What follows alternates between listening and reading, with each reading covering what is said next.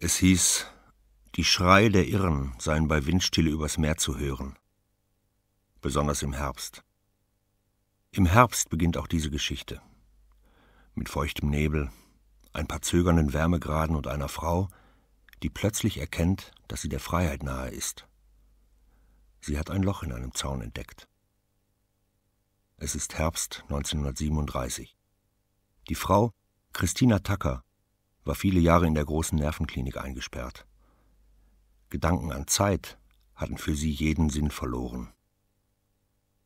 Lange betrachtet sie das Loch, als würde sie seine Bedeutung zunächst nicht verstehen. Der Zaun war stets eine Grenze mit einer ganz bestimmten Bedeutung. Aber diese plötzliche Abweichung, dieser Punkt, an dem der Zaun aufgebrochen ist, es dauert lange, bis sie es begreift. Dann kriecht sie vorsichtig durch das Loch und befindet sich außerhalb des Zauns. Sie steht regungslos. Erst nach langem Zögern tut sie einen Schritt nach vorn, dann noch einen und verschwindet zwischen den Bäumen. Im Nadelwald existiert keine Zeit, nur Holzstämme und Sonnenstrahlen, die lautlos auf die feuchte Erde treffen. Sie beginnt zu zittern. Ein Schmerz kommt unter der Haut angekrochen. Erst glaubt sie, es sei dieser entsetzliche Juckreiz, der sie mitunter überfällt, so dass dem Pfleger nichts anderes übrig bleibt, als sie anzuschnallen, damit sie ihre Haut nicht zerkratzt. Dann erkennt sie, dass es etwas anderes ist, was sie zittern macht. Sie erinnert sich, dass sie dereinst einen Mann hatte. Woher der Gedanke kommt, weiß sie nicht. Aber sie erinnert sich ganz deutlich, dass sie verheiratet war. Er hieß Lars, er hatte eine Narbe über dem linken Auge und war 23 Zentimeter größer als sie. An mehr kann sie sich im Augenblick nicht erinnern. Alles andere hat sie in die Dunkelheit verwiesen, die sie in sich trägt. Doch die Erinnerung kehrt zurück. Sie sieht sich verwirrt zwischen den Stämmen des Nadelwalds um. Warum fällt ihr hier ihr Mann ein? Er, der den Wald hasste und den es immer zum Meer zog. Er, der Kadett war und später Seevermesser und Marinekapitän mit geheimen militärischen Aufträgen. Mein Mann, denkt Christina Tucker. Einst hatte ich einen Mann. Unsere Leben berührten sich, umschlossen uns. Warum erinnere ich mich jetzt an ihn? Sie sucht in ihrem Kopf nach einer Antwort. Da ist nichts. Da ist überhaupt nichts. Spät abends finden die Wärter Christina Tucker. Sie steht regungslos in der Dunkelheit und starrt auf einen Baumstamm. Was sie sieht, ist keine Kiefer, sondern ein einsam gelegener Leuchtturm auf einer Klippe irgendwo weit draußen in den kargen und verlassenen Schären. Christina Tucker ist an diesem Tag im Herbst 1937 57 Jahre alt.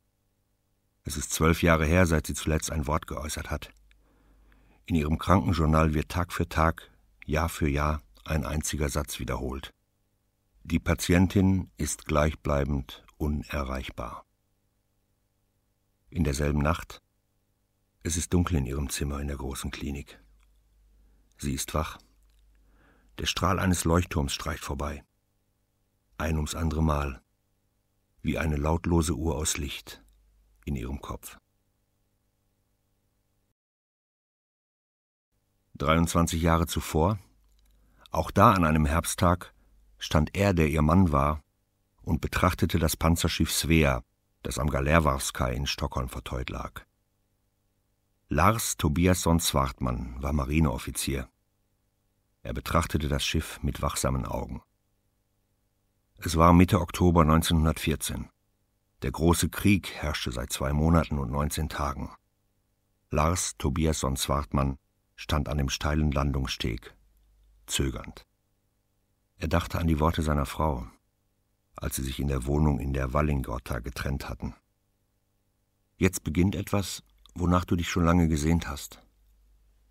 Sie standen in der dunklen Diele. Sie wollte ihn zum Schiff begleiten, um Abschied zu nehmen, aber gerade als sie den einen Handschuh anzog, begann sie zu zögern. Sie wollte nicht weinen. Nach neun Ehejahren wusste er, dass es für sie schwieriger war, sich ihm weinen zu zeigen, als nackt. Sie nahmen rasch Abschied. Er versuchte ihr zu erklären, dass er nicht enttäuscht war. Innerlich verspürte er Erleichterung. Er blieb mitten auf dem Landungssteg stehen und fühlte, wie das Schiff sich fast unmerklich bewegte. Sie hatte recht. Er sehnte sich fort. Doch er war keineswegs sicher, wonach er sich eigentlich sehnte. Gab es ein Geheimnis, das er selbst nicht kannte?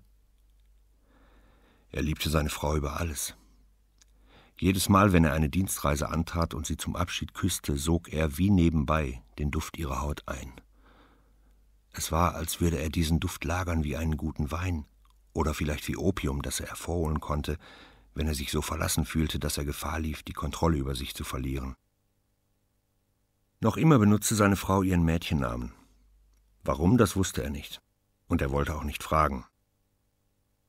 Er fixierte eine Sturmmöwe, die unbeweglich im Aufwind über dem Schiff verharrte.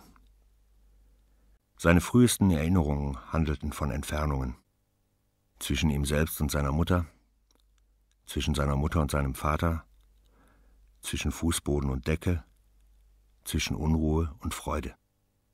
Sein ganzes Leben handelte von Entfernungen, davon, sie zu messen, zu verkürzen und zu verlängern. Er war ein einsamer Mensch, der ständig nach neuen Entfernungen suchte, um sie zu bestimmen oder abzulesen. Entfernungen zu messen glich einer Beschwörung. Es war sein Instrument, um die Bewegungen von Zeit und Raum zu zügeln. Die Einsamkeit war von Anbeginn, soweit er sich erinnern konnte, wie seine zweite Haut gewesen. Christina Tucker war nicht nur seine Frau. Sie war auch der unsichtbare Deckel, den er über den Abgrund legte. Ein kaum merklicher Nieselregen zog an diesem Oktobertag 1914 über Stockholm hin. Von der Wallingorta war sein Gepäck auf einer Karre zum Galerwarfskai gezogen worden. Die Koffer waren aus braunem Leder. In dem speziell angefertigten Futteral aus Kalbsleder lag sein kostbarster Besitz. Es war ein Lot für präzise Seevermessung. Das Lot war aus Messing, hergestellt 1701 in Manchester von Maxwell Swansons Marinetechnische Betriebe. Wenn er nachts mit einer schwer fassbaren Unruhe aufwachte, stand er auf und holte das Lot hervor. Er nahm es mit ins Bett, presste es an die Brust und schlief dann gewöhnlich wieder ein.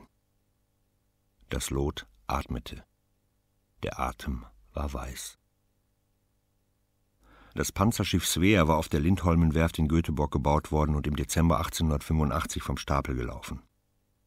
1914 hatte man es aus dem aktiven Dienst zurückgezogen, da es bereits unmodern geworden war. Doch der Beschluss war rückgängig gemacht worden. Lars Tobiasson Zwartmann wiederholte im Kopf rasch die wichtigsten Schiffsmaße.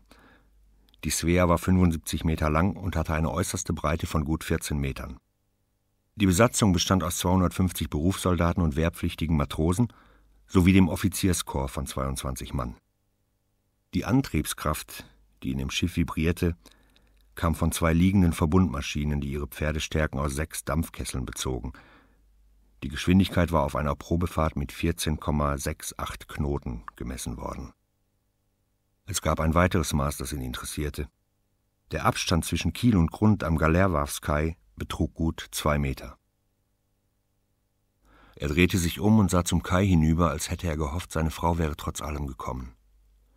Aber da waren nur ein paar Jungen mit Angeln und ein betrunkener Mann, der in die Knie ging und dann langsam umfiel. Er wurde von einem Flaksteuermann aus seinen Gedanken gerissen. Der Mann schlug die Hacken zusammen und stellte sich als Anders Höckert vor. Höckert zeigte ihm seine Kabine, die gleich unter dem Niedergang an Backbord lag, mit direkter Verbindung zur Kommandobrücke. Lars Tobiasson Zwartmann hatte einen geheimen Auftrag und konnte daher die Kabine nicht mit einem anderen Offizier teilen. Das Gepäck, die Kartenrollen und das braune Futteral mit dem Seevermessungsinstrument standen schon im Geräteraum. Lars Tobias und Zwartmann setzte sich in die Koje und ließ sich von der Einsamkeit umfangen. Er sah durch das Bullauge hinaus. Der Himmel war plötzlich blau, der Regen war vorübergezogen. Das machte ihn froh. Für einen kurzen Augenblick überfiel ihn die Sehnsucht, das Schiff zu verlassen. Er rührte sich nicht. Er war ein einsamer Mensch. Seine Einsamkeit war wie ein Abgrund, und er fürchtete, dass er sich eines Tages hineinstürzen würde. Er hatte berechnet, dass der Abgrund mindestens 40 Meter tief sein musste und dass er sich mit dem Kopf voran hinunterwerfen musste, um mit Sicherheit tot zu sein. Das Panzerschiff Svea verließ den Galerwarskei am selben Abend um 18.15 Uhr. Um Mitternacht, als sie die äußeren Schären passiert hatten, wurde ein südöstlicher Kurs aufgenommen und die Geschwindigkeit auf zwölf Knoten erhöht. Lars Tobiasson Swartmann umklammerte in dieser Nacht sein Lot fest.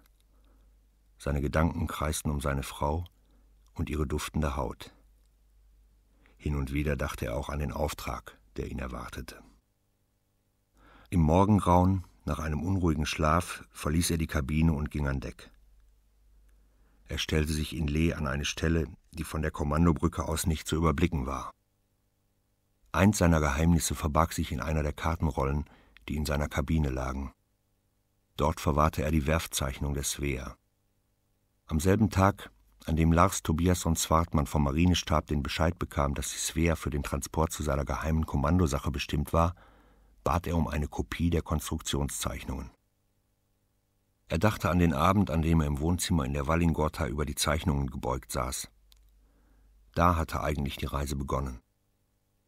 Es war Ende Juli, die Hitze drückend, und alle warteten auf den großen Krieg, der jetzt unausweichlich schien. Seine Frau kam ins Zimmer und berührte behutsam seine Schulter. Es ist schon spät, was ist denn so wichtig? Ich studiere das Schiff, auf dem ich reisen werde da es für mich Zeit wird, an einen unbekannten Ort zu gehen. Sie strich ihm immer noch über die Schulter. Unbekannter Ort? Mir musst du doch sagen können, wohin du fährst. Nein, nicht einmal dir. Die Finger tasteten über seine Schulter. Ihre Hand streifte den Stoff kaum.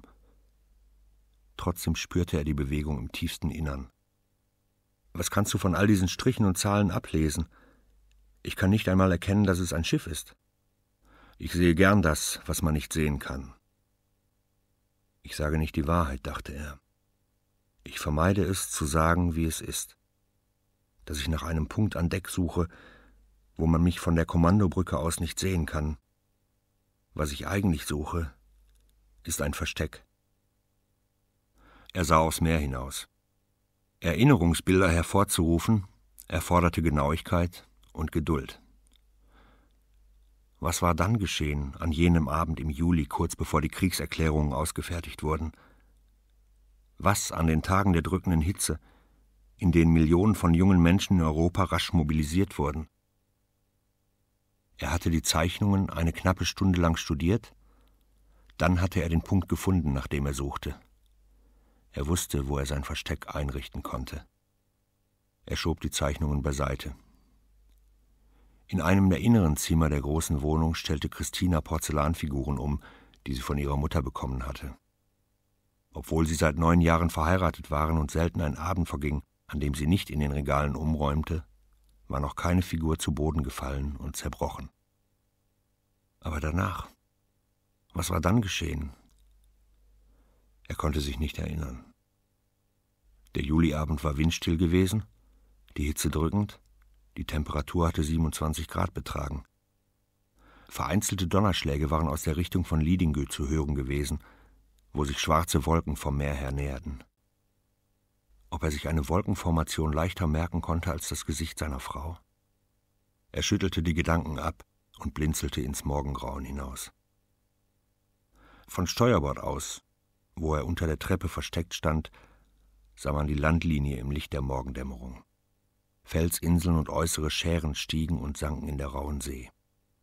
Hier beginnt und endet ein Land, dachte Lars Tobias und Zwartmann. Doch die Grenzlinie ist gleitend. Es gibt keinen exakten Punkt, an dem das Meer endet und das Land beginnt. Die Felseninseln sind über der Meeresoberfläche kaum sichtbar. In früheren Zeiten hatten die Seeleute diese Klippen und Felsbuckel für merkwürdige und entsetzliche Wasserungeheuer gehalten. So kann ich mir auch diese Klippen vorstellen, die langsam aus dem Meer steigen, wie Tiere. Er ging vor zur Reling und schaute in das bleigraue Meer, das entlang der Wasserlinie des Zerstörers strudelte. Das Meer weicht nie zurück, dachte er. Das Meer verkauft nie seine Haut. Im Winter ist es wie gefrorene Haut. Der Herbst ist Stille, Erwartung, plötzliche Ausbrüche heulender Winde. Der Sommer ist nichts anderes als ein flüchtiges Aufblinken im spiegelglatten Wasser. Das Meer, die Landhebung, all das Unbegreifliche ist wie die langsame Bewegung von der Kindheit bis zum Alter und zum Tod. In allen Menschen findet eine Landhebung statt. Aus dem Meer kommen all unsere Erinnerungen. Er lächelte. Meine Frau will es mir nicht zeigen, wenn sie weint.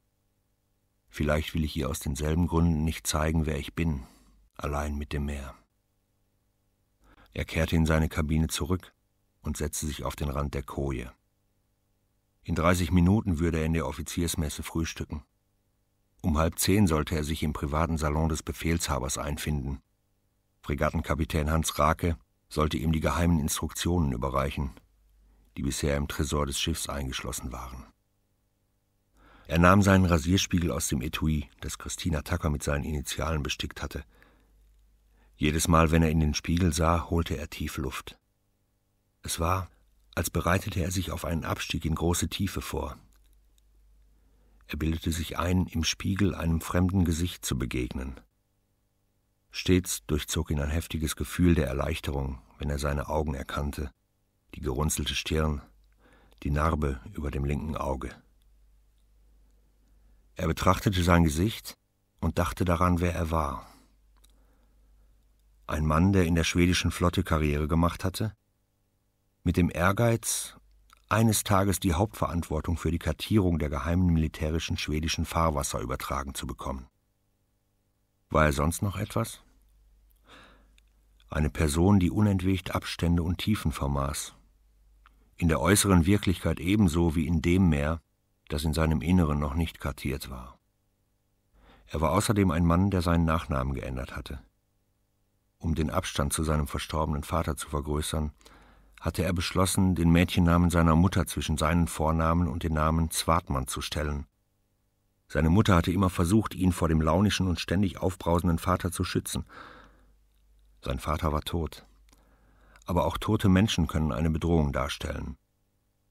Von nun an würde seine Mutter auch in seinem Namen als schützende Mauer gegenwärtig sein. Er legte das Spiegeletui weg und klappte den Deckel einer Holzschachtel auf. Darin befanden sich vier Uhren. Drei Uhren zeigten exakt die gleiche Zeit. Sie kontrollierten einander. Bei der letzten, die er von seinem Vater geerbt hatte, waren die Zeiger unbeweglich. Da war die Zeit stehen geblieben. Er klappte den Deckel über den Uhren zu. Drei zeigten ihm die Zeit, die vierte den Tod. Die Begegnung zwischen Fregattenkapitän Rake und Lars Tobiasson Zwartmann wurde durch ein unerwartetes Intermezzo gestört. Sie hatten sich gerade die Hand gegeben und sich auf die festgeschraubten Ledersessel in Rakes Salon gesetzt, als Leutnant Sundfeld zur Tür hereinkam und mitteilte, ein Mann von der Besatzung sei erkrankt. Rake saß für einen Moment schweigend da und betrachtete seine Hände. Es ist ein Unglück, dass der Schiffsarzt Hallmann Urlaub bekommen hat, um an der Hochzeit seiner Tochter teilzunehmen, Rake war schon fast an der Tür des Salons, als er sich umdrehte. Kommen Sie mit. Einen kranken Mann der Besatzung zu besuchen, lässt sich hervorragend damit kombinieren, das Schiff in Augenschein zu nehmen. Wer ist es? Der Bootsmann der Stammbesatzung, Johann Jakob Rudin. Rake suchte in seinem Gedächtnis. Rudin, der in Kalmar angemustert hat? Stimmt genau. Er hat Bauchschmerzen. Rake nickte. Meine Bootsmänner klagen nicht ohne Grund. Sie verließen den Salon, passierten einen engen Korridor und traten dann hinaus auf eine Treppe. Ich bin seit 19 Jahren Befehlshaber auf den Schiffen der Flotte, sagte Rake. Schon früh in meiner Karriere habe ich etwas über medizinische Diagnostik gelernt. Es gibt eine Anzahl von äußerst wirksamen Hilfsmitteln, um Menschen am Leben zu erhalten. Ich tröste mich und schmeichle mir vielleicht auch damit, dass meine Kapitänskollegen oft eine bedeutend höhere Anzahl von Toten auf ihren Schiffen zu beklagen haben als ich. Der Bootsmann lag in seiner Hängekoje. Es roch muffig und nach Schweiß und Angst. Rake zog seine Handschuhe aus und beugte sich über die Koje. Rudins Gesicht glänzte. Seine Augen irrten unruhig umher. Wo sitzt der Schmerz? fragte Rake. Rudin deutete auf einen Bereich rechts vom Nabel. Allein die Handbewegung ließ ihn vor Schmerzen grimassieren. Wie lange tut es schon weh? fragte Rake. Seit gestern Abend. Rake legte seine magere Hand auf den Bereich, in dem Rudin Schmerzen hatte. Rudins Gesicht verzerrte sich und er stöhnte. Rake nahm die Hand weg. Es ist vermutlich eine Blinddarmentzündung. Er richtete sich auf. Sie müssen operiert werden. Es wird gut gehen. Das Kanonenboot soll so schnell wie möglich Rudin an Bord nehmen und ihn nach Broviken bringen. Norrköping hat ein gutes Lazarett. Schweigend kehrten sie in den Salon zurück. Rake zündete sorgfältig seine Zigarre an. Dann sprachen sie über den Krieg. Rake berichtete, die englische Flotte habe in großer Eile bereits am 27. Juli ihre Basen aufs Kappa Flow verlassen, obwohl noch keine Kriegserklärungen vorlagen. Die Admiralität habe erklärt, man gedenke nicht, der deutschen Hochseeflotte eine Möglichkeit zu geben, die englischen Schiffe anzugreifen, solange sie sich an ihren Basen befänden. Periskope deutscher U-Boote seien am 27. Juli im Morgengrauen von den Mannschaften englischer Fischerboote gesichtet worden. Möglicherweise wird die englische Flotte eine Überraschung erleben, sagte Rake nachdenklich. Lars Tobias und Swartmann wartete auf eine Fortsetzung, die nicht kam. Was für eine Überraschung, fragte er. Dass die deutsche Marine bedeutend besser gerüstet ist, als die arroganten Engländer es sich vorstellen. Rakes Worte hatten einen deutlichen Nebensinn. Schweden war noch nicht in den Krieg einbezogen, aber die schwedische Flotte bereitete sich darauf vor, dass dies bald geschehen könnte. Dann sollte es auch keinen Zweifel darüber geben, wo die Sympathien des schwedischen Militärs lagen. Auch wenn die Regierung und der Reichstag Schweden als neutral erklärt hatten. Rake stand auf, nahm einen Schlüssel von der Uhrkette und kniete sich vor den großen, schwarzen, im Boden verschraubten Tresor. Die geheimen Instruktionen lagen in einer einfachen Stoffmappe, zugebunden mit einem blau-gelben dünnen Seidenband. Rake übergab Lars Tobiasson Swartmann die Akte und kehrte zu seiner Zigarre zurück. Er öffnete die Mappe. Obwohl er das Ziel seines Auftrags kannte, waren ihm die detaillierten Pläne des Marinestabs unbekannt. Er setzte sich auf seinen Stuhl und las auf dem Aktendeckel, dass die Instruktionen vertraulich und ausschließlich für Kapitän Lars Swartmann bestimmt waren. Für die schwedische Flotte existierte seine Namensänderung noch nicht. Für den Marinestab war er noch immer Lars Swartmann. Sonst nichts. Er las Ihre Aufgabe wird es sein, unverzüglich Kontrollmessungen der besonderen und vertraulichen militärischen Fahrwasser vorzunehmen, die Kalmarsund, den südlichen Teil, mit den nördlichen, mittleren und südlichen Einmündungen nach Stockholm verbinden. Besonders bedeutsam sind die Kontrollmessungen der Sunde, Durchfahrten und übrigen Einmündungen, die 1898 und 1902 im Verhältnis zu dem für jeden Schiffstyp angegebenen größtmöglichen Tiefgang beim Leuchtturm von Sandsenkern verzeichnet sind. Als Basis für die Seevermessungen dient das Panzerschiff Svea. Messschiffe werden das Kanonenboot Blender sowie die notwendigen Barkassen und Wachboote sein. Auf die einleitende Instruktion folgten detaillierte Anweisungen, die genauestens befolgt werden sollten. Er schlug die Mappe zu, verknotete das Seidenband und verließ den Salon.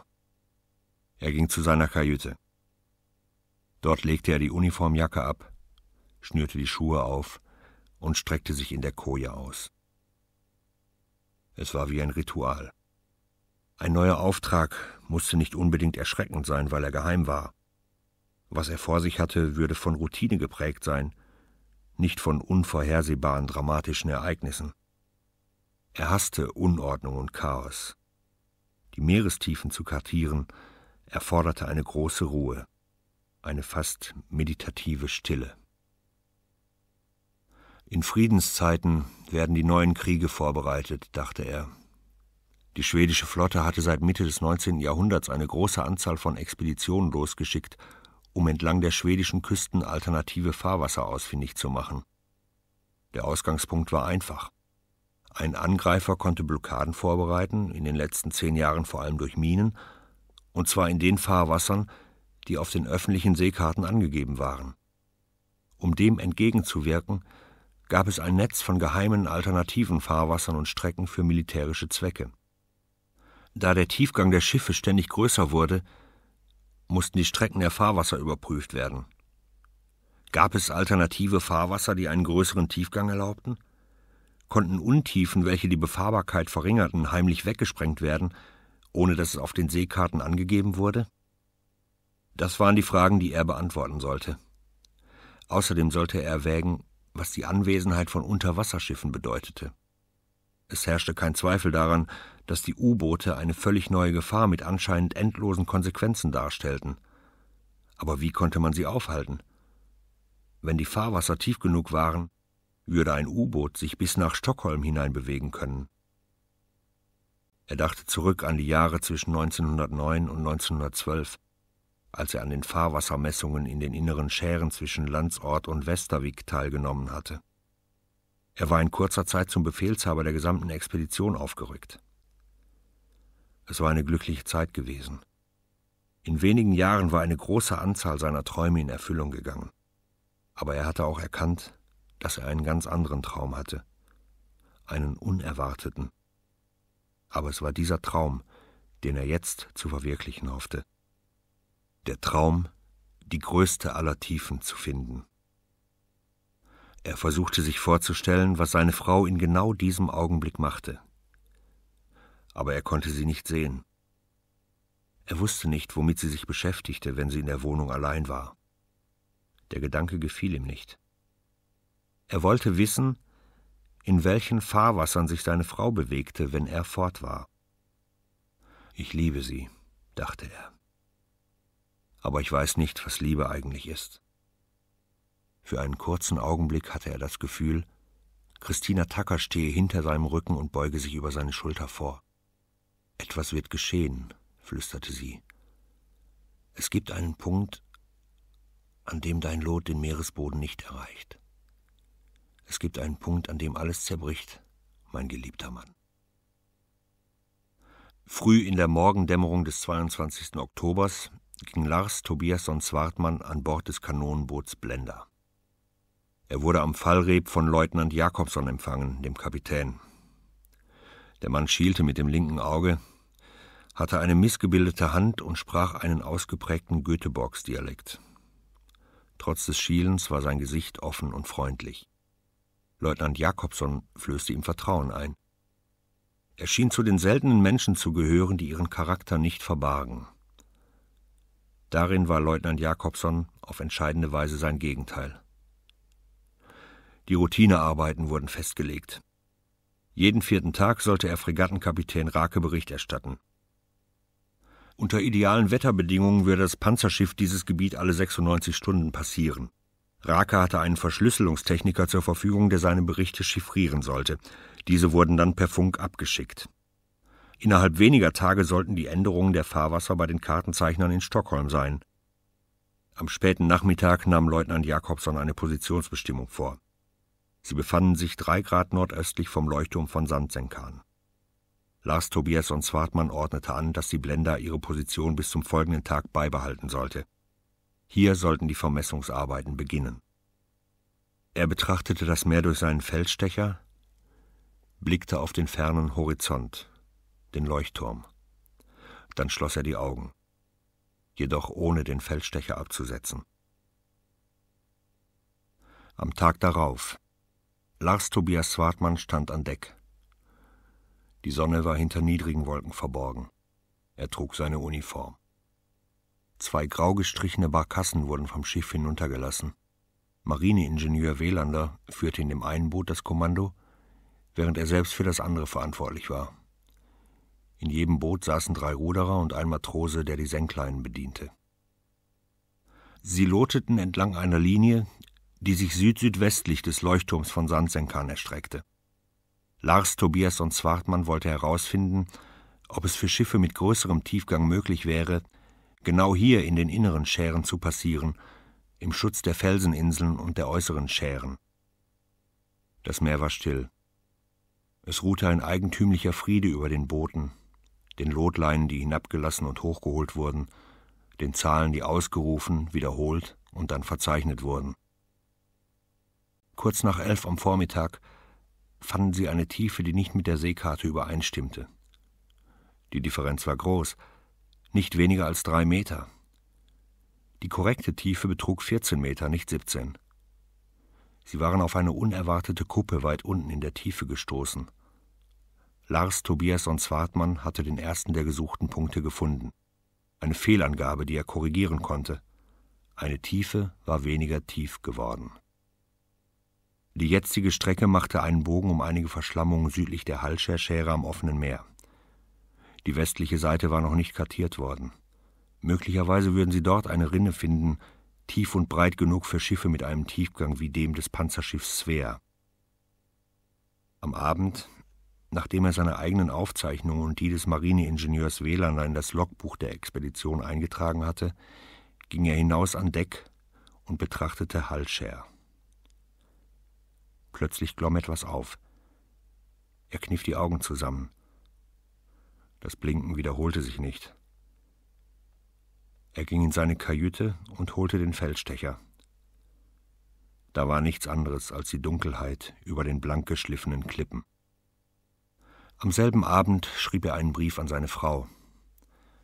Es war eine dürftige Geschichte von Tagen, die kaum voneinander zu unterscheiden waren. Am folgenden Tag kletterte er in der Morgendämmerung hinunter zu einer der Jollen, die an der Blender befestigt waren, und begann, in Richtung Hallscher zu rudern. Es war windstill, das Meer roch herb nach Salz und Lehm. Er fand eine Felskluft an der Westseite der Schäre, wo er trockenen Fußes an Land kommen konnte. Er zog die Jolle hoch, schlang die Fangleine um einen Stein und lehnte sich dann gegen die abschüssige Felswand. Die Schäre ruhte im Meer. Auf der Klippe nichts als Flechten, Heide, verstreute Grasbüschel und Tangblüten ganz unten am Wassersaum. Plötzlich überfiel ihn eine heftige Sehnsucht nach seiner Frau. Beim nächsten Treffen mit Fregattenkapitän Rake würde er den Brief an sie abschicken. Erst dann konnte er damit rechnen, dass sie antwortete. Er war mit einer Frau verheiratet, die auf Briefe antwortete, die nie von sich aus schrieb. Er setzte sich in eine Felsspalte, wo der Boden trocken war, und schloss die Augen. Nach einem Moment hatte er den Duft seiner Frau heraufbeschworen. Er war so stark, dass er die Augen aufschlug und beinahe glaubte, sie müsse anwesend sein, dicht bei ihm. Nach einer Weile kletterte er wieder hinunter zur Jolle und ruderte zurück. Am selben Nachmittag erreichten sie Hallscher und begannen methodisch an der westlichen Seite der Schäre nach einer zum Befahren ausreichend tiefen Rinne zu suchen. Es bedurfte einer Woche harter und beharrlicher Arbeit, um festzustellen, dass es möglich war, das Fahrwasser westlich von Halscher zu nutzen. Sämtliche Schiffe der Marine, ausgenommen die größten Panzerkreuzer, würden hier mit sicherem Spielraum passieren können. Beim Abendessen informierte er Leutnant Jakobson über die Entdeckung. Das imponiert mir, sagte Leutnant Jakobson. Aber ich habe eine Frage. Wussten Sie von vornherein, dass es dort diese Tiefe gibt? dass sie für die großen Kriegsschiffe ausreichend ist? Seevermesser, die aufs Geratewohl suchen, haben selten Glück. Mit Sicherheit weiß ich nur, dass das, was sich unter der Meeresoberfläche verbirgt, unberechenbar ist. Das Gespräch wurde dadurch unterbrochen, dass Leutnant Jakobsons erster Offizier Freden hereinkam und meldete, die Svea sei auf nördlichem Kurs gesichtet worden. Das Panzerschiff türmte sich neben der Blender auf. Da fast Windstille herrschte, legten sie einen Landungssteg als Brücke zwischen den Schiffen aus. Fregattenkapitän Rake war schwer erkältet. Er stellte keine Fragen, nahm nur das Logbuch entgegen und bot Cognac an. Bootsmann Rudin, fragte Lars Tobias und Zwartmann, wie ist es ihm ergangen? Er ist leider während der Operation gestorben, erwiderte Rake. Das ist wirklich bedauerlich. Er war ein guter Bootsmann. Außerdem hat sein Tod meine persönliche Statistik verschlechtert. Lars Tobiasson Zwartmann wurde plötzlich von Übelkeit erfasst. Dass Rudin sterben würde, hatte er nicht erwartet. Rake betrachtete ihn aufmerksam. Geht es Ihnen nicht gut? Mir geht es ausgezeichnet. Es ist nur mein Magen, der in den letzten Tagen nicht in Ordnung war. Der Schatten des Bootsmann Rudin glitt durch die Kajüte. Als Lars Tobiasson Zwartmann in der Morgendämmerung an Deck trat, trieben Wolkenfetzen über den Himmel. Er sah auf seiner Uhr, dass es Frühstückszeit war. Da hörte er einen Ruf. Es klang wie ein Jammern. Als er sich umdrehte, sah er einen Matrosen, der sich über die Reling beugte und aufgeregt mit einer Hand winkte. Irgendetwas im Wasser hatte seine Aufmerksamkeit erregt. Leutnant Jakobson und Lars Tobiasson Swartmann kamen gleichzeitig bei dem gestikulierenden Mann an. Neben dem Bug schaukelte eine Leiche. Es war ein Mann, sein Gesicht war im Wasser. Er trug keine schwedische Uniform. Mit Hilfe einiger Seile und Draggen wurde der Körper an Bord gehoben. Die Matrosen drehten ihn auf den Rücken. Ein junger Mann mit blonden Haaren. Aber ihm fehlten die Augen. Sie waren von Fischen oder vielleicht von Vögeln gefressen worden. Lars Tobiasson Zwartmann versuchte nach der Reling zu greifen. Aber er erreichte sie nicht, bevor er in Ohnmacht fiel. Als er die Augen aufschlug, beugte sich Leutnant Jakobson über ihn. Er erhob sich langsam, winkte denen, die ihm zu Hilfe kommen wollten, abwehrend zu. In ihm wuchs die Demütigung. Er hatte vor der Besatzung des Schiffs Schwäche gezeigt. Erst war Rudin gestorben und nun diese Leiche, die aus dem Meer gezogen worden war. Das war zu viel. Eine Last, die er nicht bewältigen konnte. Lars Tobias und Zwartmann hatte zuvor in seinem Leben erst einen toten Menschen gesehen. Es war sein Vater, der nach einem schweren Schlaganfall gestorben war, als er sich eines Nachmittags umzog. Der Vater starb auf dem Boden neben seinem Bett, gerade als der Sohn das Schlafzimmer betreten hatte, um zum Essen zu rufen. Im Augenblick des Todes hatte sich Hugo Swartmann bepinkelt. Er lag mit nacktem Bauch und offenen Augen da.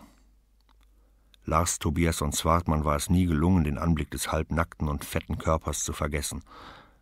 Oft hatte er gedacht, dass der Vater ihn ein letztes Mal hatte strafen wollen, indem er vor seinen Augen starb. Der Tote war sehr jung. Leutnant Jakobson beugte sich hinunter und legte ein Taschentuch über die leeren Augenhöhlen. Eine deutsche Uniform, sagte er. Er hat der deutschen Marine angehört. Leutnant Jakobson fing an, die Uniformjacke des Toten aufzuknöpfen. Er fühlte in den Innentaschen nach und zog ein paar durchweichte Dokumente und Fotografien heraus. Ich glaube nicht, dass dieser Mann besonders lange im Wasser gelegen hat. Er hat keine Verletzungen, die darauf hindeuten, dass er im Kampf gestorben ist. Vermutlich ist er durch ein Unglück über Bord gefallen. Vorsichtig trennte er die zusammengeklebten Seiten eines Soldbuchs auf. Karl-Heinz Richter, geboren 1895 in Kiel, las er. Ein sehr junger Mann, noch keine zwanzig. Ein kurzes Leben, ein gewaltsamer Tod. Er bemühte sich, die verwischte Schrift zu entziffern. Er war Matrose auf dem Schlachtschiff Niederburg. Leutnant Jakobson beugte sich über die Fotografien darunter eine Miniatur in Glas und Rahmen. Vermutlich Frau Richter, sagte er. Eine freundlich lächelnde Frau, die in einem Fotoatelier sitzt und nicht ahnt, dass ihr Sohn das Bild bei sich haben wird, wenn er ertrinkt. Gründlich musterte er die Miniatur, ehe er sie beiseite legte. Es gibt zwei Möglichkeiten, sagte Leutnant Jakobson. Entweder ist es ein banales Unglück. In der Dunkelheit taumelt ein Matrose über Bord, niemand merkt etwas. Es muss nicht einmal dunkel sein, damit so ein Unglück geschieht. Von einem Schiffsdeck bis zur Meeresoberfläche hinunterzustürzen dauert zwei oder drei Sekunden. Keiner sieht dich, keiner hört dich, wenn du zappelst und mit dem Meer kämpfst, das unerbittlich alle Wärme aus dir heraussaugt und dich dann in die Tiefe zieht. Du stirbst dann unter Kühlung und in grenzenlosem Entsetzen. Es kann aber auch eine andere Erklärung geben. Er kann sich das Leben genommen haben, die Angst ist zu groß geworden. Vor allem junge Menschen können sich aus den absonderlichsten Gründen das Leben nehmen. Leutnant Jakobson stand auf. Ich will den Mann nicht unnötig lange an Bord haben. Auch ein Toter vermag eine ansteckende Krankheit zu übertragen. Ich werde ihn so schnell wie möglich bestatten. Ich muss Sie um einen Gefallen bitten. Ich brauche eine geeignete Tiefe ganz hier in der Nähe, wo wir den Körper versenken. Vielleicht könnten Sie auf Ihren Seekarten nachschauen. Das ist nicht nötig. Ich weiß eine Stelle. Lars, Tobias und Zwartmann zeigte nach Nordost. 250 Meter von hier aus gesehen gibt es eine Spalte im Meeresboden. Sie ist nicht breiter als 30 Meter. Dort beträgt die Tiefe etwa 160 Meter. Das ist gut. An Land werden unsere Särge in einer Tiefe von knapp zwei Metern versenkt. Dann müssten 160 Meter im Meer mehr als genug sein. Die Bestattung fand um halb zehn statt. Die Besatzung hatte sich auf dem Achterdeck versammelt. Leutnant Jakobson folgte den Ritualen, die in seinen Instruktionen festgelegt waren. Er hielt ein Gesangbuch in der Hand. Die Besatzung sang murmelnd mit. Lars Tobiasson Zwartmann bewegte nur die Lippen. Nach dem Choral wurde das vorgeschriebene Gebet über den Toten gesprochen, worauf die Planke angehoben wurde und der Körper über die Reling rutschte und mit einem gedämpften Klatschen im Wasser auftraf. Das Nebelhorn des Schiffs tutete düster. Leutnant Jakobson lud in die Messe zu einem Glas Schnaps ein. Sie stießen an, und der Kommandant sagte Wie lange braucht ein Körper Ihrer Meinung nach, um da unten im Lehm oder Sand oder woraus der Boden nun besteht, zur Ruhe zu kommen? Lars Tobias von Zwartmann überschlug es rasch im Kopf. Angenommen, der Körper mitsamt den Senkern wiegt 100 Kilo und der Abstand zum Boden beträgt 160 Meter, der Körper sollte in zwei bis drei Sekunden um einen Meter sinken. Das bedeutet, dass er ungefähr sechs Minuten braucht, um den Meeresgrund zu erreichen. Leutnant Jakobson dachte über die Antwort nach. Das sollte reichen, damit meine Besatzung keine Angst haben muss, dass er wieder an die Oberfläche kommt. Seeleute können so verteufelt abergläubisch sein. Sie setzten die unterbrochene Arbeit fort, und es gelang ihnen, 80 Kontrollmessungen vorzunehmen, bevor es dämmerig wurde. Lars, Tobias und Zwartmann übertrug die Notizen des Tages ins Logbuch. Danach fühlte er sich rastlos und ging hinaus an Deck. Wieder meinte er zu sehen, dass es auf Hallscher aufblitzte. Wiederum tat er es als Einbildung ab. Er erwachte mit einem Ruck. In der Kajüte war es dunkel. Er hatte geträumt. Er sah auf die Uhr, die neben der Koje hing. Viertel nach fünf. Noch keine Morgendämmerung. Er dachte an das Aufblitzen, das er bei zwei Gelegenheiten zu sehen gemeint hatte. Aber Halscher war doch eine unfruchtbare Klippe im Meer, da konnte es doch kein Licht geben. Er zündete die Petroleumlampe an, zog sich an, holte tief Luft und betrachtete sein Gesicht im Spiegel. Es war immer noch sein eigenes. Als Kind und während seiner ganzen Jugend war er seiner Mutter ähnlich gewesen. Jetzt, da er älter wurde, begann sich sein Gesicht zu verwandeln, und er sah im Spiegel immer mehr von den Gesichtszügen seines Vaters. Gab es ein weiteres Gesicht, das er in sich trug? Würde er jemals erleben, dass er nur sich selbst glich? Über dem Meer lag Dunst, als er an Deck kam. Lars, Tobias und Zwartmann ging zu einem der Beiboote, legte das Fallreb aus und stieg hinunter. Die Sonne war noch nicht über den Horizont gestiegen, als er in Richtung Hallscher ruderte. Er ruderte mit kräftigen Schlägen und legte an derselben Stelle an, wo er zum ersten Mal an Land gegangen war. Hallscher war wie von einer Riesenhand zerquetscht. Da gab es tiefe Schluchten und Senken. Das Gelände bot ihm keine Hilfe an, die Klippen formten sich zu glitschigen Abhängen. Er kletterte zwischen den Klippen herum und gelangte zum Rand einer Bucht. Er blieb abrupt stehen. Zuinnerst in der Bucht lag eine windschiefe Anlegebrücke. An der Brücke war eine Jolle verteut. Am Ufer hingen Fischernetze zwischen ein paar Pfosten, die in den Boden gerammt waren. Außerdem sah er einen Brauereibottich aus geteerter Eiche. Er stand regungslos da und betrachtete das Bild. Es erstaunte ihn, dass eine Schere, die so weit draußen am offenen Meer lag, von Fischern und Vogeljägern genutzt wurde. Er ging weiter den Strand entlang und stellte fest, dass die Jolle sehr gepflegt war.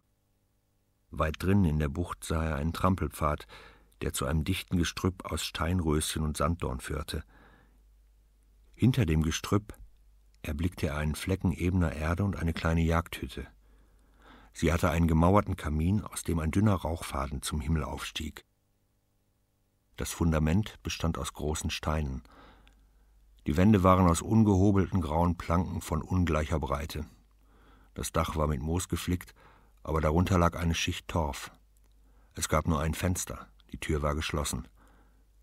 Neben dem Haus war ein kleiner Gemüsegarten, in dem nichts wuchs, aber jemand hatte sich die Mühe gemacht, den Boden mit Tangbüscheln zu bedecken und zu düngen. Weiter weg, ganz nah an der Felswand auf der anderen Seite der Hütte, lag ein Kartoffelacker. Auch hier war Tang ausgestreut, zusammen mit vertrocknetem Kartoffelkraut. In diesem Moment ging die Tür auf. Eine Frau trat heraus. Sie trug einen grauen Rock und eine zottelige Jacke, in der Hand hielt sie eine Axt. Ihre Haare waren lang und blond, und in einem Zopf zusammengefasst. Sie bemerkte ihn und schrak zusammen. Aber sie bekam keine Angst und erhob nicht die Axt. Lars, Tobias und Swartmann war verwirrt. Er fühlte sich wie auf frischer Tat ertappt, ohne zu wissen, wessen man ihn beschuldigen könnte. Er hob die Hand an den Mützenrand und grüßte. Ich will mich nicht anschleichen, sagte er. Ich heiße Lars Tobias von Swartmann und bin Kapitän, ohne Befehlshaber zu sein, auf dem Schiff, das da draußen liegt, östlich der Schäre. Sie hatte klare Augen und senkte den Blick nicht.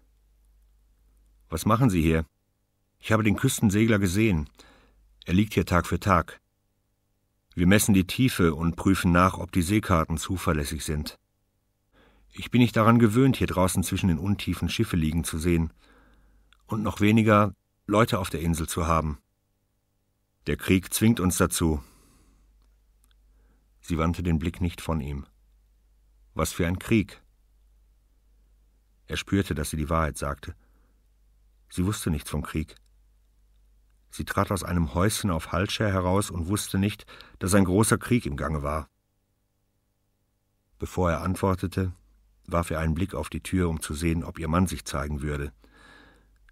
Seit einigen Monaten herrscht Krieg. Viele Länder sind daran beteiligt, aber hier in der Ostsee sind es vor allem deutsche und russische Kriegsschiffe, die sich auf eine entscheidende Schlacht vorbereiten. Und Schweden? Wir haben nichts damit zu tun. Aber keiner weiß, wie lange uns das gelingt. Sie war jung, noch keine dreißig. Ihr Gesicht war offen. Wie geht es mit dem Fischfang? fragte er höflich. Es ist schwierig. Der Hering zieht also nicht hier durch, und der Dorsch? Es gibt Fisch, aber ihn zu fangen ist mühsam. Sie schlug die Axt in einen Hackblock.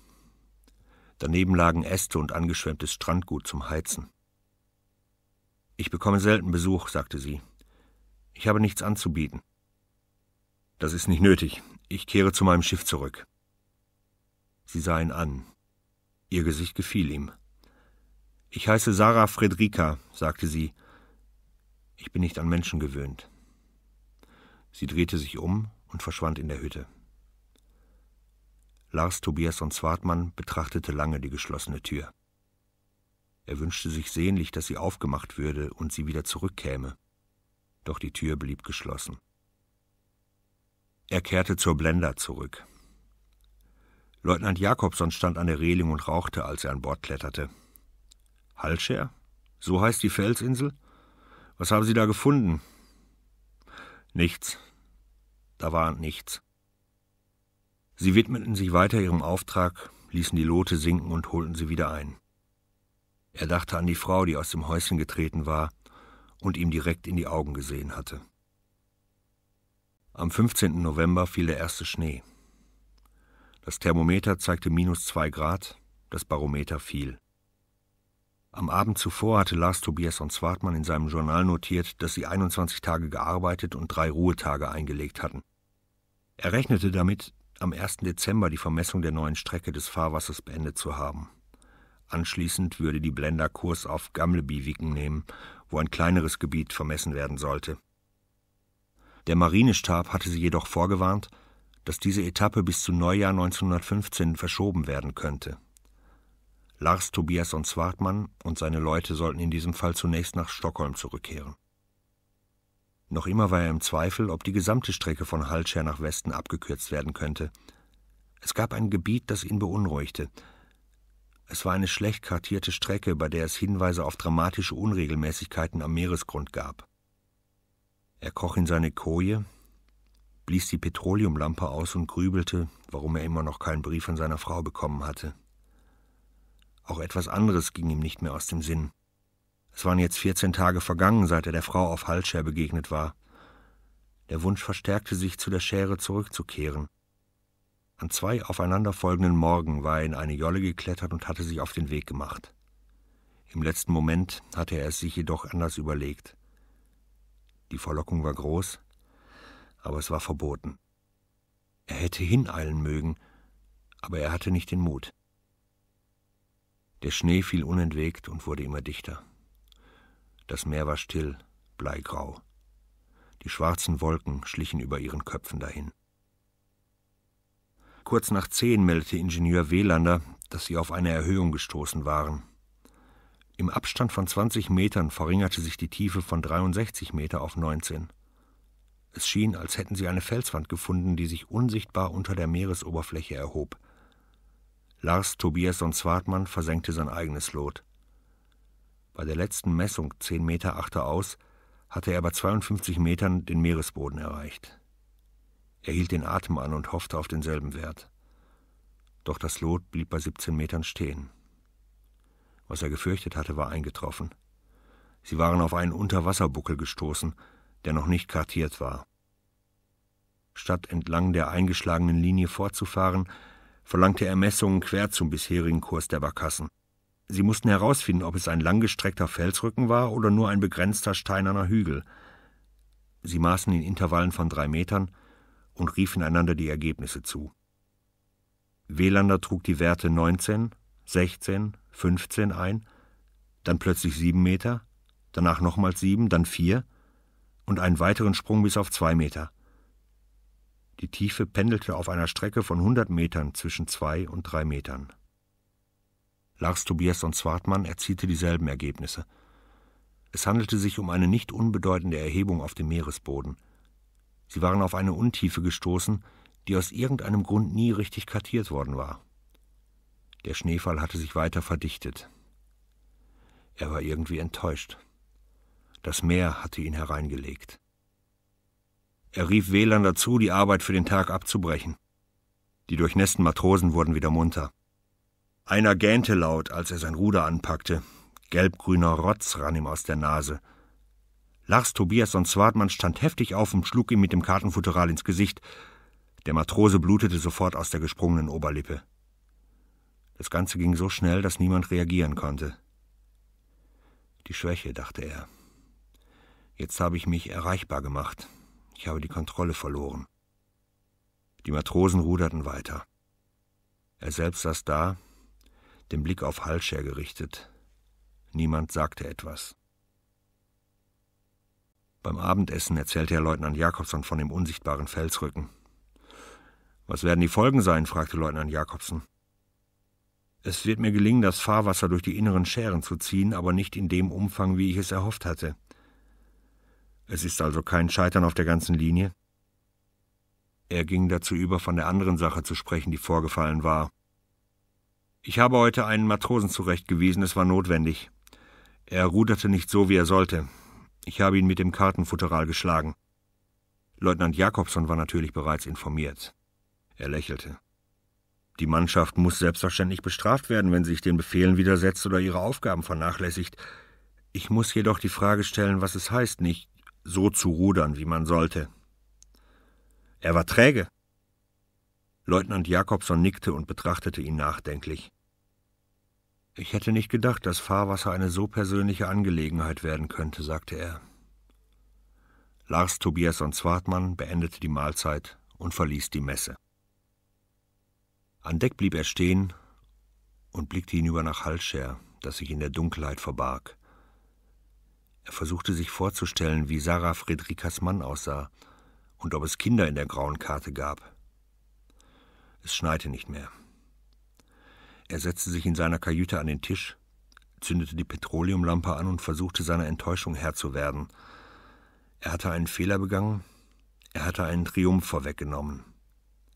Er war überzeugt gewesen, dass es ihm gelingen würde, einen Bogen auf der Seekarte zu einer Geraden zu machen, den Kriegsschiffen besseren Schutz zu gewähren und ihnen vor allem die Möglichkeit zu geben, sich mit größerer Geschwindigkeit dem Land zu nähern oder auf die See hinauszukommen. Obwohl er aus Erfahrung wusste, dass ein Fahrwasser wie eine unsichtbare Hindernisbahn war, hatte er sich verleiten lassen, mit allzu großer Sicherheit aufzutreten. Er hatte eine große Sünde begangen. Er hatte sich verschätzt. Die Petroleumlampe begann zu qualmen. Während er die Flamme regulierte, tauchte ein Erinnerungsbild auf. Sein Vater hatte einen seiner schlimmsten Wutausbrüche bekommen, als er zu spät zu Tisch gekommen war, weil er sich in der Uhrzeit verschätzt hatte. Mit einem Brüllen hatte sein Vater ihm eine Ohrfeige verpasst und ihn ohne Essen ins Bett geschickt. Zu spät kommen hieß, die Zeit der anderen Menschen zu entweihen. Das Schätzen konnte ein lustiges Spiel sein, aber keine Art, sich zum Abendessen oder zu anderen ernsthaften Gegebenheiten zu verhalten. Beispielsweise für Kontrollen der Tiefe in geheimen Fahrwassern verantwortlich zu sein. Er streckte sich in der Koje aus. Dann dachte er an den Matrosen, den er geschlagen hatte. Was wusste er von ihm? Er war 19, kam aus dem Landesinnern, aus Wimmerby, hieß Mats Lindegren das war alles. Der Junge sprach einen fast unverständlichen Dialekt, er roch nach Schweiß und wirkte ängstlich. Ein unbedeutender Mensch mit einem bleichen, pickligen Gesicht, außerdem unnatürlich mager. In der Dunkelheit ahnte Lars Tobiasson Swartmann plötzlich, warum er sich nicht hatte beherrschen können. Der gähnende Matrose mit dem klebrigen Rotz hatte Ähnlichkeit mit dem toten Matrosen Richter, den man ein paar Wochen zuvor aus dem Meer gezogen hatte die Gleichgültigkeit und die Tatsache, dass sie auf einem mächtigen Unterwasserrücken gestoßen waren, so dass seine allzu hochfliegenden Pläne zunichte gemacht waren, hatten ihn die Kontrolle verlieren lassen. Er schloss die Augen und dachte an seine Frau. Sie kam ihm in der Dunkelheit entgegen. Es wurde langsam ganz ruhig in ihm. Die Kajüte fühlte sich mit einem süßlichen Duft, und schließlich gelang es ihm einzuschlafen. Sie folgte ihm in den Schlaf. Es war das Jahr 1905. Sie hatten gerade geheiratet und waren auf Hochzeitsreise in Christiania. Der Streit um das Sein oder Nichtsein der schwedisch-norwegischen Union befand sich in seiner hitzigsten Phase, und er hatte ahnungslos den Fehler begangen, in Uniform mit ihr über den Karl-Johann-Boulevard zu spazieren. Ungefähr in Höhe der Universität hatte ihm jemand nachgerufen: Schwedenteufel, geh heim! Aber als er sich umgedreht hatte, war der Sprecher nicht zu erkennen. Nur Menschen, die das Gesicht abwandten.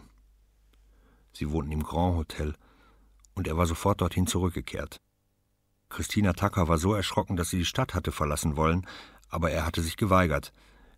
Er hatte sich Zivilkleidung angezogen, sie waren wieder hinausgegangen, und niemand hatte ihnen nachgerufen. Soweit war der Traum deutlich. Ein Erinnerungsalbum, das Seite für Seite aufgeblättert wurde. Dann verwandelte sich rasch alles in ein Chaos. Bei einem Volksauflauf auf Bigdö verlieren sie einander. Gleich darauf sieht er sie mit einem anderen Mann. Er versucht, den Mann von ihr wegzureißen, aber der Mann ist tot und befindet sich in Verwesung, der Gestank ist fürchterlich. Dann ist plötzlich alles wieder am Ausgangspunkt. Sie spazieren den Karl-Johann-Boulevard entlang, sie sprechen über alltägliche Dinge, sie drückt seinen Arm, und dann wird das Bild ganz weiß, konturlos, ohne Inhalt oder Bedeutung. Als er aufwachte, versuchte er den Traum zu deuten. Er hatte ihn mit einer weißen Oberfläche enden lassen. Er selbst hatte Christina ausgelöscht. Er lag mit offenen Augen da, und in der Dunkelheit, im Gegenteil zur weißen Fläche des Traums, entschloss er sich, am Morgen nach Halscher zu rudern. Er musste es tun. Ganz einfach so, nichts anderes. Er hatte keine Wahl. Das Meer war in Nebel gehüllt, als er nach Halscher ruderte. Ungefähr auf halbem Weg war die Blender zu einem dunklen Schatten in all dem Weißen verschwommen. Er dachte, dass die weiße Oberfläche, von der er geträumt hatte, ein Vorbote des Nebels gewesen sein könnte. Er ruhte auf den Rudern und lauschte. Ein paar Matrosen hatten den Auftrag erhalten, Rost abzuschlagen. Die Schläge von Meißeln und Hämmern prallten durch den Nebel. Es bestand keine Gefahr, dass er sich verirrte, er konnte sich an den Geräuschen orientieren. Er zählte die Ruderschläge, und als er sich umdrehte, war er nahe an Land. Er legte an wie zuvor, tastete sich über die Klippen zu dem schützenden Naturhafen vor und betrachtete die Jolle. Sie lag an derselben Stelle. Er setzte seinen Weg über die Klippen fort, rutschte aus und schnitt sich an einem scharfkantigen Stein. In einer Tasche hatte er ein Taschentuch, in das Christina Tucker seine Initialen gestickt hatte. Er presste es gegen die Hand, bis das Blut gerann. Die Tür in dem grauen Häuschen war geschlossen. Rauch stieg aus dem Kamin auf. Im Schutz einiger Steinblöcke ließ er sich nieder und ließ den Feldstecher über das Haus, die Tür, die Wände, das Fenster schwenken. Das Einzige, was lebte, war der Rauch. Plötzlich kam eine schwarze Katze mit weißer Schnauze um die Ecke des Häuschens.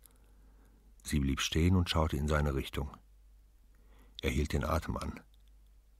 Die Katze lief weiter und verschwand hinter ein paar Büschen. Die Tür ging auf. Sarah Friedrika kam heraus. Sie hob ihren Rock und hockte sich hin. Ihre weißen Beine waren zu sehen. Einen Augenblick zögerte er, dann richtete er den Feldstecher auf sie. Gerade als sie sich aufrichtete, sah sie direkt in seine Augen. Mit einem Ruck setzte er den Feldstecher ab und schloss die Augen. Sie folgte dem Pfad hinunter in die Bucht, wo die Jolle lag, bog um einen Klippenabsatz und war weg. Er stand auf und lief schnell hinauf auf den Berg, von wo aus er Einblick in die Bucht hatte. Sie ruderte mit kräftigen Schlägen. Durch den Feldstecher konnte er sehen, dass sie den Rock über den Knien verknotet hatte und dass Netze auf der Ducht lagen. Sie warf die Korkschwimmer über Bord und ließ das Netz hinab. Es ging schnell. Sie wusste, was sie tat. Die blonden Haare hingen ihr ins Gesicht, sie blies sie weg, schüttelte den Kopf und klemmte sich eine lange Strähne in den Mundwinkel, damit sie nicht störte. Er setzte den Feldstecher ab. Es war merkwürdig, dass sie allein da draußen im Boot war. Er fasste einen raschen Entschluss. Es würde dauern, bis sie mit dem Netz fertig war und zurückkam. Er ging hinunter zur Karte. Die Tür war noch immer geschlossen, die Katze war verschwunden. Vorsichtig ging er hin und spähte durchs Fenster. Es war nur ein Zimmer mit einem Bett, einem Tisch und einem Stuhl zwischen den morschen Wänden. Es gab keine Spuren von ihrem Mann. Sie lebte allein hier. Sarah Friedrika war allein auf der Schäre. Der Nebel hatte sich aufgelöst, als er zum Schiff zurückkehrte. Er ruderte so schnell, dass er schwitzte. Warum hatte er es so eilig? War er unterwegs, um etwas zu finden oder etwas zu verlieren? Spät nachmittags tauchte die Svea am Horizont auf. Sogleich unterbrachen sie ihre Arbeit. Lars Tobiasson Zwartmann kletterte über den Landungssteg, der zwischen den Schiffen ausgelegt worden war. Rake erwartete ihn mit aufgeknöpfter Uniformjacke. In der Hand hielt er einen Brief. Er sah sogleich, dass er von Christina Tacker war. Plötzlich war er überzeugt, dass sie ihm nicht schon früher geschrieben hatte, weil sie ihm untreu geworden war der Brief enthielt bestimmt das Bekenntnis, dass sie einen anderen gefunden hatte. Er saß lange mit dem Brief in der Hand da und hatte nicht den Mut, ihn zu öffnen. Der Brief enthielt nichts von dem, was er fürchtete. Christina fing damit an, sich zu entschuldigen, dass es mit dem Schreiben so lange gedauert habe. Sie sei einige Tage unpässlich gewesen, und die Haushaltshilfe habe plötzlich gekündigt. Das hatte bedeutet, dass Christina sich an Frau Eber wenden musste, die eine Dienstbotenagentur unterhielt, um dann Bewerberinnen zu interviewen. Es habe Tage und Abende gebraucht, bevor sie ein Mädchen aus Ödeshög anstellen konnte. Sie hieß Anna, war 27 Jahre alt und Christina Tacker beschrieb sie als etwas mollig mit großen und dummen Augen, aber redlich und ehrlich im Auftreten. Zum Schluss sprach sie davon, wie sehr sie sich nach ihm sehne, von der leeren und verlassenen Wohnung, ihrer Angst vor dem Krieg und dass sie wünsche, er komme bald wieder nach Hause zurück. Er legte den Brief weg und schämte sich der Gedanken, die er gehabt hatte. Er hatte eine Frau, die ihm innig schrieb. Sie war wie eine ihrer Porzellanfiguren. Er dachte, es müsse Liebe sein, was er jetzt fühlte. Die Spannung, die nachließ, das schlechte Gewissen und ihr Duft, der die enge Kajüte erfüllte. Er schrieb umgehend eine Antwort. Weder rührte er an den Vorfall mit Rodins Tod, noch kam der tote deutsche Soldat in seinem Brief vor. Er fürchtete, dass das ihre Besorgnis nur verstärken würde. Stattdessen schrieb er von seiner Einsamkeit und großen Sehnsucht. Er schrieb schön über das Meer. Und noch einmal, wie sehr er sich nach ihr sehne und dass er jede Nacht von ihr träume. Als er fertig war, sagte er sich, dass kein einziges Wort wahr war. Es waren lauter Erfindungen, leere Poesie, sonst nichts. Es war, als hätte sich etwas zwischen ihn und Christina Tucker gestellt. Er wusste, was es war. Oder vielmehr, wer. Es war sie, Sarah Friedrika, die allein auf Halscher lebte.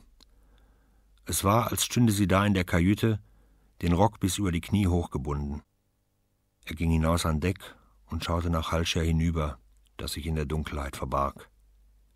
Dorthin war er unterwegs. Als er in der Morgendämmerung aufstand, kam ihm Leutnant Jakobson mit ernster Miene entgegen. Er bat ihn, ihm zum Vorschiff zu folgen. Zwischen den großen Seilwinden lag Marineingenieur Welander. Er war mit Erbrochenem befleckt. Ein Gestank nach Schnaps ging von ihm aus. Zwischen seinen Füßen lag eine leere Brandweinflasche. Die Haare waren wirr, die Augen blutunterlaufen, und als er versuchte aufzustehen, vermochte er nicht, das Gleichgewicht zu halten, sondern fiel zurück zwischen die Seilwinden. Leutnant Jakobson betrachtete ihn mit Widerwillen. Ich hatte schon den Verdacht, sagte er. Man hat es manchmal gerochen. Ich habe nur darauf gewartet, dass die Sache aufliegt. Wir lassen ihn vorerst hier liegen. Sie gingen zu Welanders Kajüte.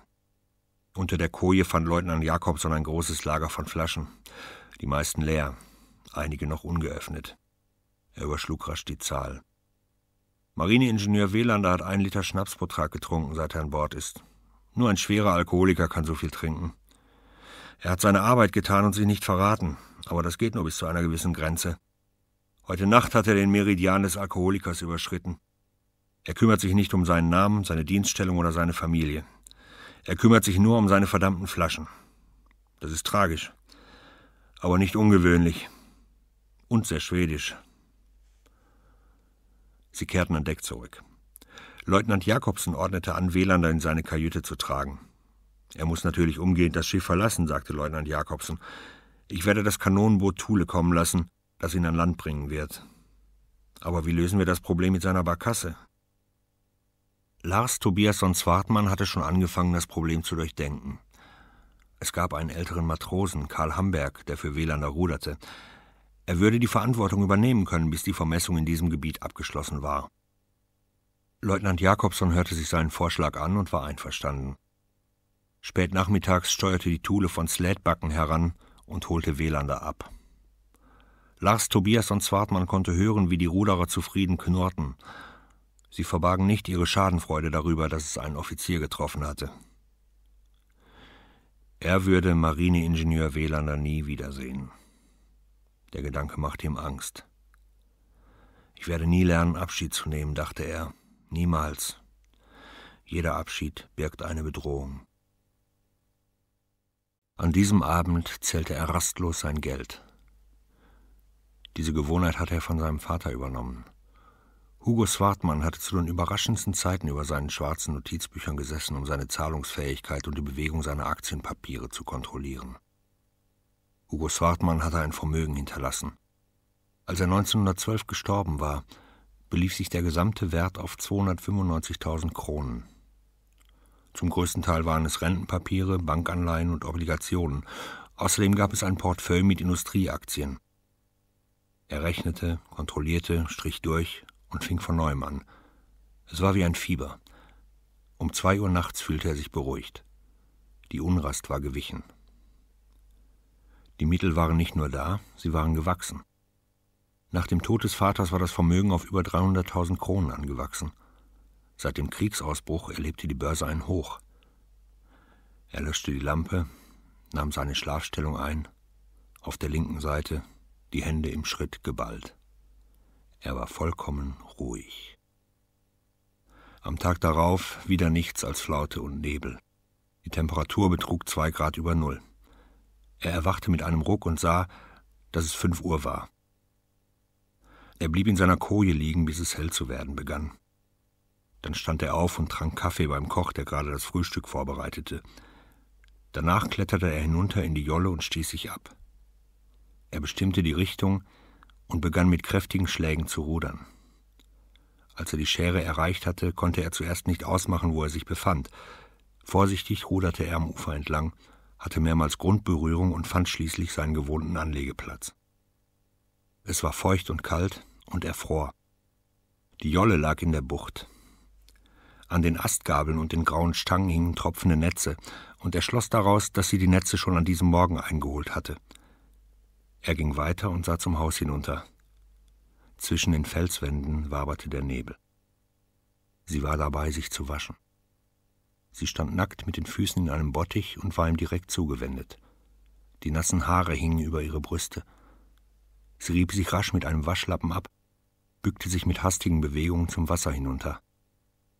Sarah Friedrika stieg aus dem Bottich und hüllte sich in ein graues Leintuch. Lang rubbelte sie sich die Haare. Es war, als würde sie einen frisch geschrubbten Boden trocknen. Sie leerte den Bottich, zog sich an und ging ins Haus. Er lief gebückt den Pfad entlang und blieb erst stehen, als er sein Boot erreicht hatte. Er ruderte in den Nebel hinaus und hatte nur noch den Drang zu entkommen. Was fürchtete er? Er hatte keine Antwort. Im Nebel verfehlte er die Richtung und fand das Schiff nicht mehr. Es herrschte eine eigentümliche Stille. Er musste rufen, und erst als er Antwort bekam, konnte er es ansteuern. Leutnant Jakobson stand mit seiner Pfeife am Fallreb und erwartete ihn. Sie machen Ihre Morgenexpeditionen, sagte er. Jeder hat ein Recht auf sein Geheimnis. Welander hatte seins, ehe die Sache aufflog. Wann fliegt Ihres auf? Lars Tobias und Zwartmann fragte sich, ob Leutnant Jakobson etwas wusste. Ich rudere nur hinaus in den Nebel, sagte er. Das kann sinnlos wirken, weckt aber den Körper und den Geist. Ich rudere mich in eine Bereitschaft hinein, meine Arbeit zu verrichten. Spät abends klopfte Leutnant Jakobson an seine Kajüte. Er zog sich rasch an und ging an Deck. Weit draußen auf See, am östlichen Horizont, flackerte ein Feuerschein im Dunkel auf. Doch spielte sich eine für sie unsichtbare Seeschlacht ab. Wir haben über Funkberichte gehört, sagte Leutnant Jakobson. Die russischen und die deutschen kaiserlichen Flotten sind aufeinander gestoßen. Viele Menschen werden heute Nacht in Dampf und Feuer sterben, zerfetzt, ertrinkend. Der Feuerschein kam und ging. Er schlug zum Nachthimmel empor. Fernes Donnern und Druckwellen drangen bis zu ihnen. Lange standen sie da und betrachteten die Schlacht, die dort tobte. Keiner sagte etwas. Alle waren beklommen und stumm. Es verging eine Woche, ohne dass er wieder zur Schäre ruderte. Seine Unruhe wuchs. Er wollte dorthin, hatte aber nicht den Mut. War sie zu nah oder war der Abstand zu groß? Am 27. November hatten sie den Punkt der Messungen erreicht, an dem die neue Strecke des Fahrwassers mit der alten verbunden werden sollte. Lars Tobias und Swartmann bemerkte, dass das Barometer fiel. Die Langsamkeit des Wechsels konnte darauf hindeuten, dass kein größeres Unwetter im Anzug war, aber er hatte den Verdacht, dass sich das Wetter bald stark verschlechtern würde. Ein erster dramatischer Wintersturm war zu erwarten. Das war das Zeichen, auf das er gewartet hatte. Rasch packte er etwas Trockennahrung ein, begab sich zum Munitionsvorrat des Schiffs und entnahm ihm ein paar rote Leuchtraketen. Er rollte einen weiteren Pullover und warme Strümpfe in einen Ölmantel und legte das Paket in eine der Jollen. Als er von der Blender wegruderte, frischte der Wind bereits auf. Er war davon überzeugt, dass ein nördlicher Sturm bereits in einer guten Stunde über sie hereinbrechen würde. Diesmal entschied er sich dafür, sein Boot in die schützende Bucht zu bringen. Die Segeljolle lag an ihrem Platz. Er steuerte seine Jolle an ihre Seite, zog sie zwischen den Steinen hoch und schlang die Fangleine um einen kräftigen Wacholderbusch. Es war kurz nach acht. Ein Augenblick der Windstille trat ein, dann schlug der Nordwind zu. Er wartete so lange in der Bucht, bis er sicher war, dass der Sturm anhalten würde. Dann kletterte er auf die höchste Spitze der Schäre und feuerte eine Leuchtrakete ab. Nun würden sie auf der Blender wissen, dass er auf der Insel in Sicherheit war und dort bleiben würde, bis sich der Sturm gelegt hätte. Er eilte zurück zur Jolle, nahm das Paket und folgte dem Pfad hinauf zum Häuschen. Die Tür war geschlossen, Rauch stieg aus dem Kamin auf. Er setzte sich hinter seine Klippe und wartete auf den Regen. Er blieb sitzen, bis er richtig durchnässt war. Dann verließ er die Klippe. Sie öffnete die Tür. Als sie sein Gesicht erkannte, trat sie zur Seite. Sobald er im Haus war, hätte er sich umdrehen und davonrennen mögen. Es war, als wäre er in eine Falle geraten, die er sich selbst gestellt hatte. Was hat er dort zu suchen? Es ist eine Torheit, dachte er aber nach dieser Torheit habe ich mich gesehnt. Sie schob ihm einen Hocker an den offenen Kamin. Der Sturm kam unerwartet, sagte er und streckte die Hände zum Feuer aus. Stürme kommen immer unerwartet, entgegnete sie. Sie hielt ihr Gesicht in den Schatten, weg vom Feuer. Ich bin gerudert und habe es nicht zurück zum Schiff geschafft. Ich habe in der Bucht hier Schutz gesucht. Man wird glauben, dass Sie ertrunken sind. Ich hatte eine Leuchtrakete bei mir und habe sie abgeschossen. So wissen Sie, dass ich hier auf Halscher bin. Sie trug den grauen Rock. Die Haare waren nachlässig im Nacken zusammengebunden. Dichte Strähnen fielen ihr über die Wangen. Als sie ihm eine Tasse hinhielt, hätte er sie packen mögen. Sie blieb immer noch im Schatten. Sie dürfen natürlich hierbleiben, sagte sie aus der Dunkelheit heraus. Bei diesem Wetter jage ich niemand hinaus. Aber erwarten Sie nichts. Er saß auf der Pritsche an der Wand. In einer alten Steuerliste habe ich gelesen, dass hier früher einmal Menschen gewohnt haben, sagte er. Eine, vielleicht zwei Familien, die sich festgebissen hatten, dass das Leben aber schließlich zu hart wurde und die Bewohner die Schere verließen. Sie antwortete nicht. Der Wind rüttelte an den Wänden, die Hütte war morsch, obwohl er sah, dass sie versucht hatte, sie abzudichten. Plötzlich rückte sie aus der Dunkelheit heraus. Sie beugte sich vor und sah ihm direkt in die Augen. Daran war er nicht gewöhnt. Seine Frau tat das nie. Er wich ihrem Blick aus. Lars Tobiasson Swartmann, sagte sie. Sie sind ein Militär und tragen Uniform. Sie rudern im Unwetter herum. Sie tragen einen Ring. Sie sind verheiratet. Meine Frau ist tot. Er sagte das ganz selbstverständlich. Nichts war gespreizt. Er hatte es nicht geplant, aber er war auch nicht überrascht von dem, was er sagte. Eine eingebildete Trauer wurde Wirklichkeit. Christina Tucker hatte nichts in diesem Häuschen zu suchen. Meine Frau Christina ist tot, wiederholte er und dachte, es klinge immer noch so, als ob er die Wahrheit sagte. Sie ist vor zwei Jahren gestorben, es war ein Unfall, sie ist gestürzt. Er beschloss, sie in einen Abgrund hinabstürzen zu lassen, Sie sollte ein Kind bei sich haben, eine Tochter. Wie sollte er sie nennen? Sie musste einen Namen haben, der ihrer würdig war. Laura sollte sie heißen. So hatte die Schwester von Christina Tucker geheißen, die jung und von Tuberkulose hustend gestorben war, Laura Amalia Tucker. Wir befanden uns auf einer Reise in Schone mit unserer Tochter. Sie war sechs Jahre alt. Meine Frau stolperte draußen am Steilhang und stieß dabei unsere Tochter an. Ich schaffte es nicht bis hin und sie stürzten ab. Ihre Schreie werde ich niemals vergessen. Meine Frau brach sich beim Sturz das Genick, eine scharfe Felsspitze drang tief in den Kopf meiner Tochter ein. Sie lebte noch, bis man sie aus dem Abgrund hochgeholt hatte. Sie sah mich an, als würde sie mich anklagen, und dann starb sie. Wie kann man eine so große Trauer ertragen? Man erträgt das, was man ertragen muss. Sie legte ein paar abgebrochene Zweige in den Kamin. Das Feuer holte Kraft aus dem feuchten Holz. Er sah jetzt ihr Gesicht, die Augen waren weniger wachsam. Er dachte, es sei sehr einfach, seine Frau und seine Tochter zu töten. Der Sturm rüttelte an den Wänden der Hütte. Ihre Gespräche waren kurz. Obwohl er sich die ganze Zeit in dem engen Raum in der Nähe befand, war es, als würde der Abstand sich vergrößern. Spät am Nachmittag stand sie auf und verließ das Haus. Er schaute sich im Zimmer um. Das Feuer duftete nach Wacholder. Die Flammen warfen ihren Schein an die Wände. In dem Zimmer befand sich eine niedrige Tür, die geschlossen war. Er ging hinüber und probierte die Klinke.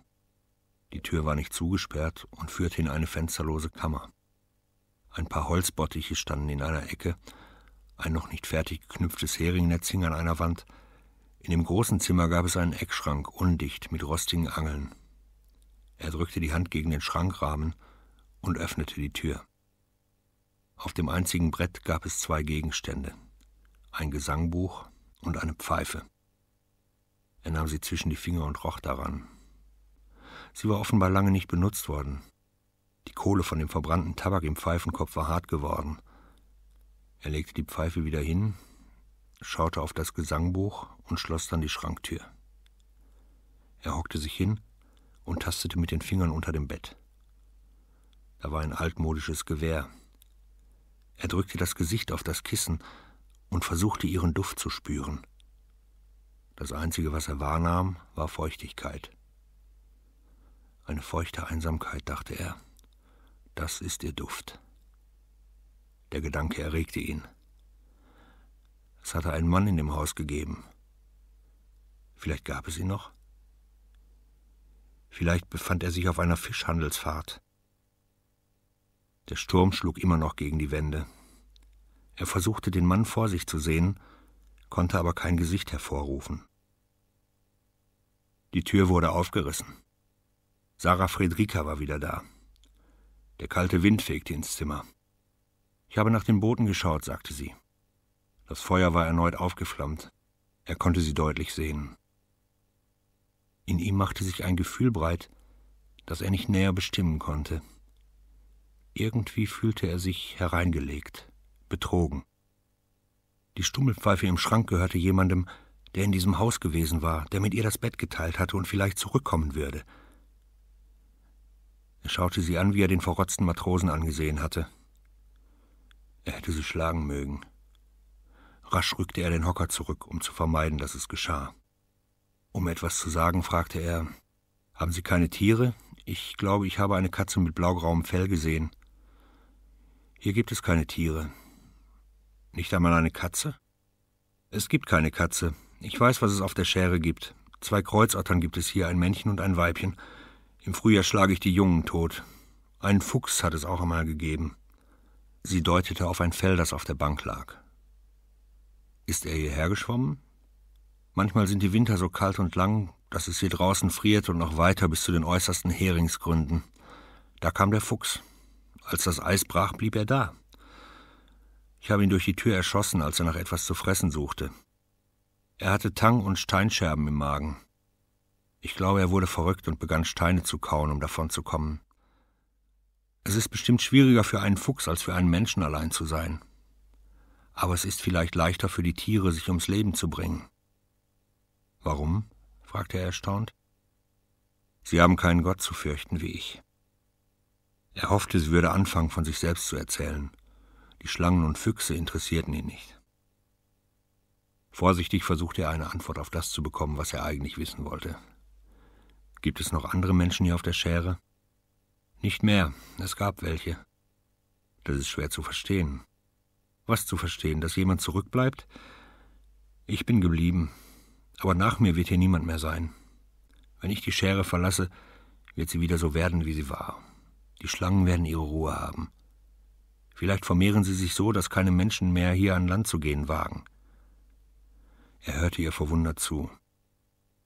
Ich bin an Menschen nicht gewöhnt, sagte sie. Nicht, seit ich allein zurückgeblieben bin. Warum wohnen Sie allein hier? Gibt es mehr als eine Antwort? Entweder Sie haben es gewählt oder Sie haben es nicht getan. Wer würde die Einsamkeit wählen? Es gibt Menschen, die das tun. Das verstehe ich nicht. Ich bin 27 Jahre alt und mich kann nichts mehr erschrecken. Ich würde gern wissen, was geschehen ist. Ein Windstoß ließ das ganze Haus erzittern. Irgendwann kann das einfach einstürzen, schrie sie in einem plötzlichen Ausbruch. Ich lasse es um mich herum rasen. Sie redete weiter in langen Sätzen. Sie formulierte sorgfältig, wie nur jemand es tut, der viel mit sich selbst spricht. Der Mann, der seine Pfeife hinterlassen hatte, hieß Niels Ferdinand Persson. Er war Sarah Friedrikas Mann gewesen. Die Geschichte hatte einige Jahre zuvor begonnen, als sie als frisch Verheiratete bei ihrem Verwandten Axel Theodor Homerus Lundberg als Dienstboten arbeiteten. Sie hatten sich bei Lundberg nicht wohlgefühlt, er war geizig und bösartig. Sie hielten es ein Jahr lang aus, bis sie im Zorn kündigten und auf einer der Inseln in der Turmule-Bucht landeten. Es war ein miserabler Pachthof, aber es gab dort wenigstens niemanden, der nach ihnen brüllte. Dort blieben sie ein weiteres Jahr, ehe sie erfuhren, dass ein verlassenes Häuschen draußen auf Hallscher frei war. Das konnten sie für eine niedrige Pacht haben, fast umsonst. Jedes Frühjahr und jeden Herbst eine Tonne Hering, sonst nichts. Sie waren an einem kühlen Sonntag im März hingesegelt. Es war ein strenger Winter, und das Eis hatte seinen Griff noch kaum gelockert. Aber sie kamen hinaus auf die Schäre, und obwohl das Häuschen in einem erbärmlichen Zustand gewesen war, hatten sie nicht gezögert. Ihr Mann hatte gesagt, Häuser konnte man abdichten, Heringsnetze flicken und ausbessern, aber niemand konnte einem Großbauern das Maul stopfen, wenn er brüllte und schrie. Sie zogen im Sommer hinaus, renovierten das Haus und bereiteten sich auf das vor, was kommen würde, auf den Herbst den Winter, das Eis, die Einsamkeit. Der Herbst kam im September. Der erste Sturm war ganz unerwartet. Er zog mitten in der Nacht von Osten auf, und es war der reine Zufall, dass sie keine Heringsnetze im Wasser hatten. Im November rutschte eins von den Schafen auf einer Klippe aus und brach sich ein Bein. Sie hatten zwei Schafe. Das andere Schaf legte sich hin und starb. Und nun waren sie noch einsamer. Im Dezember am Morgen des Weihnachtstags, ein halbes Jahr nach ihrer Ankunft auf Halscher, trat die Katastrophe ein. Sie hatten kurz vor Weihnachten Heringsnetze ausgelegt, als das Wetter kalt und klar war und nur eine leichte Brise von Süden wehte. Die Netze lagen bei zwei Gründen, nicht allzu tief, so dass es nicht so vieler Senksteine bedurfte, um sie an ihrem Platz zu halten. Gerade dort hatten sie seit Anfang Dezember gute Fänge gemacht. Da die Gründe keinen Namen besaßen, hatte Nils Ferdinand zum Scherz den einen auf Sarah Stein getauft, den anderen auf Friederikas Grund. In der Nacht zum 25. Dezember kam der Sturm. Er kam aus Süden. Er fiel über sie her, mit dichtem Schneegestöber als Vorhut. In der Morgendämmerung sahen sie, dass sie die Netze verlieren würden, wenn sie nicht hinausfuhren, um sie zu bergen. Es war ein harter Sturm, aber sie zögerten nicht. Sie hatten keine andere Wahl, fuhren mit dem Boot hinaus und schafften es, eins der Netze zu bergen. Da schlug eine Welle über Steuerbord herein und brachte das Boot zum Kentern. Als es Sarah Friedrika gelang, aus der treibenden Kiste herauszukommen, sah sie ihren Mann.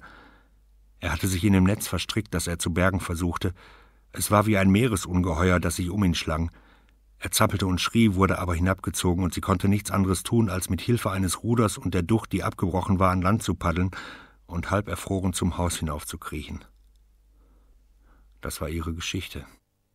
Sie hatte sie aus ihrem Innern herausgehauen, als bearbeitete sie mit gewaltigen Schlägen einen Steinblock einen Steinblock, einen Grabstein für ihren Mann. Mehr sagte sie nicht. Es hatte zu dämmern angefangen, als sie verstummte. Die Schatten breiteten sich aus.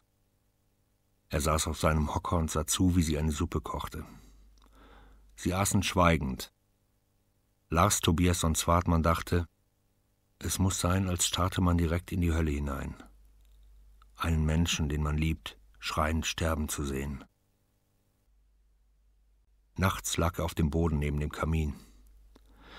Seine Bettstatt bestand aus dem Fell des verrückten Fuchses, aus Flickenteppichen und Robbenfellen. Unter dem Kopf hatte er ein paar Holzscheite mit seinem Pullover als Überzug. Er breitete den Ölmantel über sich aus und fürchtete, der Zug vom Boden her würde ihn krank machen. Sie hatte ihm das Bett angeboten. In einem schwindelerregenden Augenblick hatte er geglaubt, sie wolle es mit ihm teilen. Ahnte sie vielleicht seinen Gedanken? Das konnte er nicht erraten. Sie schob ihre Haare aus dem Gesicht und fragte noch einmal. Er schüttelte den Kopf. Er konnte auf dem Boden schlafen. Sie rollte sich in eine dicke Decke, die wahrscheinlich mit den Daunen von Vögeln gefüllt war, die sie selbst geschossen hatte. Sie drehte ihm den Rücken zu. Ihr Atem wurde tiefer, sie schlief. Ich stelle keine Gefahr für sie dar, dachte er. Ich bedeute keine Verlockung. Überhaupt nichts. Er dachte an seine Frau, wie sie sich in den warmen Räumen in der Wallingotta bewegte. Vermutlich war sie noch wach. Abends ging sie gewöhnlich noch einmal durch die Zimmer und strich mit den Fingern über die schweren Vorhänge am Fenster, rückte Tischtücher zurecht, glättete eine Falte in einem Teppich. Er suchte nach Abstand. Ihm war es lebenswichtig zu kontrollieren, wo er sich in der Beziehung zu anderen Menschen befand – seine Frau suchte nach Unregelmäßigkeiten, um sie zu beseitigen. Ihm fiel es plötzlich schwer, ihr Gesicht in der Dunkelheit vor sich zu sehen. Es lag im Dunkel der Erinnerung. Er konnte sie nicht erreichen. Ich liebe meine Frau, flüsterte er leise, aber auch die Frau, die in dem Bett ganz nahe bei mir schläft. Oder jedenfalls begehre ich sie und empfinde Eifersucht auf den Mann, der schreiend starb, verstrickt in ein Heringsnetz. Ich hasse die verdammte Pfeife, die sie in ihrem Schrank versteckt. Wieder war da die Versuchung, zu ihr ins Bett zu kriechen. Vielleicht war es das, worauf sie gewartet hatte, als sie die Felle auf dem Boden ausbreitete. Vielleicht erwartete ihn etwas in diesem morschen Häuschen, was er sich nie hätte vorstellen können. Mit Entsetzen dachte er an seine und Christina Tuckers Hochzeitsnacht. Sie hatten sie im Hotel verbracht. In einer der Suiten des Grand Hotel, die Christina Tackers reicher Vater bezahlt hatte. In der Dunkelheit hatten sie nacheinander getastet und versucht, der Angst vor dem, was sie erwartete, zu entfliehen. Im entscheidenden Moment war es ein Kampf gewesen, bei dem jeder seine Krallen ausfuhr. Und schließlich hatten sie sich jeder auf seine Seite des Betts geflüchtet, sie lautlos weinend, er verwundert. Aber sie hatten nach und nach zu einer Gemeinschaft gefunden, immer in der Dunkelheit, nicht besonders oft. Er lag wach und lauschte den Atemzügen von Sarah Friedrika. Er konnte hören, dass auch sie nicht schlief. Er stand auf, ging zu ihrem Bett hin und kroch hinein. Zu seiner Verwunderung nahm sie ihn entgegen, nackt, warm, weit offen. Für eine kurze Weile war es, als hätten alle Entfernungen aufgehört zu existieren. Als er am nächsten Morgen die Augen aufschlug, hörte er, dass der Sturm sich schon gelegt hatte. Sarah Friedrikas Bett war leer. Sie musste sich völlig lautlos bewegen können. Er schlief meistens leicht und wachte immer auf, wenn seine Frau aus dem Bett stieg. Aber als Sarah Friedrika hinausging, hatte er nichts gehört. Es war kalt im Zimmer. Die Glut war längst erloschen.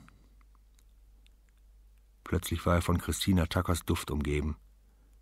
Er wollte, dass sie ihn nie verlassen, sich nie heimlich einem anderen Mann nähern sollte. Der Fußboden war kalt. Er stand auf, zog seine Stiefel, den Pullover und die Jacke an und ging hinaus. Der Wind fuhr noch hin und wieder zwischen den Klippen hindurch. Er sah sich um, ohne sie zu entdecken.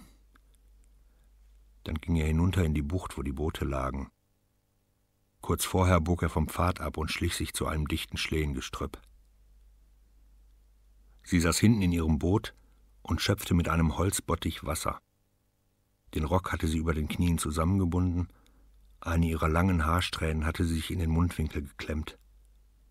Er sah sie an und taufte sie in Gedanken auf Sarah Friederika Christina. Aber er konnte sie nicht in den stillen Räumen der Wohnung auf der Wallingotta sehen. Er konnte sie nicht in einem langen Rock sehen, mit schmalen Fingern die Porzellanfiguren umstellend. Sie nicht in sein Leben einfügen zu können, regte ihn derart auf, dass er zu keuchen begann. Er zog sich aus dem Gebüsch zurück und lief hinauf zu einer Klippe.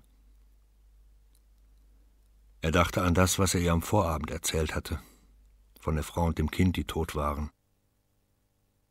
Wenn er seinen Vater angelogen hatte, war ihm stets übel geworden, oder er hatte Durchfall bekommen. Aber jetzt, Christina das Leben genommen zu haben, ohne dass sie es wusste, war wie ein eigentümlicher Triumph. Er stieg wieder hinunter zum Pfad, trat fest mit den Stiefeln auf die Steine, weil er sie nicht überraschen wollte. Als er ankam, merkte er plötzlich, wie schmutzig ihr Rock war.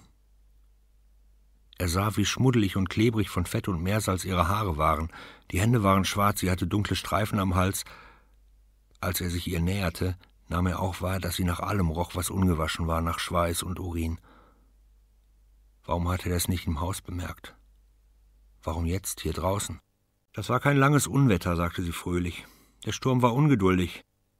Es heißt, dass es drei Tage lang stürmen soll, sagte er.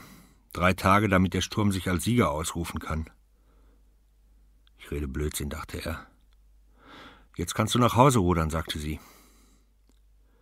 Er streckte ihr die Hand hin. Sie zögerte, bevor sie sie nahm. Dann zuckte sie zusammen und zog ihre Hand rasch zurück. Sie ging hinauf zum Haus und holte seinen Ölmantel. Er machte die Fangleine los, das Boot schrammte über die Steine und er sprang hinein. Es gibt immer noch eine Möglichkeit, dachte er. Einen Augenblick, in dem sich alles verändern wird. Ich kann ihr gestehen, dass das, was ich gestern gesagt habe, eine Lüge war. Aber er sagte natürlich nichts. Sie blieb am Strand stehen und sah ihm nach. Er wusste nicht, ob er wegruderte oder ob er nur einen Umweg nahm. Die Tage wurden kürzer, dunkler, die See wurde immer unruhiger. Lars Tobias und Swartmann setzte das Wort Kapitel in seinen privaten Aufzeichnungen über die verschiedenen Etappen der Seevermessungsaufträge. Der Auftrag hatte bisher unter einem glücklichen Stern gestanden. Abgesehen von dem unerwarteten Felsrücken waren die Vermessungen erstaunlich gut verlaufen. Es gab jedoch etwas, was Lars Tobiasson Zwartmann beunruhigte. Als er nach dem Sturm zum Schiff zurückgekehrt war, hatte Leutnant Jakobson seinen Unmut über die Abwesenheit nicht verborgen. Er war sichtlich unwirsch, grüßte kaum und stellte keine Fragen über die Nacht auf der Schäre. Lars Tobiasson Zwartmann dachte zunächst, es sei eine vorübergehende Unpässlichkeit, die das barsche Auftreten des Kommandanten erkläre. Aber sein Verhalten änderte sich nicht. Er versuchte vergebens, die Ursache zu erraten. Leutnant Jakobson verschanzte sich hinter Wänden und saß bei den gemeinsamen Mahlzeiten stumm da. Der Dezember rückte näher. Lars Tobiasson Zwartmann schrieb einen langen Brief an Christina Tacker. Drei Tage nach seiner Nacht auf Halscher übergab er ihn zur Weiterbeförderung. Als er durchlas, was er geschrieben hatte, überkam ihn das Gefühl, ein Schweigen in den Umschlag gesteckt zu haben. Er schrieb über den Sturm, aber nichts über die Nacht auf der Schäre, er schrieb über das Leben auf dem Schiff, über das Essen und den Koch, den er lobte, und er schrieb freundliche Worte über Leutnant Jakobson, aber nichts davon war wahr. Und vor allem schrieb er nicht das, was er dachte. Er zeichnete Wasserstraßen für andere, damit sie sicher fahren konnten, doch in sich selbst zeichnete er Karten, die in die Irre führten. Vier Tage bevor die Vermessungen bei Sandsenkern abgeschlossen werden sollten, ruderte er wieder nach Halscher. Er wusste nicht, warum er sie wiedersehen wollte. Der Geruch nach Schweiß und Urin stand wie eine Barriere zwischen ihnen. Zugleich übte er eine Verlockung auf ihn aus. Er legte in der Bucht an. Die Netze hingen in Trockengestellen, sie waren feucht und rochen nach Fisch. Er öffnete die Klappe eines Fischkastens. In dem Kasten platschte und zappelte es. Er steckte die Hände hinein und fühlte die Schuppen der peitschenden Fische. Etwas stach ihn in die Handfläche, eine Rückenflosse oder Zähne. Er zog die blutende Hand heraus. Die Wut schlug zu wie ein Reptil. Er kippte den Kasten um, ließ die Fische in die Freiheit entschlüpfen und ging davon. Er legte sich hinter den Klippen auf den Boden und spähte zum Haus hinüber. Es stieg kein Rauch aus dem Kamin auf, die Tür war geschlossen. Schnee begann zu fallen. Ein dünner weißer Schimmer in der Luft. Sie hatte sich lautlos bewegt und stand dicht hinter ihm, als er sich umdrehte. Sie sah ihm starr in die Augen, wirkte sprungbereit. Warum liegst du hier? Was willst du? Was habe ich dir getan? Nichts. Ich habe dich gesucht, ich habe mich hierher gelegt und gewartet. Mit dem Feldstecher? Ja, ich studiere gern die Einzelheiten. Was habe ich getan? wiederholte sie. Nichts. Ich wollte dich nicht erschrecken. Du erschreckst mich nicht. Was sollte mich noch erschrecken nach allem, was ich mitgemacht habe? Plötzlich packte sie ihn am Arm. Hilf mir von ihr weg. Er sah, wie sich ihr Gesicht veränderte. Ich sterbe hier, sagte sie. Hilf mir hier weg. Lass mich auf dem Schiff mitfahren. Ich kann hier nicht länger leben. Ich kann dich nicht mit auf ein Kriegsschiff nehmen. Hast du keine Familie? Sie schüttelte erregt den Kopf. Meine Familie liegt da draußen in der Tiefe. Ich rudere herum und die Fische ernähren sich am Grabplatz meines Mannes. Manchmal glaube ich, dass Teile seines Körpers im Netz mit hochkommen könnten. Ein Arm, ein Fuß, ein Kopf. Ich halte den Gedanken nicht aus. Ich muss hier weg. Dabei kann ich dir wohl kaum helfen. Ihr Gesicht war dem Sein nahe. Es war wie in der Nacht. Alle Gerüche waren verschwunden. Ich will alles dafür tun, dass ich nicht hierbleiben muss. Sie tastete mit den Händen über seinen Körper. Er stieß sie behutsam von sich und stand auf. Ich komme zurück, sagte er. Ich muss mir das alles überlegen. Ich komme zurück. In ein paar Tagen. In drei Tagen, höchstens vier. Er ruderte von Halscher fort und sah sie auf einer Klippe stehen und ihm mit dem Blick folgen. Vier Tage würde sie warten, wenn der fünfte Tag kam, würde das Schiff schon fort sein. Er ruderte mit langen, saugenden Schlägen und sehnte sich nach Hause. Christina Tacker saß auf der Ducht und lächelte ihm zu. Der Auftrag wäre bald abgeschlossen. Am folgenden Tag nahm er die letzten Vermessungen vor. Zum letzten Mal ließ er sein Lot auf den Grund sinken. Wieder verspürte er die schwindelerregende Hoffnung, einen Punkt zu finden, wo es keinen Boden gab. Den Punkt, an dem sein ganzes Leben sich auflösen und verändern, zugleich aber auch einen Sinn erhalten würde. Das Lot blieb bei 19 Metern stehen. Er machte die letzte Aufzeichnung. 5346 Male hatte er das Lot ins Wasser getaucht, seit sie mit ihrer Arbeit begonnen hatten. Sie ruderten zurück zur Blender. Leutnant Jakobson stand mit seiner Pfeife in der Hand da. Nach wie vor war er stumm und abweisend. Lars Tobias und Zwartmann empfand Freude darüber, dass sie sich bald trennen würden, um sich nie mehr wiederzusehen. Er meldete, dass die Vermessungen abgeschlossen seien. Leutnant Jakobson nickte, ohne etwas zu sagen. Dann zündete er die Pfeife an, sog den Rauch ein, hustete kurz und fiel mitten auf dem Deck um, als hätte ihn der harte Schlag einer unsichtbaren Faust getroffen. Der erste, der reagierte, war Mats Lindegren. Er hockte sich hin, betastete mit den Fingerspitzen den Hals des Kommandanten. Dann erhob er sich und salutierte. Ich glaube, Leutnant Jakobson ist tot. Lars Tobias und Zwartmann betrachtete den Mann, der auf dem Rücken lag. Die Pfeife hielt er in der rechten Hand, der gebrochene Blick war auf einen Punkt über seinem Kopf gerichtet. Leutnant Jakobson wurde in seine Kajüte getragen. Freden übernahm das Kommando an Bord. Seine erste Handlung war, für den Marinestab in Stockholm eine Meldung über das Vorgefallene zu verfassen. Der Funker verschwand in seiner Kajüte, um die Mitteilung zu senden. Für einen Moment war Freden mit Lars Tobias und Zwartmann allein. Beide waren erschüttert. Woran ist er gestorben? Freden verzog das Gesicht. Schwer zu sagen, es ging schnell. Jakobson war noch verhältnismäßig jung, er trank nicht mehr als andere, jedenfalls nicht wie ein besinnungsloses Schwein. Gelegentlich klagte er über Schmerzen im linken Arm. Das wird heute von einigen Ärzten als Symptom dafür gewertet, dass das Herz nicht ganz gesund ist. Die Art, wie er einfach umgefallen ist, kann auf einen großen Schlaganfall hindeuten. Entweder ist das Herz betroffen oder ein Blutgefäß im Kopf ist geplatzt.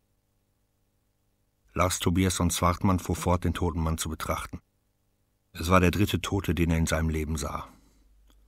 Erst den Vater, dann den deutschen Matrosen und jetzt Leutnant Jakobson. Der Tod ist stille, dachte er. Nicht sonst. Rasch verließ er die Kajüte. In dieser Nacht lag Lars Tobias und Zwartmann schlaflos da, obwohl er sein Lot umklammerte. Gegen Mitternacht stand er auf, zog sich an und ging hinaus an Deck. Der Auftrag war erfüllt, der Tod umgab ihn. Auf einer Schere lebte eine Frau, die ihn aufwühlte, und er ersehnte und fürchtete zugleich das Wiedersehen mit seiner Frau. Er hatte die Tiefen des Meeres beim Leuchtturm von Sandsenkern vermessen, aber es war ihm nicht gelungen, seine Entdeckungen mit den Fahrwassern zu koordinieren, die er in sich trug. Das Schiff bewegte sich sacht auf der Dünung. Er machte einen Rundgang auf dem Schiff. Plötzlich stand er an der Tür zu Jakobsons Kajüte. Eine Laterne stand auf dem Tisch. Der Lichtschein schimmerte unter der Tür hervor. Jemand hatte Jakobsons Gesicht mit einem Taschentuch bedeckt. Lars Tobias und Zwartmann öffnete die Schublade der in der Wand verankerten Kommode. Darin lagen ein paar Notizbücher und eine gerahmte Fotografie. Sie zeigte eine Frau. Mit scheuen Augen sah sie den Fotografen an. Es war eine der schönsten Frauen, die er je gesehen hatte. Auf der Rückseite stand der Name Emma Lidén. Er setzte sich auf den Stuhl und begann in den Notizbüchern zu blättern. Zu seinem Erstaunen entdeckte er, dass Jakobson parallel zum offiziellen Logbuch ein privates Tagebuch geführt hatte. Lars Tobias und Zwartmann warf einen Blick auf den Mann, dessen Gesicht von einem Taschentuch bedeckt war. Er blätterte zurück bis zu dem Datum, an dem er selbst zum ersten Mal an Bord gekommen war. Er brauchte eine Stunde, um zu Ende zu lesen. Die letzte Aufzeichnung hatte Jakobson nur ein paar Stunden vor seinem Ableben gemacht. Er hatte darüber nachgedacht, warum er in den letzten Tagen unter Verstopfung litt. Lars Tobiason Zwartmann war erschüttert. Der Mann, der sein Leben mit einer bekümmerten Bemerkung über seine schlechte Verdauung abschloss, war im Besitz gewaltiger Kräfte gewesen, in der Liebe wie im Hass. Emma Lidén war seine heimliche Verlobte, aber sie war bereits an einen anderen Mann gebunden und hatte mehrere Kinder. Die Tagebücher waren voll von Aufzeichnungen über Briefe, die gewechselt und dann verbrannt wurden, über eine Liebe, die alle Grenzen überschreitet, aber nie etwas anderes werden kann als ein Traum. Der Satz am Morgen wieder weinend aufgewacht kehrte in gleichmäßigen Abständen wieder. Lars Tobias und Zwartmann versuchte es vor sich zu sehen. Der Mann mit der Pfeife und der verkrüppelten Hand, weinend in seiner Kajüte doch das Bild blieb nur ein trüber Dunst. Nie hätte er sich vorgestellt, dass Jakobson ihn so intensiv hasste. Schon von dem Augenblick an, als er an Bord gekommen war, hatte Jakobson ihn nicht gemocht. Auf diesen Mann werde ich mich nie verlassen können. Seine reservierte Haltung erscheint genauso falsch wie sein Lächeln. Ich habe einen Blender an Bord bekommen. Lars, Tobias und Zwartmann hatte alle Tagebuchabschnitte gelesen, die seine Zeit an Bord betrafen. Jakobson nannte ihn nie beim Namen, bezeichnete ihn nur mit einem einzigen Wort, das tiefe Verachtung ausstrahlte. Der Seevermesser. Jakobsen begründete seinen Widerwillen und seine Abscheu nicht. Lars Tobiasson Swartmann war einfach nur widerlich, ein verdammter Schlammtaucher, eingebildet und einfältig. Außerdem riecht er genau wie der Bodenschlamm. Er hat Schlamm im Maul. Er ist ein Mann, der vermodert. Es war fast halb zwei, als er das letzte Tagebuch zuklappte. Eine angebrochene Flasche Cognac ragte aus einem Stiefel. Er zog den Korken heraus und trank. Er steckte die Flasche wieder in den Stiefel und verließ die Kajüte mit den Tagebüchern in der Hand. In seiner eigenen Kajüte nahm er das wasserdichte Futteral, das er für seine Vermessungsprotokolle benutzte, und legte die Tagebücher zusammen mit einer Stahlkante des Hellegatts hinein. Er ging hinaus an Deck zur Reling hin, wo keine der Nachtwachen ihn sehen konnte, und ließ die Tagebücher mit dem Senker ins Wasser fallen. Am 2. Dezember blies eine steife Brise. Gegen neun Uhr vormittags war die Svea am Horizont aufgetaucht. Lars, Tobias und Zwartmann hatte seine Koffer gepackt und sich von den Offizieren verabschiedet. Fregattenkapitän Rake empfing ihn. Sie setzten sich. Kapitän Rake servierte Cognac, obgleich noch Vormittag war. Sie stießen an. All die Toten, sagte Kapitän Rake plötzlich. Auf dem Weg hier starb der Bootsmann Rudin. Dann habt ihr einen Kadaver in der Uniform der deutschen Marine herausgefischt. Und jetzt Leutnant Jakobson. War es das Herz? Das Herz oder das Gehirn? Rake nickte. Lars, Tobias und Zwartmann bemerkte, dass seine Hände zitterten. Es sind die kleinen, unsichtbaren Blutgefäße, die unser schwächster Punkt sein können, sagte Rake. Wenn sie platzen, werden wir in einen freien Fall hinausgeschleudert, der uns zum Tod bringt oder zur Lähmung, zu einer kurzen Qual oder zu einem langen und entsetzlichen Leiden. Er kniff die Augen zusammen und fixierte Lars Tobias und Zwartmann. Was ist Ihre Schwäche? Sie brauchen natürlich nicht zu antworten, wenn Sie nicht wollen. Lars Tobias und Zwartmann dachte, dass seine Schwäche eine Frau war, die allein auf einer Schere lebte, etwa eine halbe Seemeile südlich vom Panzerschiff. Aber er sagte nichts. Ich habe viele Schwächen, erwiderte er. Es ist unmöglich, eine einzige hervorzuheben. Meine Frage war nur zum Teil ernst gemeint. Rake öffnete ihm die Tür und lud ihn zu einem Essen am Abend ein. Er kehrte in seine Kajüte zurück und streckte sich auf seiner Koje aus. Bald war er eingeschlafen. Eine Stunde später erwachte er mit einem Ruck. Ein Geräusch verkündete, dass der Anker mit der Kette an Bord gezogen wurde. Er ging an Deck. Das Schiff nahm Kurs auf Nordosten. Er kniff die Augen zusammen und suchte mit dem Blick nach Halscher, konnte aber keine Einzelheiten ausmachen. Es gibt etwas, was ich nicht begreife, dachte er. Eine Warnung. Gerade jetzt begehe ich einen Fehler, ohne dass ich weiß, welchen. Halscher verschwand langsam im Dunst. Fregattenkapitän Rake verabschiedete sich von ihm, nachdem das Schiff festgemacht hatte. Ein Matrose trug bereits sein Gepäck auf den Kai und winkte einen Mann mit einem Karren zu sich. Lars, Tobias und Zwartmann gingen den Landungssteg hinunter. Er tat ein paar unsichere Schritte, schwankte. Auf einem Schiff war er es, der die Balance halten musste. An Land hatte die Erde unter seinen Füßen die Verantwortung dafür, dass er nicht hinfiel. Er nahm nicht den geraden Weg nach Hause. Etwas von der Trägheit des großen Schiffs, die Geschwindigkeit langsam zu drosseln, ohne übertriebene Eile einen großen Kurswechsel vorzunehmen, steckte auch in ihm. Er konnte nicht zu früh durch die Tür der Wohnung in der Wollingorta treten. Er ging zu einem einfachen Lokal mit Bierausschank. Es war früh am Tag, aber er kannte die Wirtin. Sie hieß Sally Anderson. Bei ihr konnte er um sechs Uhr morgens ankommen und sich einen Rausch antrinken, wenn er wollte. Sally Anderson sah ihn kommen. Ich habe dich lange nicht gesehen. Es muss eine lange Reise gewesen sein, sagte sie und stellte ihm wie üblich ein Glas Bier mit einem Schnaps hin. Obwohl es zwei Kellnerinnen gab, kümmerte sich Sally Anderson immer persönlich um ihn. Sie gab ihm das zu trinken, was er brauchte, niemals mehr. Und sie war es auch, die schließlich sagte, du bist am Ziel, jetzt kannst du nach Hause gehen. An diesem Morgen gab sie ihm verdünnten Brandwein und Bier zu trinken und drängte ihm ein paar Scheiben Brot mit viel Butter und dickem Schinkenbelag auf. Er trank schnell. Bereits nach einer halben Stunde war er betrunken. Sally Anderson setzte sich an den Tisch und sah ihn an. Wie nahe ist der Krieg? fragte sie. Er suchte in seinem trunkenen Gehirn nach einer Antwort. Feuerschein, sagte er schließlich. Ich fragte, wie nah der Krieg ist, nicht wie er aussieht. Er deutete auf seine Stirn. Hier drinnen, sagte er, so nah ist der Krieg. Dass ein so kluger Mann aber auch so einen Mist verzapfen kann, sagte sie und schüttelte den Kopf. Er legte das Geld auf den Tisch. Auf der Straße stolperte er. Er ging um den Block und blieb in der Wallingorta an der Haustür stehen. Der Mann, der das Gepäck bewachen sollte, war an einem Wagenrad lehnend eingeschlafen. Lars Tobiasson Swartmann gab ihm einen Tritt. Der Mann fuhr auf und lud das Gepäck aus. Christina Tacker erwartete ihn in dem dunklen Flur.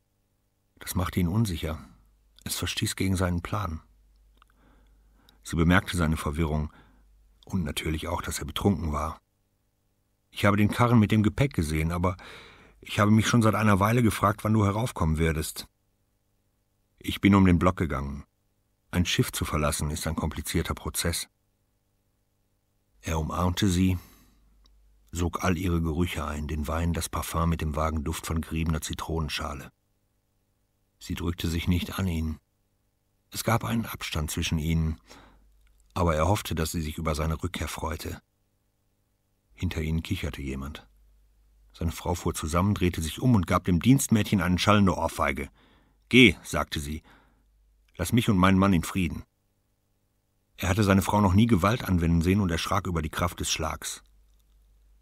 Hast du meinen Brief erhalten, in dem ich von ihr geschrieben habe? Ich habe alle deine Briefe erhalten. Sie standen still da. Er legte die Kapitänsjacke ab, schnürte seine Schuhe auf, streifte sie ab und folgte ihr in das Zimmer, in dem die Porzellanfiguren auf ihren Regalen standen. Nichts war verändert. Es war, als trete er in ein Zimmer ein, das niemand bewohnte. Das Licht der tiefstehenden Sonne drang durch die dünnen Vorhänge. Er erzählte mit großer Sorgfalt von seiner Reise. Hinter den Einzelheiten konnte er sich verstecken. Alles, was er sagte, war wahr. Nur eine Sache ließ er aus, dass es im Meer eine Insel gab, die Halscher hieß. Der Gedanke, dass er gesagt hatte, seine Frau und seine Tochter seien tot, brachte ihn für einen kurzen Moment durcheinander. Es gab ihm einen Stich in den Magen. Sie war ein wachsamer Vogel. Was ist denn? Ich habe Schmerzen in einem Zahn. Du musst zum Zahnarzt gehen. Es ist schon vorbei, es war nichts, nur ein kurzes Ziehen. Er fuhr fort zu erzählen, als wäre nichts gewesen.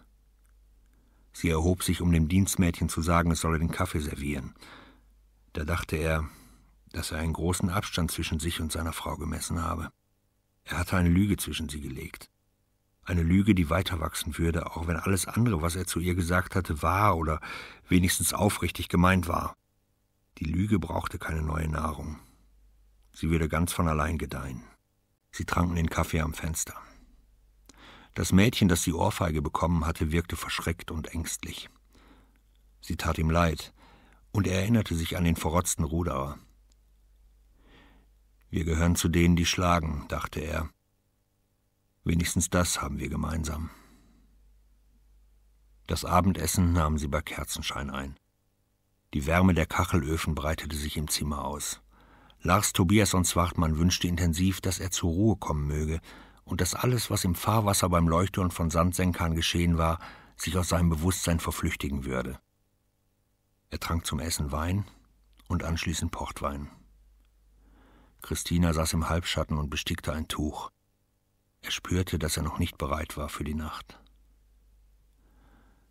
Kurz nach zehn stand sie auf. Er wartete, bis er hörte, dass sie ins Bett gekrochen war.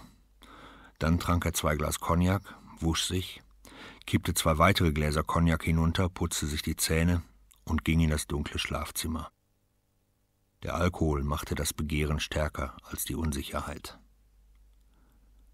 Danach, als vorbei war, was in vollständiger Stille geschah, dachte er, ihrer beider Liebe sei so, als würden sie um ihr Leben laufen.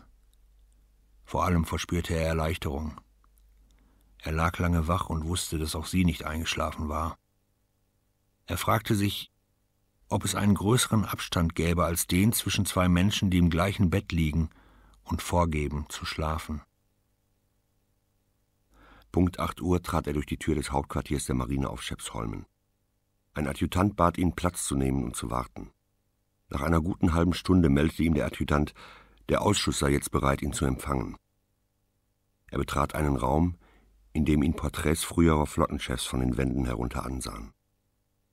Der Ausschuss bestand aus zwei Vizeadmiralen und einem Kapitän sowie einem Leutnant, der Protokoll führte. Ein Stuhl für ihn stand mitten im Raum. Vizeadmiral Lars Hansson Liedenfeld war der Vorsitzende. Er war früher die treibende Kraft gewesen, wenn es darum ging, die operativen Möglichkeiten der schwedischen Marine auszubauen. Er stand in dem Ruf, ungeduldig und arrogant zu sein. Er nickte Lars Tobiasson Zwartmann zu, Platz zu nehmen. Ihre Arbeit ist imponierend, sagte er. Sie scheinen etwas so Seltenes zu besitzen wie eine Leidenschaft für geheime militärische Fahrwasser. Stimmt das? Ich versuche nur, meine Arbeit so gut zu machen wie möglich. Der Vizeadmiral schüttelte ungeduldig den Kopf. Jeder Mann in der schwedischen Flotte macht seine Arbeit so gut wie möglich. Ich spreche von etwas anderem, von der Leidenschaft, verstehen Sie? Ich verstehe. Könnte ich dann vielleicht eine Antwort auf meine Frage bekommen? Tobias und Zwartmann dachte an den Traum, eine Tiefe zu finden, die nicht zu vermessen war. Es liegt eine Spannung darin, etwas zu kartieren, das nicht sofort zu überblicken und zu erfassen ist. Der Vizeadmiral sah ihn zögernd an, entschloss sich aber, die Antwort zu akzeptieren. Er griff nach einem Kartenblatt. Gambleby Wieken. Die Einmündung. Eng, fragwürdig vermessen, wachsende Untiefen, die seit den 40er Jahren nicht kontrolliert worden sind. Haben Sie, Kapitän Zwartmann, den Bescheid bekommen, dass wir damit rechnen, den Auftrag nach Neujahr zu beginnen? Ich habe den Bescheid bekommen. Wir sind zu der Einschätzung gelangt, dass der Auftrag wichtig ist und Vorrang haben soll. Ich bin bereit, sofort anzufangen. Ausgezeichnet. Sie werden zwischen Weihnachten und Neujahr Ihre Instruktionen bekommen. Der Vizeadmiral warf einen Blick auf den Leutnant, der Protokoll führte. Am 27. Dezember, 8.45 Uhr, sagte der Leutnant. Der Vizeadmiral nickte. Das wäre dann alles. Hat jemand im Ausschuss eine Frage? Kapitän Hansson, der älteste unter den Anwesenden, mit Erfahrung aus der Zeit der Segelschiffe, immer übergangen, wenn eine Beförderung anstand, hob die Hand. Sie umgeben sich mit sonderbaren Todesfällen, sagte er. Es ist nicht gerade üblich, dass tote Matrosen aus dem Meer gefischt werden, dass Bootsmänner der Stammbesatzung sterben und dass Kommandanten auf ihrem Deck einfach tot umfallen. Ich verstehe die Frage nicht, sagte Lars Tobias und Zwartmann. Das war keine Frage, sagte Kapitän Hansson. Es war nur eine Bemerkung, die nicht ins Protokoll aufgenommen werden muss. Das Treffen war beendet. Die Mitglieder erhoben sich, Lars Tobias und Zwartmann salutierte und verließ den Raum. Der Adjutant reichte ihm seinen schwarzen Mantel. Er ging durch die Tür des Hauptquartiers hinaus und empfand eine große Erleichterung aber die Worte von Kapitän Hansson nagten an ihm. Waren die Todesfälle in seinem Umfeld nur ein Zufall? Oder war eine Botschaft darin enthalten? Eine Warnung? Am letzten Sonntag vor Weihnachten ereignete sich ein eigentümlicher Vorfall. Lars Tobiasson Zwartmann stand ebenso unbeholfen vor dem, was geschehen war, wie vor Christina Tackers Reaktion. Es war, als hätte sie überraschend einen Sprung getan und ihn weit hinter sich gelassen. Sie hatten einen Spaziergang zum traditionellen Weihnachtsmarkt aufs Tortorjet gemacht. Sie waren am späteren Nachmittag losgegangen, gerade in der kurzen Dämmerung. In der Altstadt war der Marktplatz und die Gassen voller Menschen. Sie sahen sich die Angebote in den verschiedenen Ständen an, und nachdem sie eine Stunde herumgestreift waren, beschlossen sie, nach Hause zurückzukehren. Am Slotsbacken hörten sie plötzlich ein Kind schreien. Ein Mann verprügelte seine Tochter. Er hob seine schwere Hand und versetzte dem Kind eine Ohrfeige nach der anderen. Christina Tacker lief auf den Mann zu und stieß ihn weg. Sie schrie etwas, was weder der Mann noch Lars Tobias Zwartmann verstanden, und legte ihre Arme beschützend um das Mädchen, das vor Schmerz und Angst brüllte. Erst nachdem der Mann versprochen hatte, keine Gewalt mehr gegen seine Tochter auszuüben, ließ sie das Mädchen los. Der ganze Ablauf, von dem Moment an, als seine Frau von ihm weggelaufen war, bis zu dem, als der Mann und das Mädchen verschwunden waren, spielte sich in vier Minuten und dreißig Sekunden ab. Er hatte seine eingebaute Stoppuhr eingeschaltet und die Zeit gestoppt, als sie zu ihm zurückkam, atemlos und zitternd. Auf dem Heimweg wechselten sie kein einziges Wort. Auch später am Abend kommentierten sie den Vorfall nicht. Aber Lars Tobias und Zwartmann grübelte darüber nach, warum seine Frau reagiert hatte und er nicht. Christina Tackers Eltern lebten in einer großen Wohnung an der Ecke von Strandwägen und Grefgottan. Lars Tobias von Zwartmann hasste das Essen am ersten Weihnachtsfeiertag. Es gehörte zu den festen Ritualen der Tackerschen Familie, und niemand wagte auszubleiben. Die Familie Tacker hatte einen wohlhabenden Teil, der sich ein Vermögen durch Raubkäufe von Wald in den nördlichen Provinzen geschaffen hatte, und einen weniger begüterten Teil, der aus niederen Staatsbeamten, einer Anzahl von Großhändlern und Offizieren bestand, von denen jedoch keiner einen höheren Rang erworben hatte als den eines Kapitäns. Auf die armen Verwandten wurde beim Weihnachtsessen herabgesehen, und die angeheirateten Männer und Frauen wurden gemustert, als wären sie Vieh bei einer Prämierung. Er hasste dieses Weihnachtsessen, und er wusste, dass seine Frau es verabscheute, da sie sah, wie er litt. Aber keiner kam davon. Diejenigen, die es versucht hatten, wurden hart bestraft, indem sie aus der finanziellen Gemeinschaft ausgeschlossen wurden, die sich immer als lohnend erwies, wenn einer von den Wohlhabenden gestorben war und das Testament verlesen wurde. Christinas Vater, Ludwig Tacker, hatte innerhalb der staatlichen Kollegien Proben von großem karrieristischen Talent gezeigt, und vor ein paar Jahren hatte er den endgültigen Gipfel erklommen, indem er zum Kammerherrn des Königs ernannt wurde. Christina Tackers Mutter glich den Figuren, die in der Wohnung auf den Regalen standen. Würde Frau Martina Tacker auf einem Teppich oder einem glatten Boden umfallen, würde sie zerbrechen wie eine Porzellanskulptur. An der Tafel am ersten Weihnachtsfeiertag 1914 waren 34 Personen versammelt. Lars Tobias und Zwartmann war zwischen einer von Christina Tackers Schwestern und ihrer Großmutter platziert. Er saß etwa in der Mitte an der einen Längsseite des Tisches und hatte noch einen langen Weg zu klettern, um auf die begehrten Plätze nahe bei seinem Schwiegervater zu kommen. Die ältere Frau an seiner rechten Seite war asthmatisch und schwerhörig. Sie antwortete nicht, als er sie anredete. Auch mit der Schwägerin, die streng religiös war, gelang es ihm nicht, ins Gespräch zu kommen. Sie war tief in sich selbst versunken und rührte das Essen, das serviert wurde, kaum an. Er trank viel Wein, um es zu ertragen. Er sah zu seiner Frau hin, die etwas weiter oben an der gegenüberliegenden Tischseite saß. Ab und zu kreuzten sich ihre Blicke, scheu, als würden sie einander nicht kennen. Beim Nachtisch, einer vorzüglichen Zitronenspeise, hielt Ludwig Tacker seine traditionelle Weihnachtsansprache. Er hatte eine dumpfe und heisere Stimme, sein Gesicht war hochrot, obwohl er nie viel trank, und er legte eine große Kraft in seine Rede. Er lebte für die Reden. Jedes Jahr legte er fest, welche Wahrheiten gelten sollten. Es war wie eine Thronrede, die für die gehorsamen Untertanen verlesen wurde. In diesem Jahr sprach er von dem großen Krieg, dass er sehr deutschfreundlich war, wunderte Lars Tobias von Zwartmann nicht. Aber Ludwig Tacker bezog nicht nur Stellung für Deutschland in diesem Krieg. Er schöpfte aus schier unendlichen Quellen seinen Hass auf Engländer und Franzosen, und das russische Reich tat er ab als ein morsches Schiff, das sich nur durch all die Leichen in der Ladung über Wasser hält. Ich habe einen Schwiegervater, der wirklich hassen kann, dachte er. Was geschieht, wenn er merkt, dass ich diesen Hass nicht teile? Während der Rede schaute er zu seiner Frau. Plötzlich wurde ihm klar, dass er überhaupt nicht wusste, welche Einstellung sie zum Krieg hatte. Ich kenne meine Frau nicht, dachte er. Ich teile Bett und Tisch mit einer unbekannten Frau. In weiter Ferne sah er Sarah Friedrika. Sie glitt ihm entgegen. Die Tafel war verschwunden. Er befand sich wieder auf Hallscher. Erst als nach der Rede ein Toast ausgebracht wurde, kehrte er an den Tisch zurück. Die Weihnachtsfeiertage vergingen. Am 27. Dezember fand Lars Tobias und Swartmann sich wie verabredet auf Schepsholmen ein. Er wartete ungeduldig in dem kalten Korridor, um vorgelassen zu werden und seine Instruktionen zu erhalten. Plötzlich flog die Tür auf und Vizeadmiral Hanson Liedenfeld bat ihn herein. Er war allein im Zimmer. Der Vizeadmiral setzte sich und bedeutete ihm, dasselbe zu tun.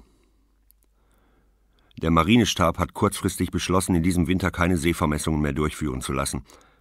Alle Schiffe werden für die Bewachung unserer Küsten und als Eskorte für die Handelsflotte gebraucht.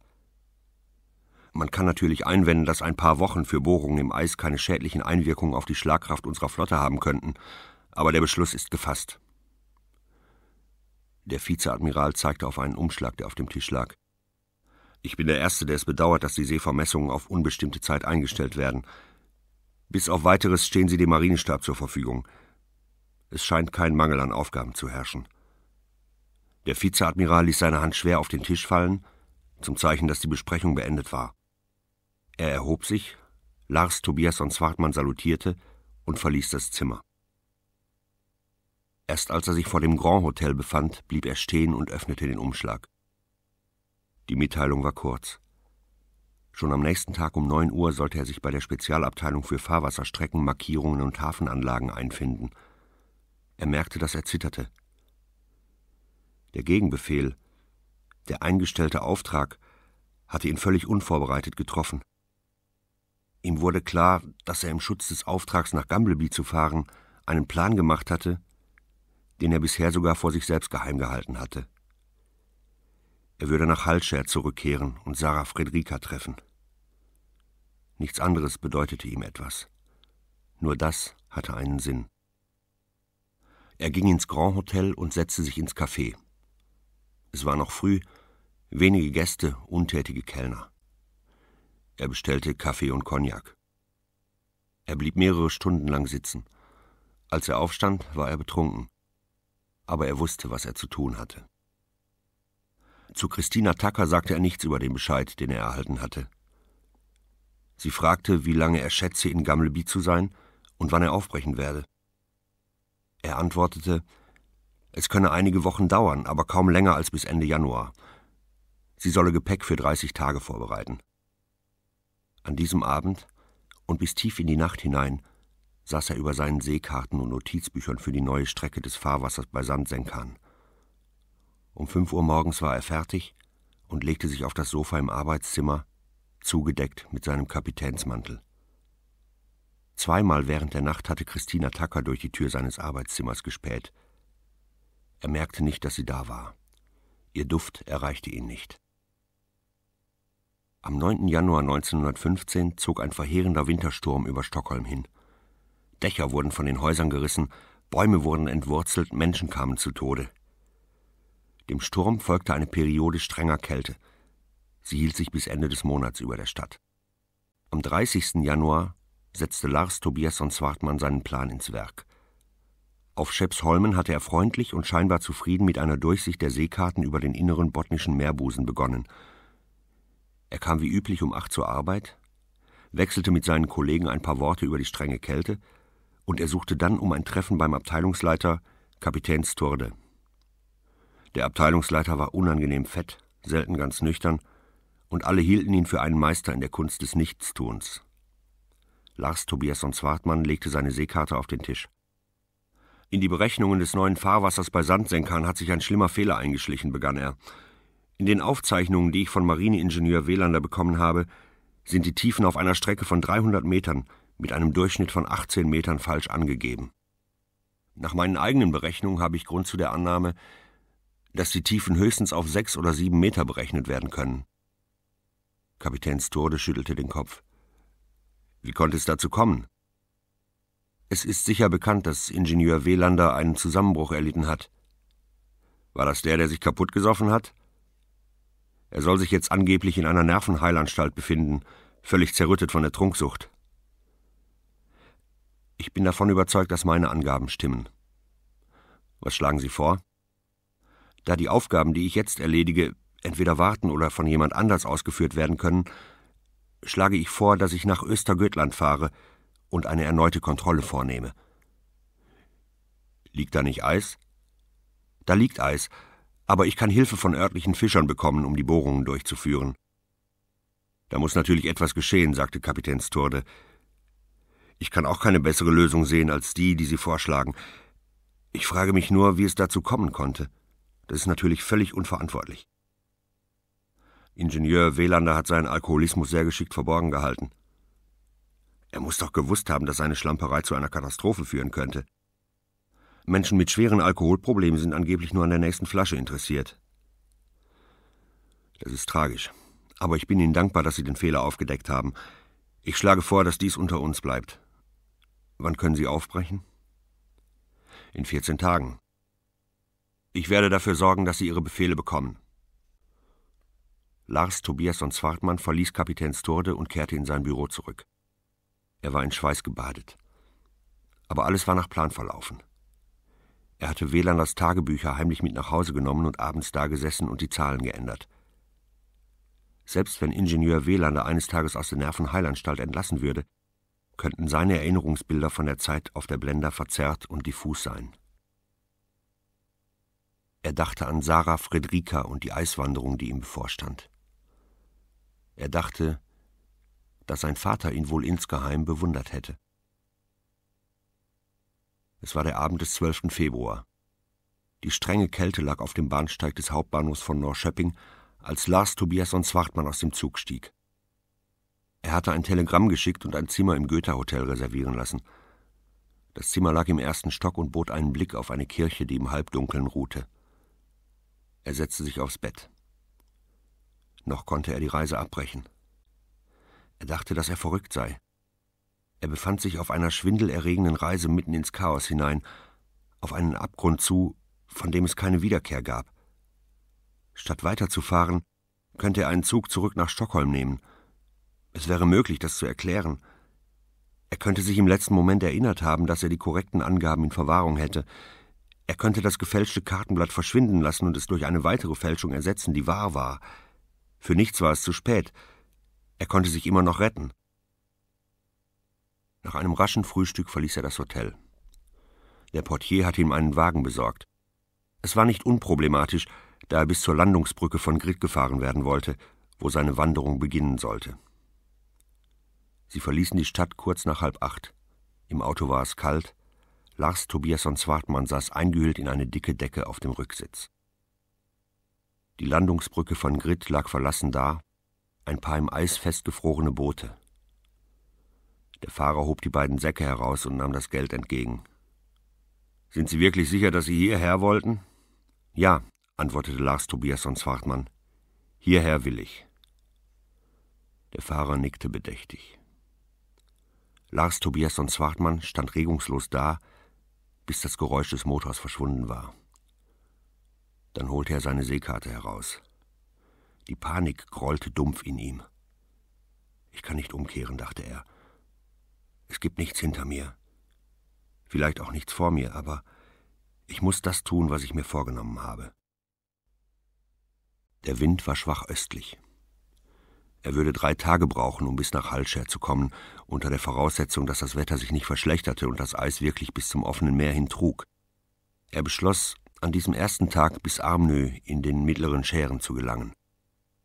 Er schnallte sich die beiden Säcke um nachdem er die Rutscheisen an seinen Lederstiefeln befestigt und sich die Eissporen um den Hals gehängt hatte. Den Abstand nach Armnö berechnete er auf acht Kilometer, was bedeutete, dass er vor Einbruch der Dämmerung dort sein würde.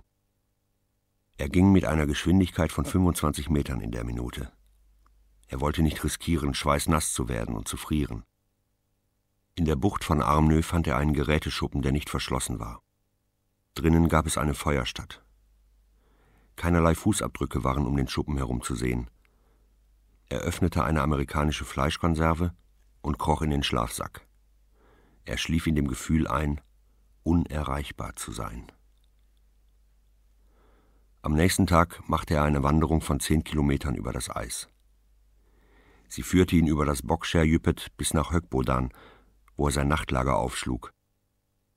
Er hatte vorgehabt, direkt Richtung Hallscher zu gehen, doch eine Eisspalte, die sich bei Hastina geöffnet hatte, zwang ihn zu einem Umweg nach Norden.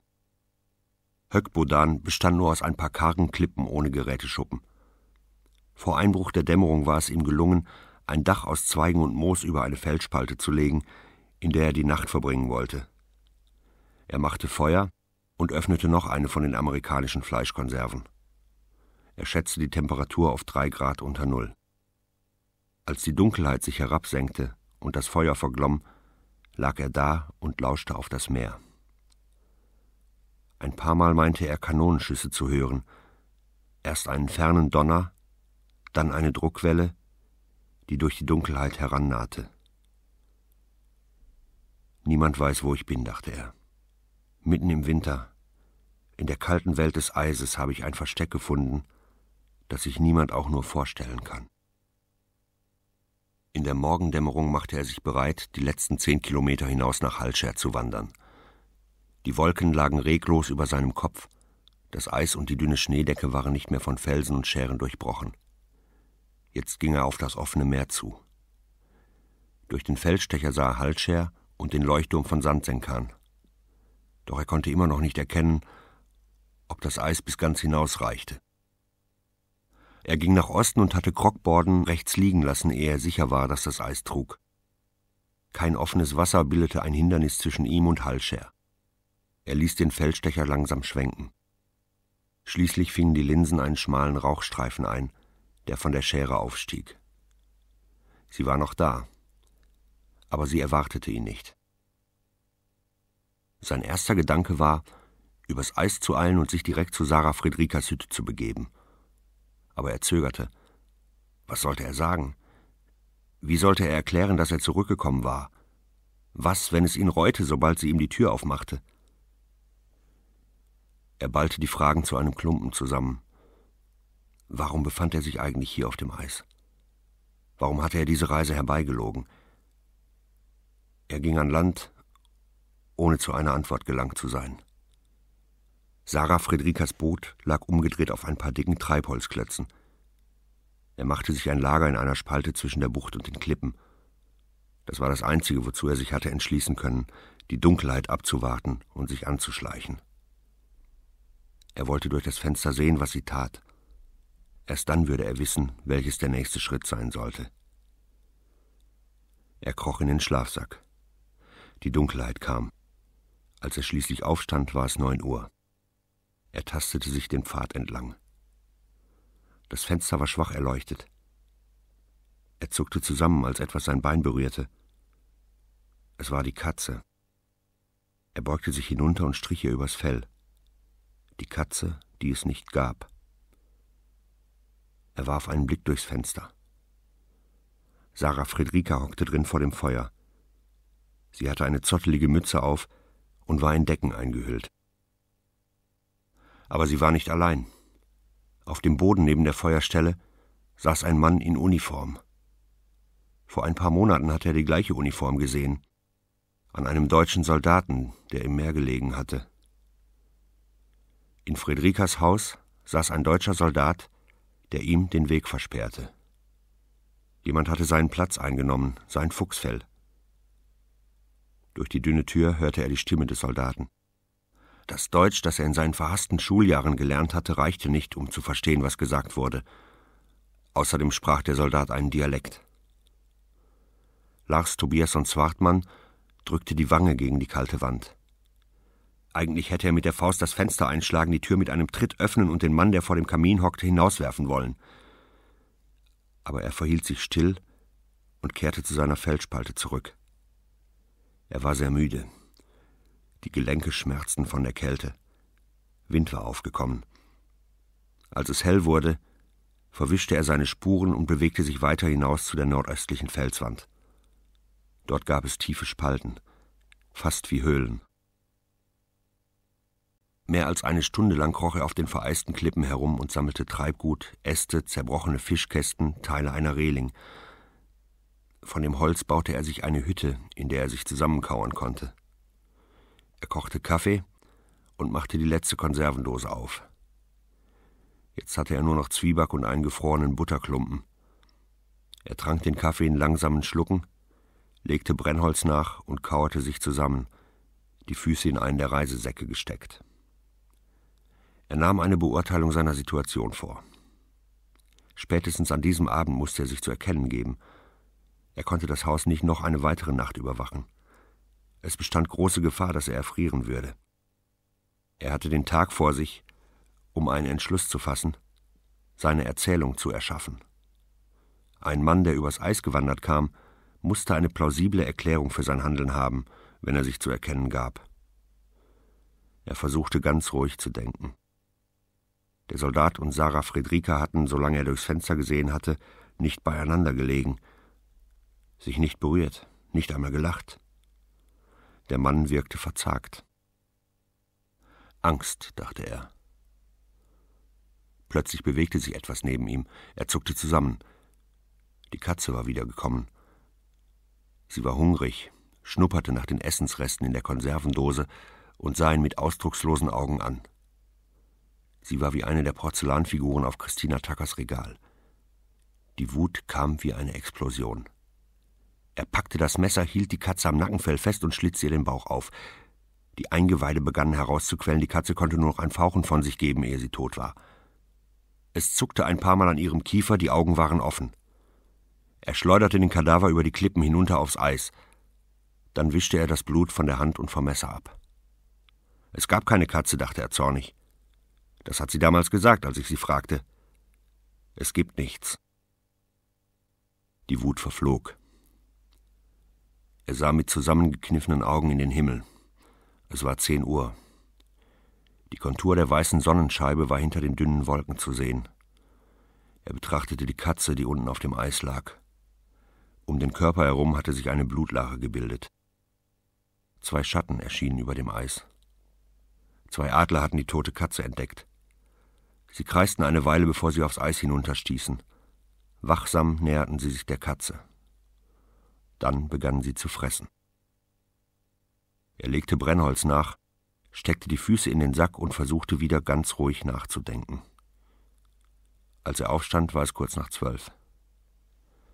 Er verteilte den Inhalt der Säcke so, dass er einen zurücklassen und nur den anderen mitnehmen musste.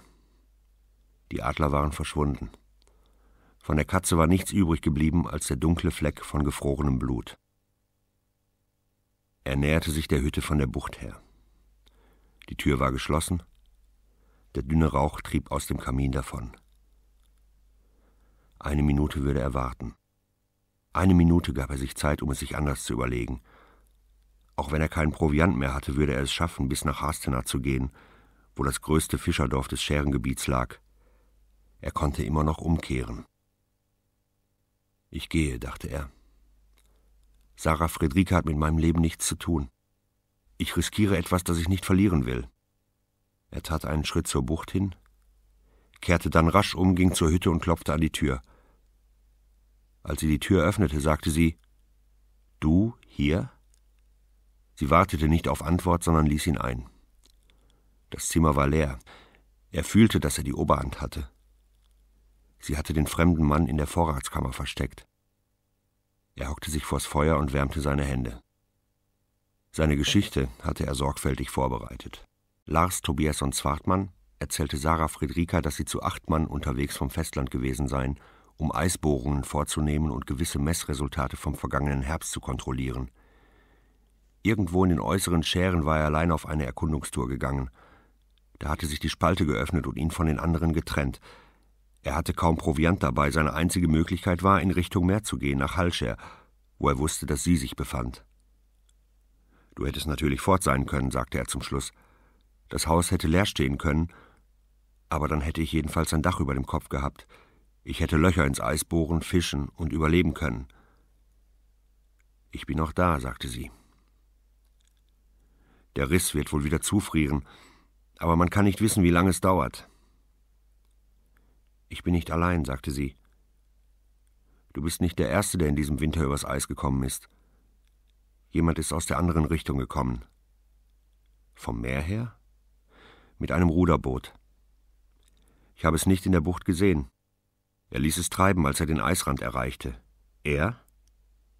Sie hockte sich plötzlich dicht neben ihn auf den Fußboden. Er nahm gleich wahr, dass sie schlecht roch. Sarah Friedrika roch nach Schmutz. Ein freundlicher, etwas trauriger Geruch von Dreck, den er ertragen konnte. Weil ich sie liebe, dachte er. Sie hockte sich dicht neben ihn und sprach mit leiser Stimme. Sie sagte, ich bin hier nicht allein. Da ist jemand bei den Netzen. Er tat verwundert. Wen versteckst du? Du hast im letzten Herbst, als du hier warst, vom Krieg erzählt. Manchmal wachte ich von einem dumpfen Donner auf, der die Hütte erzittern ließ. Ich ging hinauf auf den Berg. Manchmal sah ich Feuerschein. Später kamen zwei Finnen in einem Boot. Einer heißt Juha, der andere nennt sich Arvo. Sie machen hier draußen Jagd auf Robben, aber vor allem schmuggeln sie Brandwein. Sie haben mir nie etwas getan. Diesmal hatten sie einen Mann von den Orlandinseln dabei.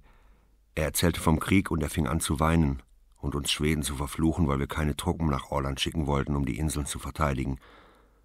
Plötzlich begann ich zu verstehen, was der Krieg war, diese Feuer in der Nacht, die Druckwellen und das Donnern, und Menschen, die zu Tausenden starben. Und dann kam er. Ich bekam Angst, als es klopfte. Ich öffnete nicht. Er trug eine Uniform und redete in einer Sprache, die ich nicht verstand. Als der da draußen in Ohnmacht fiel, schleppte ich ihn herein. Er hatte Fieber, aber er war nicht verwundet, nur hungrig und ausgetrocknet. Schließlich begriff ich, dass er ein Deutscher war. Er hatte versucht, mir zu erklären, wer er war, aber ich verstand nicht, was er sagte. Die Worte sind wie glatte Steine. Aber er hatte Angst. Ich habe gesehen, dass er immer zuhorchte, sogar wenn er schlief. Bin ich gefährlich? Ich weiß nicht. Ich habe hier geschlafen. Gefährlich kannst du trotzdem sein. Es liegt bei dir, was du glauben willst. Ich kann das nicht für dich entscheiden. Sie zögerte. Dann stand sie hastig auf und öffnete die Tür zur Vorratskammer. Der Soldat kam heraus. Er blieb regungslos stehen, wachsam, bereit, sich zu verteidigen. Sarah Friedrika sagte, obwohl sie wusste, dass er es nicht verstand, er ist nicht gefährlich. Er ist ein Militär wie du. Er ist schon früher hier gewesen. Lars Tobias und Zwartmann betrachtete den Soldaten. Er mochte 25 oder 26 Jahre alt sein. Er streckte die Hand aus und sprach langsam auf Deutsch. Ich heiße Lars Tobias und Zwartmann. Ich vermesse die Tiefen, ich bin durch einen plötzlichen Riss im Eis von meinen Freunden getrennt worden. Der Matrose nahm vorsichtig seine Hand, sein Griff war schlapp. Dorflinger. Sind Sie übers Eis gekommen? Der Soldat zögerte, ehe er antwortete Ich bin weggegangen. Lars Tobias und Zwartmann begriff, dass er einen deutschen Deserteur vor sich hatte. Es erfüllte ihn mit Abscheu. Deserteure waren feige. Sie hätten es verdient, hingerichtet zu werden. Mit welchem Recht war der Deserteur gekommen und hatte sich ihm in den Weg gestellt, ihm, der aus einem inneren Drang heraus seine Ehefrau und seine Karriere aufs Spiel setzte? Er lächelte. Vielleicht sollten wir uns setzen, sagte er zu Sarah Friedrika. Ich glaube, dass der Herr Marinesoldat Dorflinger müde ist. Was sagt er? Ich weiß nicht mal, wie er heißt. Dorflinger. Ist das ein Vorname? Er fragte nach dem Vornamen. Stefan. Ich heiße Stefan Dorflinger. Woher kommen Sie? Aus einer kleinen Stadt zwischen Köln und Bonn, tief drinnen in Deutschland. Warum wurden Sie von der Marine eingezogen? Ich habe mich freiwillig gemeldet, um das Meer zu sehen. Stefan Dorflinger hatte sich auf die Pritsche sinken lassen. Lars Tobias und Zwartmann setzte sich auf den Hocker bei der Feuerstelle. Hier sind Sie sicher, sagte er. Auch wenn Sie der sind, für den ich Sie halte. Und für wen halten Sie mich? Für einen Deserteur. Ich habe es nicht mehr ausgehalten. Ich habe es nicht ausgehalten mit all dem Töten. Er verstummte und holte heftig Luft. Ich war auf dem Schlachtkreuzer Weinshorn.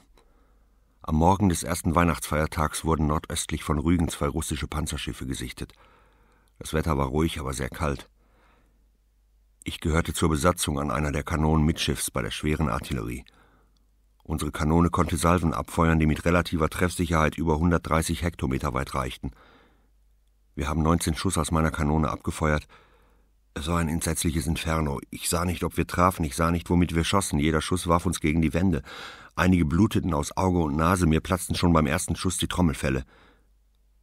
Ich hörte nichts. Es war, als befände ich mich hinter dicken Glasscheiben. Es ist eine andere Wirklichkeit, die sich offenbart, wenn man nur die Augen zu Hilfe hat. Wenn die Geräusche und Stimmen weg sind, wird die Wirklichkeit eine andere. Die Weinshorn navigierte näher zu den Truppentransportschiffen hin, die im Sinken begriffen waren. Das Wasser war von brennendem Öl bedeckt. Hunderte von schreienden Menschen kämpften, um nicht zu ertrinken, gegen das Feuer, gegen das Öl. Aber die Weinshorn tat nichts. Ich sah zu den Kameraden hin. Genau wie ich starrten sie mit Entsetzen auf alle, die starben, und niemand verstand, warum wir sie nicht zu retten versuchten. Wir befanden uns zwar im Krieg mit Russland, aber diese Menschen waren ja besiegt. Wir sahen zu, wie sie starben. Schließlich war keiner übrig. Alle waren tot. Die meisten waren untergegangen. Vereinzelte Körper trieben rauchend dahin. Einige waren so stark verbrannt, dass man die Knochen aus den zerfetzten Uniformen herausragen sah. Dann verließ die Weinshorn den Ort. Wir nahmen Kurs gen Südwesten und am Nachmittag wurden Weihnachtsbäume auf dem Achterdeck aufgestellt und man sang Weihnachtslieder. Ich hörte immer noch nichts. Ich sah nur meine Kameraden, die um den Weihnachtsbaum hüpften und tanzten, und ich fühlte, dass ich fort musste. Zwei Tage nach dem Neujahrsabend, spät nachts, machte ich mich davon. Der Matrose der Wache hatte Verstand, was ich vorhatte. Er wäre mir gern gefolgt, hatte aber nicht den Mut dazu. Ich ruderte davon nach sieben Tagen kam ich hierher. Ich ließ das Boot weggleiten und ging auf dieser Schere an Land. Natürlich kann ich nicht bleiben, aber ich weiß nicht, wohin ich soll. Ich habe versucht, es ihr zu erklären, aber wir verstehen einander nicht. Lars Tobiasson Swartmann übersetzte. Nicht alles, nur das, was er für geeignet hielt. Dem Übersetzer gehörte die Erzählung. Er veränderte sie, erwähnte nichts von den russischen Schiffen, die versenkt worden waren, sondern ließ stattdessen Stefan Dorflinger desertieren, nachdem er vorsätzlich einen Offizier an Bord des Schiffs getötet hatte. Man muss verstehen, schloss er, die militärischen Gesetze sind hart. Es gibt keine Gnade, kein Mitgefühl, nur einen Strick oder ein Hinrichtungskommando. Dann versucht man sich davon zu machen. Ich hätte dasselbe getan. Warum hat er jemanden getötet? Wen hat er getötet? Ich werde ihn fragen. Stefan Dorflinger sah ihn unruhig an. Er hat immer noch die Bilder im Kopf, dachte Lars Tobias und Zwartmann. Wie hieß der Wachposten an Deck, der nicht den Mut hatte, dir zu folgen? Fritz Buchheim. Er war so alt wie ich. Sarah Friedrika wartete ungeduldig. Was hat er gesagt? Der Getötete war Bootsmann und hieß Fritz Buchheim. Er war ein Schinder. Schließlich ist er zu weit gegangen. Man darf nicht töten, sollte ich jeden verdammten Finnen totschlagen, der herkommt und mich mit Gewalt zu nehmen versucht? Er war von ihrer Sprache überrascht. Ich kann keinen Mörder hier dulden, fuhr sie fort. Wenn er gemordet hat, muss er verurteilt werden. Er ist bereits verurteilt. Sie werden ihn hängen. Wir müssen ihm helfen. Wie? Ich muss ihn mitnehmen, wenn ich meine Arbeit erledigt habe. Sarah Friedrika sah Stefan Dorflinger an. Lars Tobiasson Zwartmann erkannte, dass er sich geirrt hatte. Die beiden waren sich näher gekommen. Stefan Dorflinger war schon seit über einem Monat auf Hallscher. Sarah Friedrika wollte nicht, dass er verurteilt wurde. Ihre Empörung war nicht echt. Er zog seinen Hocker näher zu Stefan Dorflinger heran. Ich habe ihr gesagt, was du erzählt hast. Ich habe auch gesagt, dass ich dir helfen werde. Warum? Du bist auch ein Soldat. Schweden und Deutschland liegen nicht im Krieg miteinander, du bist nicht mein Feind. Er sah, dass Stefan Dorflinger zweifelte. Er lächelte. Ich lüge dir hier nichts vor. Ich werde dir helfen. Du kannst nicht hierbleiben. Wenn ich meine Arbeit beendet habe, gehst du mit mir. In der Nacht lag er dem Feuer am nächsten. Lars Tobias und Zwartmann schlief tief und wurde dann mit einem Ruck wach. Die Uhr zeigte, dass es auf die Dämmerung zuging. Er stand vorsichtig auf und verließ das Haus. Es war kalt, er folgte dem Pfad hinunter zur Bucht. Er ging weiter, folgte dem Weg, den er gerudert war, und näherte sich der Stelle, an der die Blender vor Anker gelegen hatte. Er hatte seinen Feldstecher zu oberst auf seinem Gepäck zurückgelassen. Es war einer von der modernen Art mit doppelten Linsen, die an einem beweglichen Zylinder im Verhältnis zu den Augen eingestellt werden konnten. Wenn die Einstellung verändert wäre, könnte er sicher sein, dass Sarah Friederika den Feldstecher genommen hatte und hinaus auf die Klippen gegangen war, um zu sehen, womit er sich beschäftigte. Er stand mitten auf der gewaltigen Eisfläche. Unter ihm betrug der Abstand zum Boden 48 Meter. Er sah hinaus übers Eis. Er kannte die exakte Tiefe von jeder einzelnen Stelle. Für einen kurzen Augenblick wünschte er, das Eis möge brechen und alles vorüber sein. Diese ganze sinnlose Suche nach einem Punkt, an dem es keinen Boden gab, wo alles, was gemessen wurde, zurückwich. Da meinte er, dass Christina Tacker bei ihm wäre. Sie flüsterte ihm etwas ins Ohr, ohne dass er sie verstehen konnte. Er ging zu der Stelle, an der sie die Leiche des toten Matrosen versenkt hatten. Er blieb stehen, als er sich genau über der größten Tiefe befand. Aus seinem Sack zog er den Eisbohrer. Mit einem seiner Eissporen markierte er eine Fläche von einem Quadratmeter. Er bohrte sein erstes Loch an einer Ecke des Quadrats und dachte, dass Sarah Friedrika glauben würde, er sei ein Kontrollvermesser. Er bohrte ein zweites Loch an der nächsten Ecke und maß die Dicke des Eises, die 14 Zentimeter betrug. Anschließend bohrte er noch zwei weitere Löcher in den verbleibenden Ecken. Er machte die Löcher so groß, dass er seine Faust hindurchpressen konnte. Als er fertig war, stellte er einen Fuß in das Viereck. Er nahm die Mütze ab und horchte. Das Eis knackte unter seinen Füßen. Er würde seinen Plan verwirklichen können. Er kehrte über das Eis zurück. Vom Meer her war plötzlich ein Kanonenschuss zu hören. Die Druckwelle folgte. Dann noch ein Schuss und eine weitere Druckwelle. Dann war es wieder still. Bei einem der Felsabsätze nördlich der Hütte setzte er sich. Von da aus konnte er die Vorderseite des Häuschens unter Aufsicht halten. Sarah Friedrika kam heraus, hinter ihr der Deserteur. Er hatte die Uniformjacke abgelegt und sich eine alte Joppe angezogen, die ihrem Mann gehört haben musste. Die Eifersucht. Er dachte an den Revolver, der in einem Schrank in Stockholm eingeschlossen war. Hätte er ihn mitgenommen, hätte er sie leicht alle beide töten können. Sie zeigte auf die Bucht hinunter. Sie machten sich auf den Weg. Plötzlich blieb er stehen, ergriff ihren Arm und zog sie an sich. Sie ließ es geschehen. Erst war die Eifersucht klein gewesen, kriechend und nicht besonders lästig. Jetzt wuchs sie zu etwas Unerträglichem heran. Danach kam der Zorn. Sein Vater hatte einmal bei einer Einladung zum Essen davon gesprochen, wie wichtig es für die Menschen sei, es den Schlangen gleich zu tun. Unterkühltes Blut, endlose Geduld und giftige Zähne, die exakt im richtigen Augenblick zuschnappten.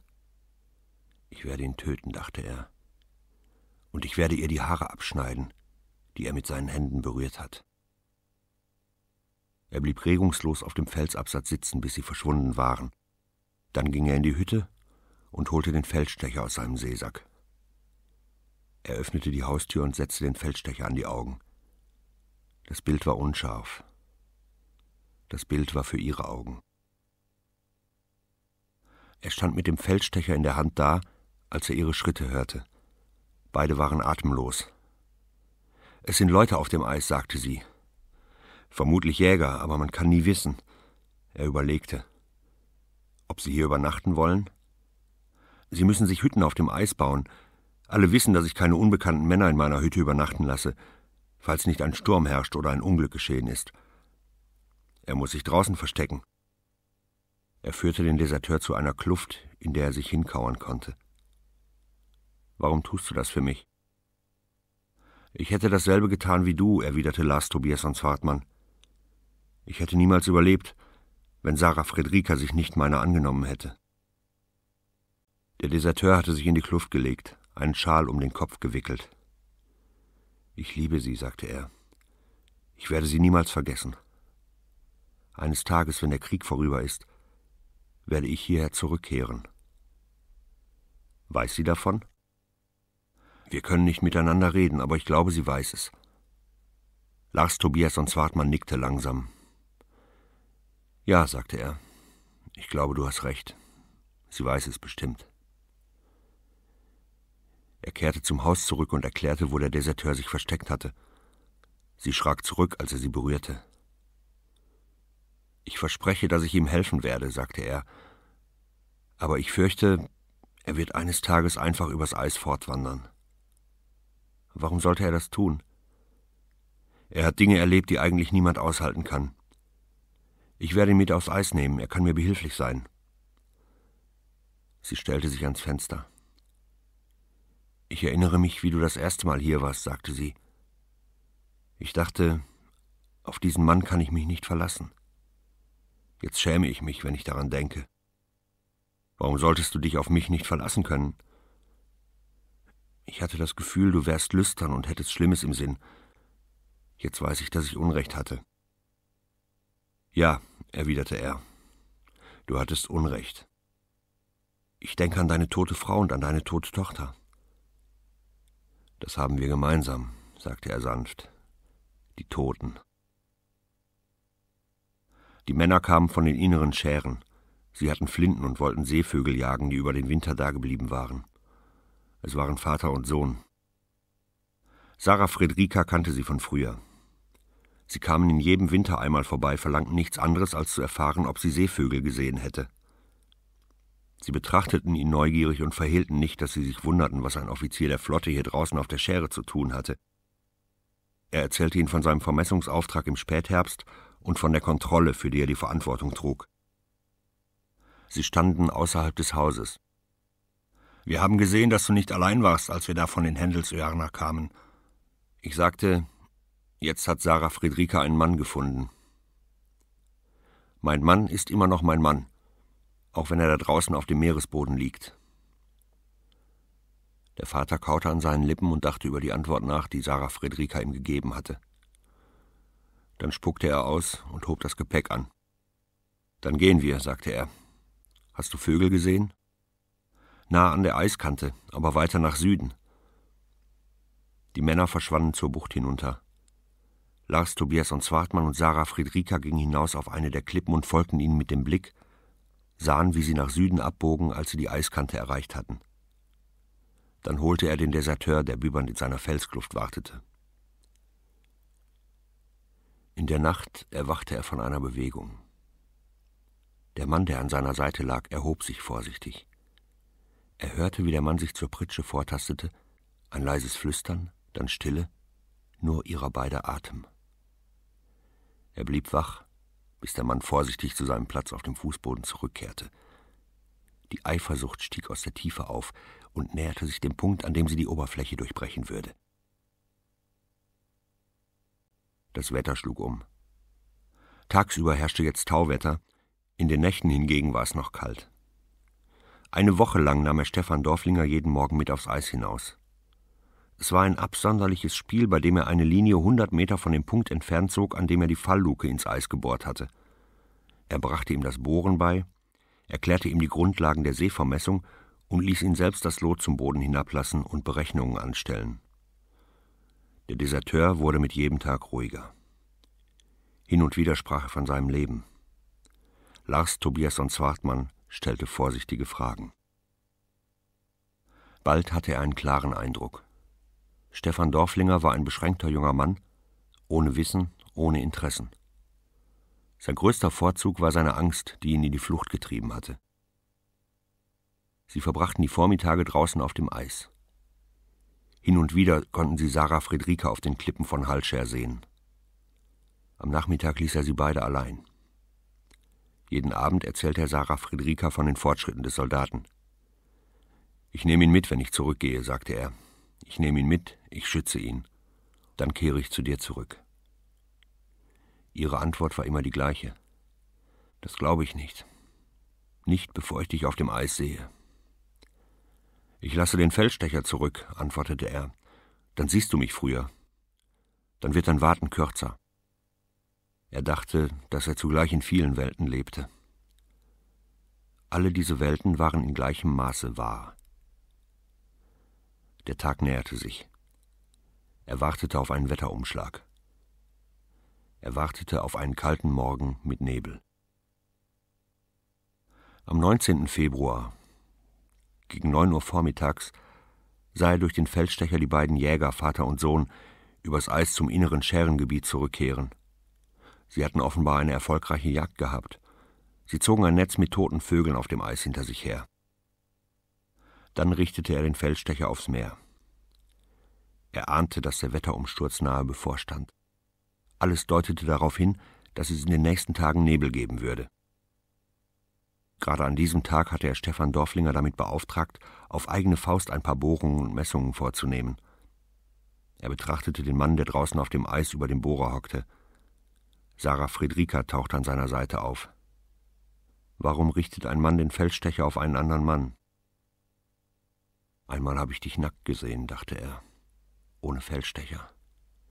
Ich habe gesehen, wie du dich gewaschen hast. Ich habe deinen Körper gesehen. Den habe ich nie vergessen. Vielleicht werde ich dich vergessen, aber niemals deinen Körper. Ich kontrolliere nur, ob er es richtig macht. Sie griff heftig nach seinem Arm. Ich will nicht hierbleiben. Was wäre geschehen, wenn ich nicht gekommen wäre? Dann hätte ich ihn gebeten, mich mitzunehmen. Du wärst einem zum Tode verurteilten Mann gefolgt? Das wusste ich ja nicht.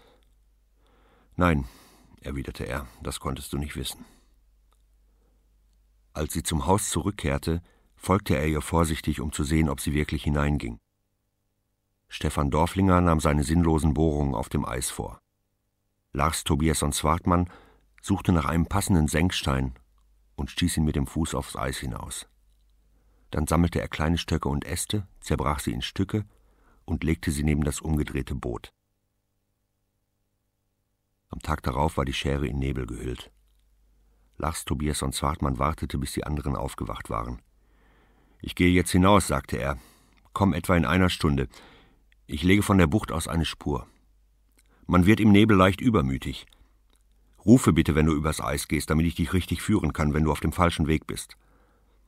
Er wartete keine Antwort ab, hängte den Sack mit dem Bohrer über die Schulter und ging los. Unten auf dem Eis fing er an, den Weg zu den Bohrlöchern zu markieren. Der Nebel war sehr dicht. Er stieß den Senkstein ein paar Meter vor sich her und tat einen Schritt zurück, dann noch einen. Der Stein war im Nebel verschwunden. Die Sicht betrug höchstens vier Meter. Er fuhr fort, den Weg mit den Ästen zu markieren, bis er an der Stelle anlangte, wo er die ersten Löcher gebohrt hatte. Mit dem Fuß drückte er aufs Eis. Es knackte. Er hatte die Bohrlöcher offen gehalten, indem er sie jeden zweiten oder dritten Tag vom frischen Eis säuberte. Jetzt bohrte er zehn weitere Löcher. Als er fertig war, lief ihm der Schweiß herunter. Als er jetzt den Fuß ausstreckte und leicht drückte, barst das Eis an allen vier Ecken. Er kniete sich hin und strich den aufgebohrten Schnee über den Riss, so dass er bedeckt war. Aus dem Sack zog er ein dickes Seil, das er um den Senkstein knotete, und beförderte diesen mit einem Tritt in den Nebel hinaus. Er tat ein paar lange Atemzüge und maß seinen Puls. Er war nur leicht erhöht, 82 Schläge pro Minute. Dann hörte er schlurfende Schritte auf dem Eis. Stefan Dorflinger trat aus dem Nebel hervor. Es war ihr letztes Gespräch und es war sehr kurz. Lars Tobias und Zwartmann hatte sich hinter das Eisloch gestellt Stefan Dorflinger war auf der anderen Seite. Du weißt, welches Schicksal ein Deserteur erwartet, sagte Lars Tobias und Zwartmann. Sie werden dich an einen Baum erhängen, oder sie erschießen dich, und vielleicht köpfen sie dich. Sie werden dir ein Schild vor die Brust hängen. Er ist ein Verräter. Lars Tobias und Zwartmann trat einen Schritt zurück. Stefan Dorflinger folgte ihm. Er trat auf die angebohrte Fläche, die Eisluke barst und er landete im Wasser. Lars Tobias von Zwartmann hob das Lot und schlug ihn damit fest in den Nacken. Zu seinem Erstaunen sah er, dass im Messing eine blutige Beule entstand. Dann entdeckte er, dass Stefan Dorflinger noch lebte. Seine Hände zerrten an der Eiskante. Mit aufgerissenen Augen starrte er Lars Tobias und Swartmann an. Lars Tobias und Swartmann nahm einen der Eisspuren, die um seinen Hals hingen, und hackte damit nach Stefan Dorflingers Augen. Sie mussten aufhören zu sehen. Er musste vernichten, was sie gesehen hatten. Ein einziges Mal schrie Stefan Dorflinger auf. Ein Laut wie von einem kleinen Kind. Dann verstummte er. Lars Tobias und Swartmann gab dem Senkstein einen Tritt und band dem Mann im Eisloch das Seil um den Leib. Das Wasser war kalt, der Eismatsch klebrig vom Blut. Er vermied es, das Gesicht mit den versehrten Augen anzusehen. Als er den Senkstein hineinschob, wurde der Körper sofort in die Tiefe gesogen und verschwand. Er erinnerte sich an das Begräbnis von Karl-Heinz Richter. Jetzt würden er und Stefan Dorflinger sich bald auf dem Kirchhof treffen, der 160 Meter unter der Oberfläche lag. Zwei Männer ohne Augen. Zwei Männer, die in fünf bis sechs Minuten sacht zu Boden gesunken waren. Jetzt hatte er selbst einen Menschen getötet. Er hatte kaltblütig gehandelt, überlegt, ohne Zögern oder Reue.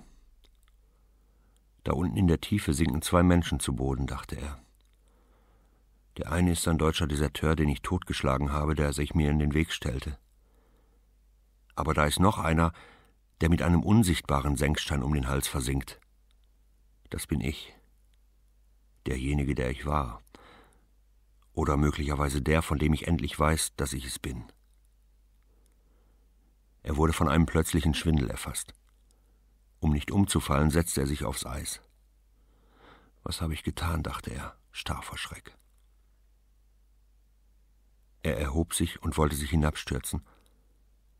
Da stand plötzlich Christina Tacker an seiner Seite und sagte Du bist nicht derjenige, der sterben soll. Es sind deine Feinde, die sterben. Leutnant Jakobson, der dich verachtete, fiel um und starb. Du lebst und die anderen sterben. Vergiss niemals, dass ich dich liebe. Dann war sie wieder verschwunden. Die Liebe ist unbegreiflich, dachte er. Unbegreiflich, aber vielleicht unüberwindbar. Er blieb eine halbe Stunde am Eisloch und kehrte dann zur Schere zurück. Bald würde auch das Eisloch zugefroren sein. Hinter ihm gab es keinen Weg mehr. Hinter ihm gab es nichts. Sarah Friedrika wusste sofort, dass etwas geschehen war. Sag es, sagte sie. Warte nicht, sag es sofort. Er ist tot. Ist das Eis gebrochen?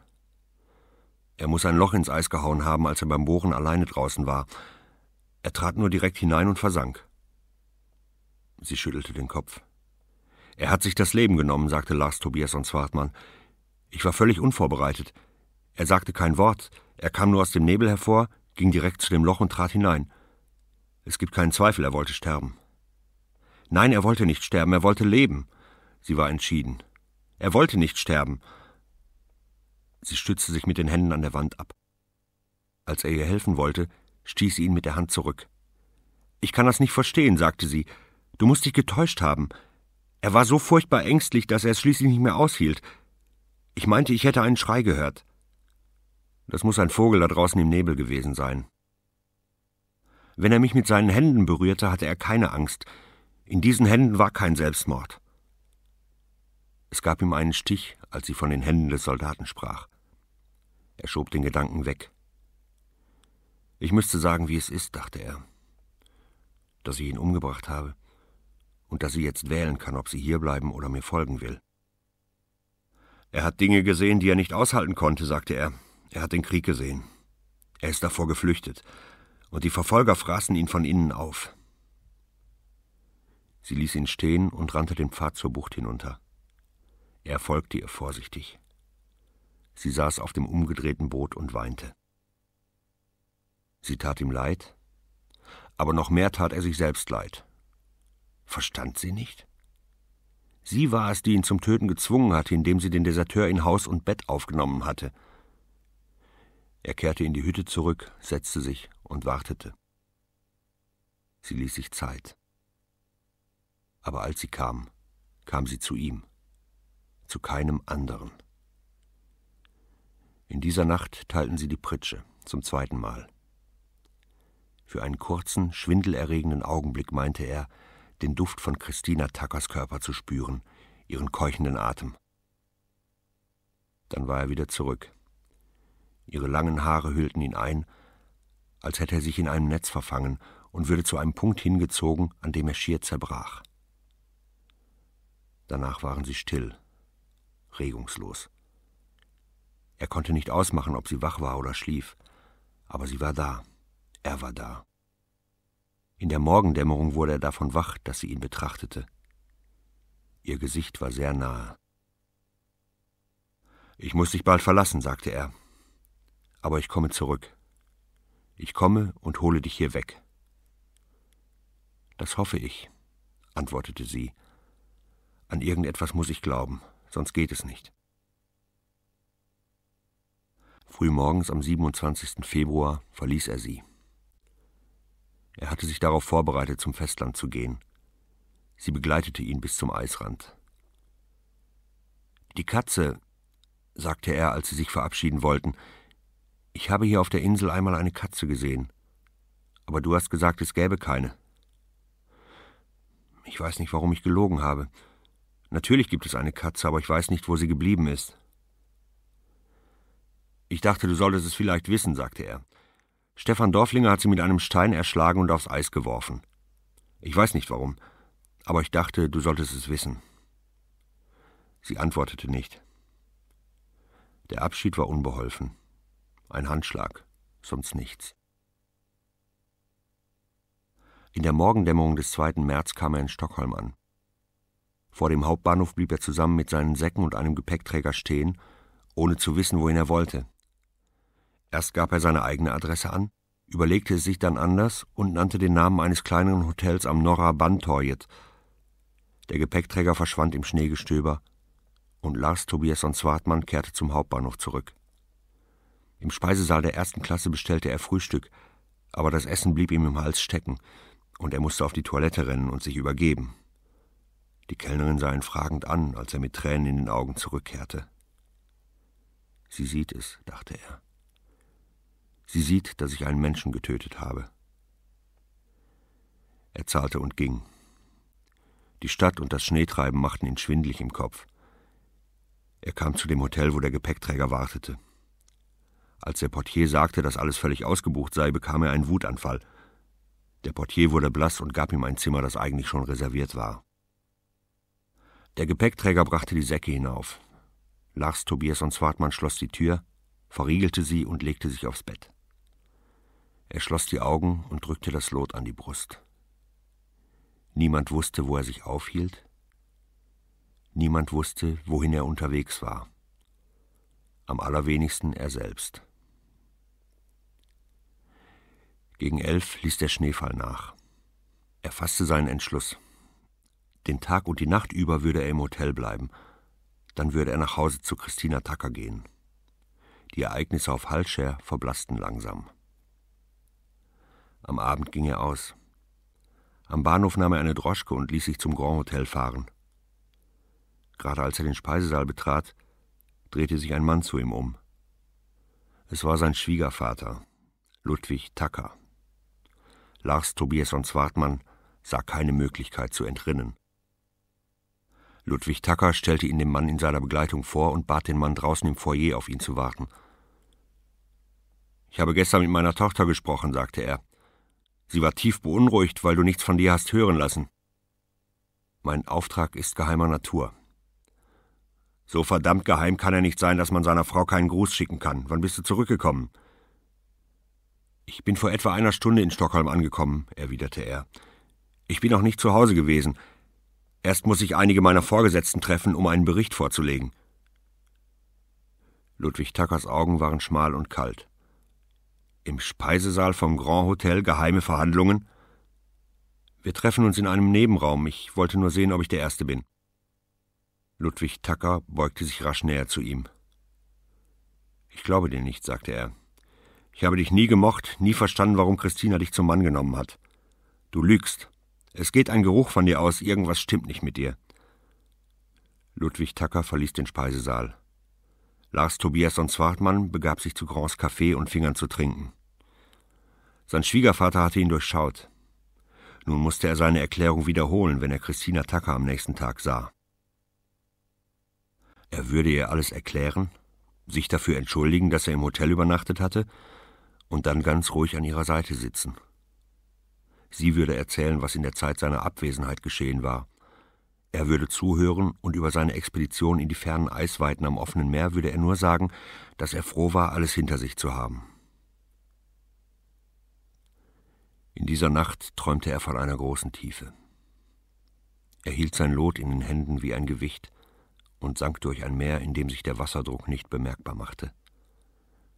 Es war eine unbekannte Tiefe, die er entdeckt hatte, und schon während er mit dem Lot in den Händen langsam hinabsank, wusste er, dass sich der Meeresboden auf 15.345 Metern befand. Es war eine schwindelnde Tiefe, und darin verbarg sich ein Geheimnis. Ganz da unten gab es eine Welt und ein Leben, die dem entsprachen, was er selbst lebte. Er sank der Tiefe entgegen, sacht, ganz ruhig, ohne Eile. Seine einzige Sorge war, dass er den Boden nicht erreichen könnte. Er hatte diesen Traum schon oft gehabt, war aber früher immer aufgewacht, bevor er den Boden erreichte. So war es auch jetzt. Die Enttäuschung darüber, dass er den Boden nicht erreicht hatte, schlug in den intensiven Wunsch um, Ludwig Tacker zu töten. Irgendwo gibt es auch für ihn ein Loch im Eis, dachte er. Einmal wird auch Ludwig Tacker auf den Meeresboden sinken, mit Eisenstücken, die an seinem Körper befestigt sind. Sein Schwiegervater war ihm zuvorgekommen. Christina Tackers Überraschung, ihn zu sehen, war gespielt. Das Dienstmädchen nahm ihm den Mantel ab und verschwand. Ich bin gestern erst spät in die Stadt gekommen. Ich wollte dich nicht erschrecken. Du hättest mich nicht erschreckt. Sie nahm seine Hand und zog ihn in das Zimmer, das mitten in der Wohnung lag, das wärmste Zimmer im Winter, das kühlste im Sommer.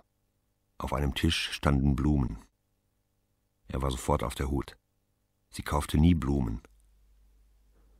Ich erwarte ein Kind. Ich habe darauf gewartet, es dir sagen zu können. Freust du dich? Natürlich freue ich mich. Das Kind soll im September zur Welt kommen. Er rechnete im Kopf nach und wusste sofort, wann es gezeugt worden war. In der ersten Nacht nach seiner Heimkehr im Dezember. Ich hatte Angst, ich wusste nicht, wie du reagieren würdest. Ich habe mir immer ein Kind gewünscht. Sie streckte die Hand aus. Sie war kalt. Sarah Friedrikas Hände waren immer warm gewesen. Er hielt ihre Hand und sehnte sich intensiv zurück nach Halscher. Als er übers Eis gegangen war, hatte er gedacht, er würde niemals wiederkehren. Sarah Friedrika würde da sein und auf ihn warten. Christina Tacker sagte etwas, was er nicht verstand. Er dachte an Sarah Friedrika und fühlte sein Begehren wachsen. Das, wonach er sich sehnte, war woanders. Nicht hier, im wärmsten Zimmer, in der Wollingotta. Das Leben wird sich verändern, sagte sie. Das Leben wird so werden, wie wir es uns vorgestellt haben, antwortete er. Er stand auf und ging zum Fenster hin, da er ihr nicht in die Augen sehen konnte. Er hörte, wie sie das Zimmer verließ. Ihre Schritte waren leicht. Es gab einen Klang, als sie ihre Porzellanfiguren herumschob. Er machte die Augen zu und dachte, Jetzt sinke ich dem Punkt entgegen, an dem es keinen Boden gibt. Am folgenden Tag verließ er die Wohnung gegen neun. Er zwang sich schnell zu gehen, um die Müdigkeit abzuschütteln. In der Nacht hatte er nicht schlafen können. Als Christina Tacker eingeschlafen war, hatte er den Duft ihrer Haut eingeatmet und dann vorsichtig das Bett verlassen. Er war in der Wohnung herumgegangen und hatte zu verstehen versucht, was gerade geschah. Er war im Begriff, die Kontrolle über sein Dasein zu verlieren das war ihm noch nie zuvor passiert. Seine Instrumente wirkten nicht mehr. Als er auf dem Schepsholmen ankam, war er außer Atem. Er wartete, bis der Puls sich wieder normalisiert hatte, bevor er durch die hohe Tür eintrat. Lars Tobias und Zwartmann ging durch die hallenden Korridore und meldete sich bei einem Leutnant namens Berg. Leutnant Berg betrachtete ihn erstaunt.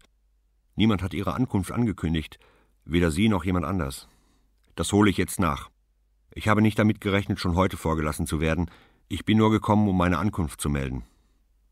Leutnant Berg warf einen Blick auf den großen Ordner, der vor ihm auf dem Tisch lag. Am 7. März hat der Ausschuss seine reguläre Sitzung. Da können Sie vorsprechen. Bringen Sie die Karten mit. Bereiten Sie Ihren Vortrag sorgfältig vor, die Zeit ist begrenzt, die Admirale sind nervös. Ich habe noch ein Anliegen, sagte Lars Tobias und Swartmann. Ich möchte zwei Monate unbezahlten Urlaub beantragen, mit sofortiger Wirkung. Der Grund ist Erschöpfung. Jedermann in diesen Zeiten ist erschöpft, sagte Leutnant Berg. Die Admirale kauen an ihren Schnurrbärten, die Kommandanten bekommen Schlaganfälle, die Bootsmänner saufen und fallen ins Meer, und die Kanonenbesatzung zielt ungenau. Wer zum Teufel ist nicht erschöpft? Ich will die Flotte nicht mit einer Krankschreibung belasten. Lieber beantrage ich unbezahlten Urlaub. Unbezahlter Urlaub wird in diesen Tagen selten bewilligt. Die Kriegsmacht braucht alle ihre Ressourcen. Ihr Antrag wird kaum freundliche Reaktionen hervorrufen. Ich werde trotzdem einen Urlaub beantragen. Leutnant Berg zuckte mit den Schultern. Reichen Sie ein schriftliches Gesuch spätestens bis morgen Nachmittag bei mir ein. Ich werde dafür sorgen, dass es noch in dieser Woche behandelt wird. Lars Tobias und Swartmann schlug die Hacken zusammen und verließ das Hauptquartier. Christina Tacker saß an einem Tisch und las ein Buch. Frauenzimmergedichte, dachte er verächtlich. Sarah Friedrika liest bestimmt keine Poesie. Sie weiß wohl kaum, was das ist. Er setzte ein bekümmertes Lächeln auf.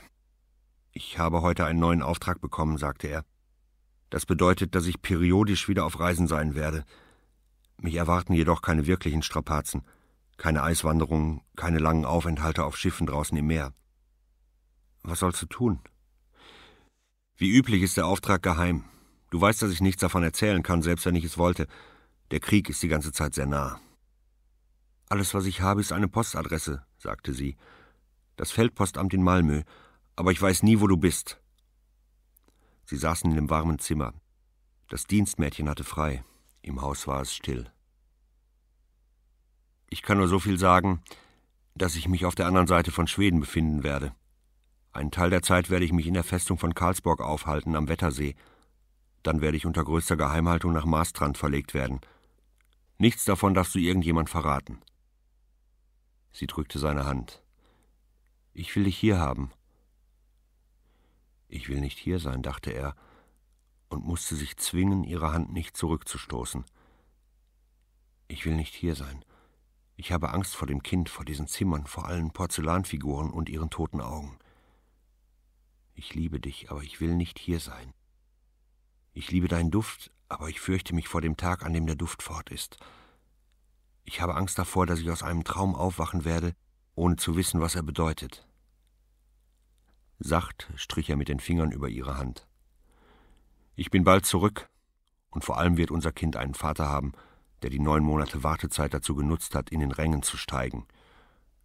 Ist es ein ehrenvoller Auftrag? Er beugte sich näher zu ihrem Gesicht hin und flüsterte Ich werde Fregattenkapitän. Er kostete das Wort aus und lächelte. Das freut mich, das wird meinem Vater gefallen. Es ist notwendig, dass das, was ich erzähle, unter uns bleibt. Du darfst es nicht einmal ihm sagen. Geduldig fuhr er fort, ihr zu erklären, dass er bald zurück wäre. Es gäbe keine Gefahr, er würde nur seine Pflichten erfüllen. Nichts ist wichtiger als das Kind, sagte er. Die Pflicht muss erfüllt werden, aber das Kind ist das Wichtigste. Ich möchte, dass unser Sohn Ludwig heißt, nach meinem Vater. Wenn es eine Tochter wird, soll sie Laura heißen, nach meiner Schwester. Ich habe ihm immer gewünscht, so zu heißen, als ich ein Kind war. Er lächelte immer noch. Wann reist du ab? Ich bin schon abgereist, dachte er. Ich bin nicht hier, das ist nur ein Abdruck, den ich hinterlassen habe, wie eine Spur, die langsam verwischt wird. Drei Tage später nahm er auf Schepsholmen ein Schreiben entgegen. In einer ausführlichen Begründung stellte der Ausschuss fest, dass Kapitän Lars Wartmann seine Aufträge stets mit äußerster Genauigkeit und Kompetenz ausgeführt habe. Der Ausschuss hielt es daher für angebracht, Lars Wartmann den gewünschten unbezahlten Urlaub zu bewilligen. Das exakte Datum für seinen Wiedereintritt würde später festgelegt werden. Er dachte an Christina Tacker und das Kind, das unterwegs war. Aber vor allem dachte er an die Frau, die er nach seinem Beschluss nie wiedersehen würde. Vor dem Kontor der Handelsbanken am Kungsträd Gordon blieb er stehen. Es überraschte ihn, dass es ihm keinerlei Unruhe bereitete, von seinem Kapital zu zehren. Früher hatte er sich immer für sparsam gehalten, an der Grenze zum Geiz. Jetzt verspürte er plötzlich ein Bedürfnis, aus dem Vollen zu schöpfen. Bankier Hockanson hatte einen unsteten Blick und feuchte Hände. Lars Tobias und Swartmann folgte ihm die Treppe hinauf in ein Zimmer. Der Krieg ist natürlich beunruhigend, sagte Bankier Hockanson, aber die Börse hat bisher mit Wohlwollen auf den Kanonendonner reagiert. Ich muss einen Teil dieser Wertpapiere in Bargeld umwandeln. An wie viel haben Sie gedacht, Kapitän Zwartmann? Gereizt sagte er, ich möchte darauf hinweisen, dass mein Nachname Tobiasson Zwartmann lautet. Es ist etliche Jahre her, seit ich meinen Namen geändert habe. Bankier Håkansson sah ihn fragend an. Dann fing er an, in seinen Papieren zu blättern. Ich bedauere, dass die Bank und ich Ihre Namensänderung übersehen haben. Ich werde mich sofort darum kümmern. Bargeld, sagte Lars Tobias und Zwartmann. Zehntausend Kronen. Wieder war Bankier Håkansson überrascht. Das ist eine große Summe. Es bedeutet, dass ein Teil der Wertpapiere veräußert werden muss. Das ist mir klar.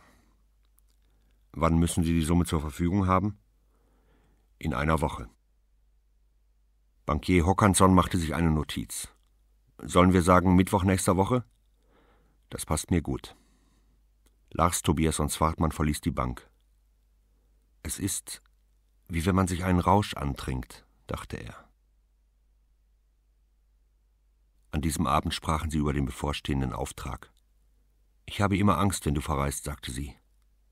Eine Reise birgt immer eine Gefahr, dachte er. Besonders diesmal, wo die Reise nicht einmal existiert. Deine Angst ist unbegründet, antwortete er. Vielleicht, wenn wir in den Krieg hineingezogen würden, aber das sind wir nicht. Die Minen, all diese schrecklichen Sprengungen, Schiffe, die innerhalb von wenigen Sekunden untergehen. Ich werde weit vom Krieg entfernt sein. Bei meiner Arbeit geht es darum, dass so wenig Schiffe wie möglich von der Katastrophe betroffen werden. Was ist das eigentlich, was du machst? Ich bewahre ein Geheimnis und schaffe neue Geheimnisse. Der März zog sich mit Warten dahin. Bei mehreren Gelegenheiten suchte er das Hauptquartier der Marine auf, ohne eine Erklärung dafür zu erhalten, warum die schriftliche Bestätigung über die Dauer des ihm zugesagten Urlaubs so lange auf sich warten ließ. Alle versicherten übereinstimmend, dass nichts geschehen sei, was die Situation verändert habe. Es ging nur um bestimmte Abläufe, die wegen des Kriegs ins Stocken geraten waren. Lars Tobias und Zwartmann war ungeduldig. Die Warterei zerrte an ihm. Es war schon der 29. März. Er wollte so bald wie möglich in Richtung Süden aufbrechen. Würde Sarah Friederika noch da sein und auf ihn warten? Oder würde sie schon auf und davon sein? Eines Tages fand Christina Tacker die große Geldsumme, die er bei der Handelsbanken geholt hatte. Das Geld lag unter einem Kalender auf seinem Arbeitstisch. Ich lasse das Mädchen deinen Arbeitstisch nicht anrühren. Den mache ich selber sauber. Eine Banknote schaute heraus. Ich habe all dieses Geld gesehen. Das stimmt. Es liegt eine große Geldsumme auf dem Tisch. Aber wieso? Wenn der Krieg kommt, kann es sein, dass die Banken zumachen. Ich habe Vorsorge getroffen. Sie fragte nicht weiter. Ich bin immer davon ausgegangen, dass meine Frau nicht in meinen Papieren schnüffelt. Sie zitterte vor Erregung, als sie antwortete ich stöbere nicht in deinen Papieren. Warum wirfst du mir etwas vor, was nicht wahr ist? Dann sprechen wir nicht mehr über die Sache. Sie stand auf und lief aus dem Zimmer. Er hörte die Schlafzimmertür zuschlagen. Natürlich waren die Anschuldigungen grundlos, aber er verspürte keinerlei Reue. Bald ist die Wartezeit vorbei, dachte er. Irgendwann, in einer fernen Zukunft, werde ich ihr vielleicht erklären können, dass sie mit einem Mann verheiratet war, der nie ganz und gar sichtbar war. Nicht einmal für sich selbst. Zwei Tage lang herrschte Schweigen. Am dritten Tag kehrte die Normalität wieder ein. Christina Tacker lächelte. Lars, Tobias und Zwartmann erwiderte ihr Lächeln. Draußen hatte der Schnee angefangen zu schmelzen. Am 3. April bekam er die Bestätigung für einen unbezahlten Urlaub, der bis zum 15. Juni 1915 galt. Er könnte nur dann widerrufen werden, wenn Schweden direkt in den Krieg hineingezogen würde. Seine Koffer waren schon gepackt. Am 5. April nahm er von seiner Frau Abschied. Sie begleitete ihn zum Bahnhof. Sie winkte. In Katrineholm stieg er aus dem Zug und kaufte eine neue Fahrkarte nach Norrköping. Er leerte seine Koffer und verstaute den Inhalt in seinen beiden Säcken. Nachdem er die Namensschilder entfernt hatte, ließ er die Koffer im Schatten eines Gepäckwagens stehen. Das Eis war weicher geworden, aber es lag immer noch bis weit hinaus zu den äußersten Schären. Ein Dunstschleier hing über dem Himmel. Er ging schnell. Hin und wieder blieb er stehen und richtete den Feldstecher auf das Gebiet, das er schon hinter sich hatte. Natürlich folgte ihm niemand. Auch diesmal machte er Rast auf Armnö. Es war seine dritte Nacht. Er aß sein Konservenfleisch und machte Feuer. Er war ungeduldig. Am folgenden Tag stand er früh auf und setzte die Wanderung übers Eis fort. Wind war aufgekommen, ein nordöstlicher, leichtböiger Wind. Am Nachmittag näherte er sich Hallscher. Das Eis war immer noch weich. Die Säcke, die er an dem Zuggeschirr schleppte, sogen Feuchtigkeit auf und wurden immer schwerer. Dreimal blieb er stehen und maß die Dicke des Eises. Das Meer drängte von unten herauf. Er zitterte, als er die Schärfe am Feldstecher einstellte. Es stieg Rauch aus dem Kamin. Er hatte sich vorgestellt, dass er Erleichterung empfinden würde. Stattdessen wurde er unschlüssig. Ich kehre um, dachte er. Ich muss Schluss machen mit diesem Wahnsinn, ich kehre zurück. Dann ging er weiter auf die Schere zu. Ich werde anklopfen, dachte er. Ich werde die Tür öffnen und eintreten. Wenn ich die Tür hinter mir zumache, werde ich sofort nach einem Ausgang zu suchen anfangen. Bevor er anklopfen konnte, wurde die Tür aufgemacht. Sarah Friederika riss sie auf. Sie hatte andere Kleider an, geflickt, verschlissen, aber sauber. Ihre Haare waren nicht mehr verfilzt, sie hatte sie hochgesteckt. Sie zitterte. Er hatte noch nie eine solche Freude gesehen. Ich wusste, dass du kommen würdest, sagte sie. Ich habe gezweifelt, aber ich habe nicht aufgegeben. Ich habe doch gesagt, dass ich kommen werde. Es hat seine Zeit gebraucht, aber ich bin übers Eis gegangen und jetzt bin ich hier. Sie gingen hinein. Sie hatte aufgeräumt. Vieles war weg. Lumpen, Flickenteppiche, aber das Fell des verrückten Fuchses war noch da. Er legte die Säcke ab. Sie packte ihn. Sie begann an seinen Sachen zu ziehen und zu zerren. Sie landeten auf dem Fußboden vor der Feuerstelle. Danach zogen sie sich schweigend an. Er betrachtete heimlich ihren Rücken. Als sie sich umdrehte, sah er, dass ihr Blick anders war. Er kannte diesen Blick. Er hatte ihn schon einmal gesehen. Sie hatte den gleichen Ausdruck in den Augen wie seine Frau, als sie ihm erzählt hatte, dass sie schwanger war. Sarah Friederika erzählte es ihm am folgenden Tag, wie etwas Selbstverständliches. Sie gingen am Strand entlang und sammelten Brennholz. Ich bekomme ein Kind, sagte sie. Ich habe es geahnt, sagte er. Sie betrachtete ihn abwartend. Verschwindest du jetzt wieder? Warum sollte ich das tun? Ein Kapitän und ein Weibsbild vom Meer? Was hätte das für eine Zukunft? Wir stehen an einem Abgrund. Ich bin gekommen, um dich zu holen. Du sollst wissen, dass ich mich entschieden habe. Über das Kind bin ich froh, auch wenn du nicht zurückgekommen wärst. Ich bin hier. Sie fuhr fort, ihn zu betrachten. Er hatte das Gefühl, als würde ein Seil um ihn herum festgezurrt. Am 19. April kam ein kräftiger südwestlicher Wind und brach die letzten Reste von Eis auf, die noch die Buchten bedeckten. Sie gingen auf den Berg hinauf und sahen, dass sie vom offenen Meer umgeben waren. Am Tag danach ließen sie die Segeljolle zu Wasser. Er war erstaunt darüber, wie stark sie war. Er blieb am Ufer stehen, während sie hinausruderte, um zu kontrollieren, ob der Boden dicht war und das Segel keine Risse hatte. Ich segle einmal um die Insel herum, rief sie.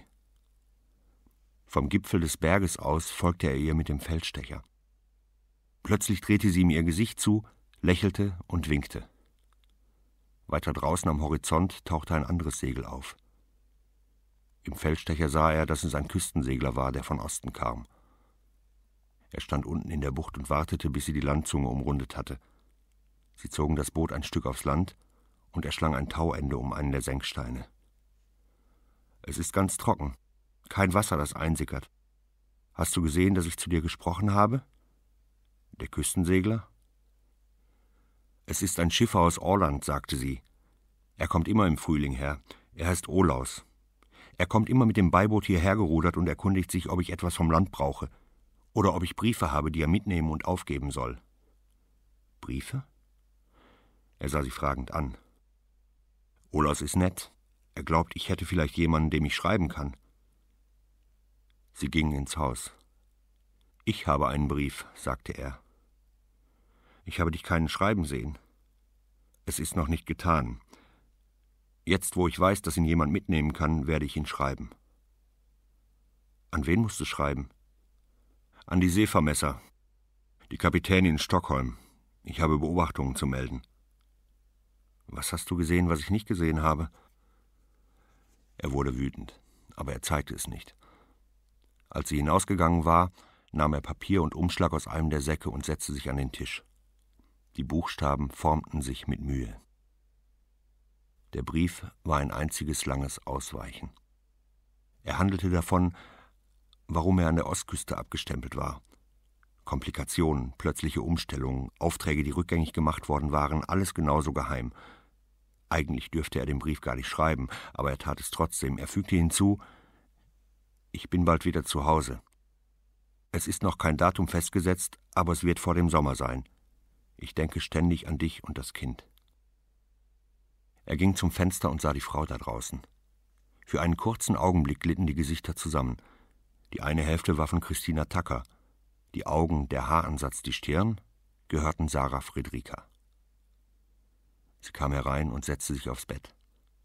Kannst du mir nicht einen Brief schreiben? Wenn du hinausgehst. Ich muss allein sein, wenn ich schreibe. Sie ging hinaus. Er klebte den Brief an seine Frau zu und schrieb dann ein paar Zeilen an Sarah Friedrika. Ich freue mich darauf, ein Kind zu bekommen, nachdem ich meine Tochter Laura auf so tragische Weise verloren habe. Ich träume von dem Tag, an dem wir aufbrechen können. Er unterzeichnete den Brief, legte ihn in einen Umschlag und klebte ihn zu. An Sarah Friedrika Halscher. Der Mann, der Olaus hieß, ging nördlich der Schere vor Anker und ruderte in die Bucht hinein. Es war ein älterer Mann mit steifen Beinen. Der Besuch war kurz. Lars Tobiasson Zwartmann gab ihm die Briefe und Geld für die Briefmarken. Sie möchte einen Brief bekommen, sagte er. Natürlich soll Sarah einen Brief bekommen, antwortete Olaus. Ich gebe sie in Waldemarswijk auf. Es war der 9. Mai, das Wetter war warm, das Meer ruhig. Sie standen früh auf, um Netze einzuholen, und ruderten der Morgensonne entgegen. Er genoss den Morgen, vermisste nichts, war für einen Augenblick ganz von Messungen und Entfernungen befreit. Sie streckte sich nach den Korkschwimmern, stand auf, stemmte sich mit den Füßen ab und begann zu ziehen. Es gab sofort einen Widerstand. Halte dagegen! Wir sitzen in irgendwas fest! Sie zerrte und zog. Langsam kam das Netz herauf, aber es war schwer. Was ist es? fragte er. Wenn es ein Fisch ist, dann ist er groß. Wenn es Krempel vom Boden ist, dann ist er schwer. Das Netz war beinahe leer, bis auf einzelne Kaulbarsche und ein paar Dorsche. Er beugte sich über den Rand, um zu sehen. In diesem Moment ließ sie das Netz los und schrie. Sie sank im Heck zusammen und verbarg das Gesicht in den Händen. Das Netz hatte sich am Süllbord verfangen. Er stand auf und zog es hoch. Im Netz hingen Skelettteile eines Menschen und etwas, was vielleicht der Rest eines Lederstiefels war. Er brauchte nicht zu fragen. Sie hatte ihren toten Mann ins Netz bekommen. Rudere, schrie sie, weg von ihr! Dann warf sie sich gegen ihn und fing selbst an zu rudern. Er sah ihre Angst, spürte die Kraft in den Ruderschlägen. Sie waren weit von dem Fangplatz entfernt, als sie wieder zusammensank. Kehr um, sagte sie. Wohin? Ich habe einen Fehler gemacht, ich muss ihn herausholen. Ich muss meinen Mann begraben. Die Angst war jetzt in Verzweiflung umgeschlagen. Vom Netz ist nichts zu sehen, sagte er, aber ich weiß, wo die Stelle ist. Wie kannst du das wissen, wenn nichts zu sehen ist? Ich weiß es, sagte er, das gehört zu meinem Beruf. Ich kann das Meer lesen, sehen, was man nicht sieht. Es ist hier, sagte er. Aber das Ankerseil ist zu kurz. Ich erreiche nicht den Boden. Ich muss ihn heraufholen. Ich weiß, wo es ist. Wir können hierher zurückkehren. Du hast eine Seilwinde unten in der Bucht, die mit dem Drachen verbunden werden kann. Sie misst 40 Meter, das reicht. Er wartete nicht auf Antwort, sondern ruderte zurück nach Halscher. Sie saß schweigend im Heck, zusammengesunken wie nach einer viel zu großen Anstrengung. In der Bucht holte er das Seil ins Boot. Lass mich es tun, sagte er. Lass mich das Netz herausziehen, du musst nicht mitkommen. Sie antwortete nicht. Als er hinausruderte, stand sie regungslos da und sah ihm nach. Er ließ den mehrarmigen Anker in die Tiefe sinken. Beim vierten Versuch spürte er einen Widerstand. Er stand im Boot auf und zog. Das Netz kehrte zurück, und darin befanden sich noch die Knochenreste und der Lederflicken. Es war ein Stück von einem Stiefel, das hängen geblieben war. Ein rostiger Nagel steckte im Leder. Er zog das Netz an Bord. Es waren zappelnde Fische darin, eine unbegreifliche Lebenskraft mitten in all dem Tod. Er nahm die Gebeine, die Kaulbarsche und das Seegras heraus und warf das Netz wieder aus. Er betrachtete die Gebeine. Ein Teil eines Unterarms, eine abgebrochene Rippe und die Reste des linken Fußes. Als er zurück zur Hütte kam, war sie leer. Er legte die Gebeine ab und begann, Sarah Friedrika zu suchen. Er fand sie weit im Norden. Sie hatte sich in einer Felskluft zusammengekrümmt, sich ins Heidekraut gepresst, lag mit offenen Augen da, ohne zu sehen. Er setzte sich neben sie. Nichts ist so einfach, wie Kontrolle über leidende Menschen zu bekommen, dachte er. Er erinnerte sich an seine Mutter, weinend, allein in einem der dunklen Zimmer, die in der Kindheit sein Zuhause waren. Er wartete. Es vergingen 32 Minuten. Dann stand sie auf und verließ rasch die Felskluft. Sie ging ins Haus. Er wollte gerade die Tür aufmachen, als sie wieder herauskam und hinunter zur Bucht eilte. Er blieb ganz still stehen. Plötzlich sah er Rauch und nahm den Geruch von Teer wahr. Als er hinkam, hatte sie eine Teertonne angezündet und steckte Netze und Reusen ins Feuer. Du kannst dich verbrennen, schrie er. Du kannst brennenden Teer abbekommen. Er zerrte an ihr, doch sie weigerte sich, sich zu bewegen. Da schlug er sie hart ins Gesicht. Als sie sich aufrichtete, schlug er noch einmal. Da blieb sie sitzen. Er kippte die Tonne um und beförderte sie mit Fußtritten ins Wasser. Die Tonne zischte, der Rauch stank. Sie lag am Boden, schwarz von Teer und Blut, der Rock bis zum Bauch hochgezogen. Er dachte daran, dass dort ein Kind war. Ein Kind, das existierte, ohne sichtbar zu sein. Er half ihr auf. Ich muss weg, sagte sie. Ich kann hier nicht länger bleiben. Wir werden die Insel bald verlassen, sagte er. Bald, aber noch nicht sofort. Warum nicht jetzt? Mein Auftrag ist noch nicht beendet. Sie betrachtete ihre teerbefleckten Hände.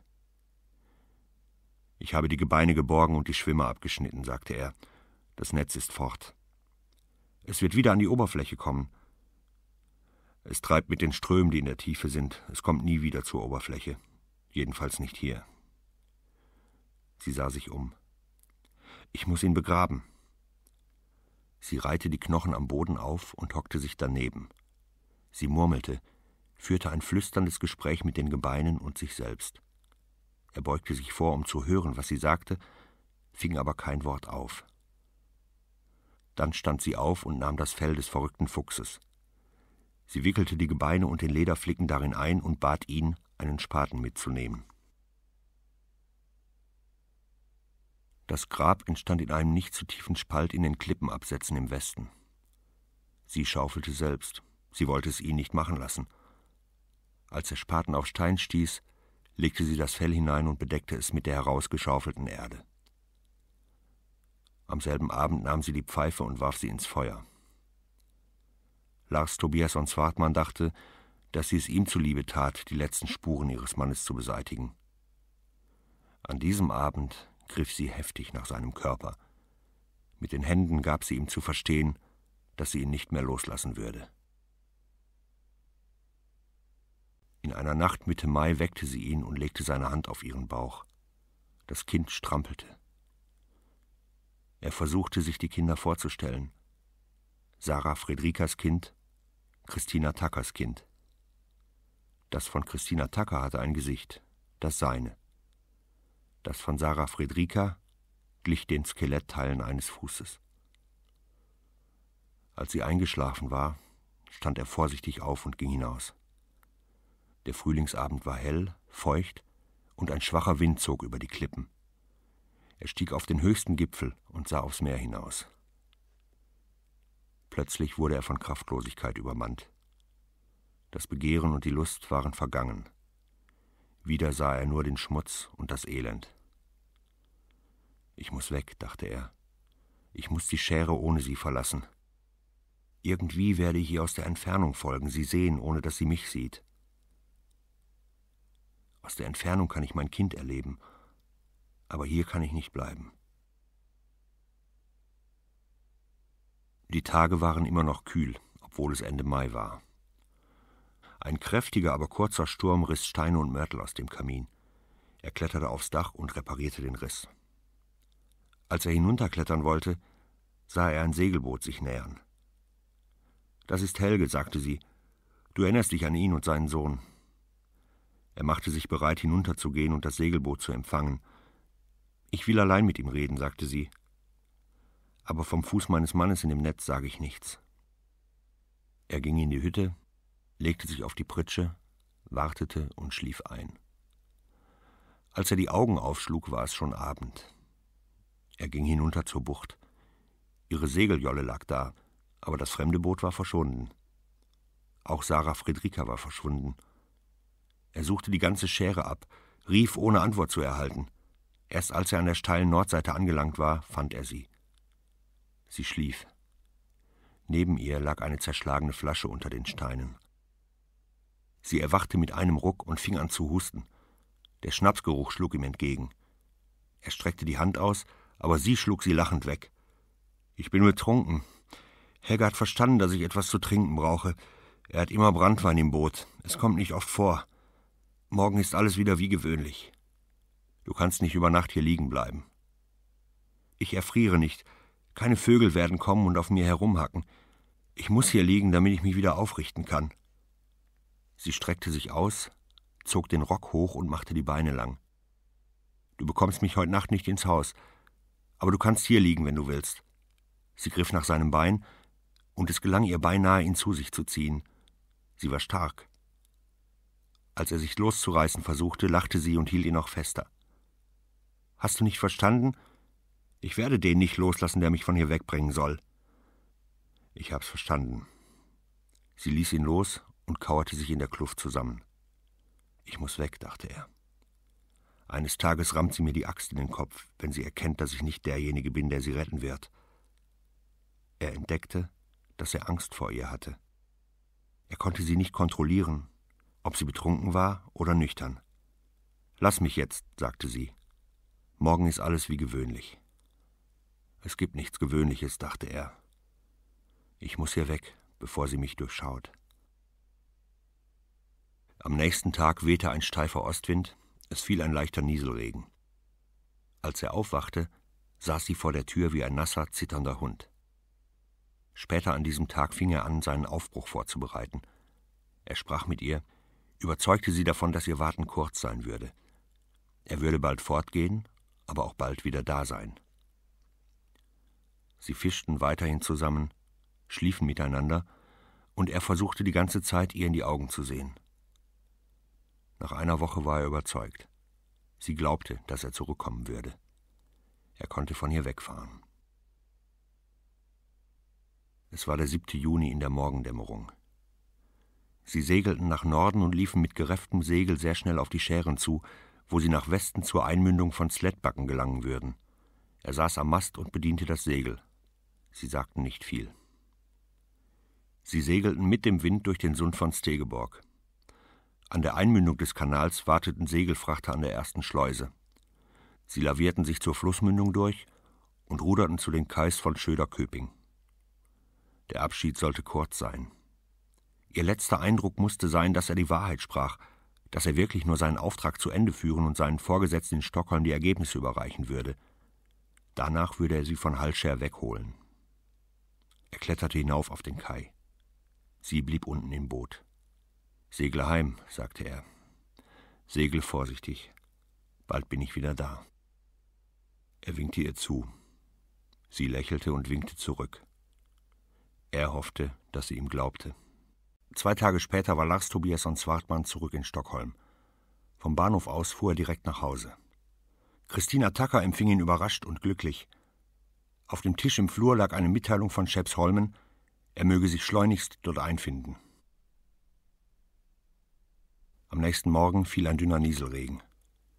Lars Tobias und Swartmann wurde sofort vorgelassen.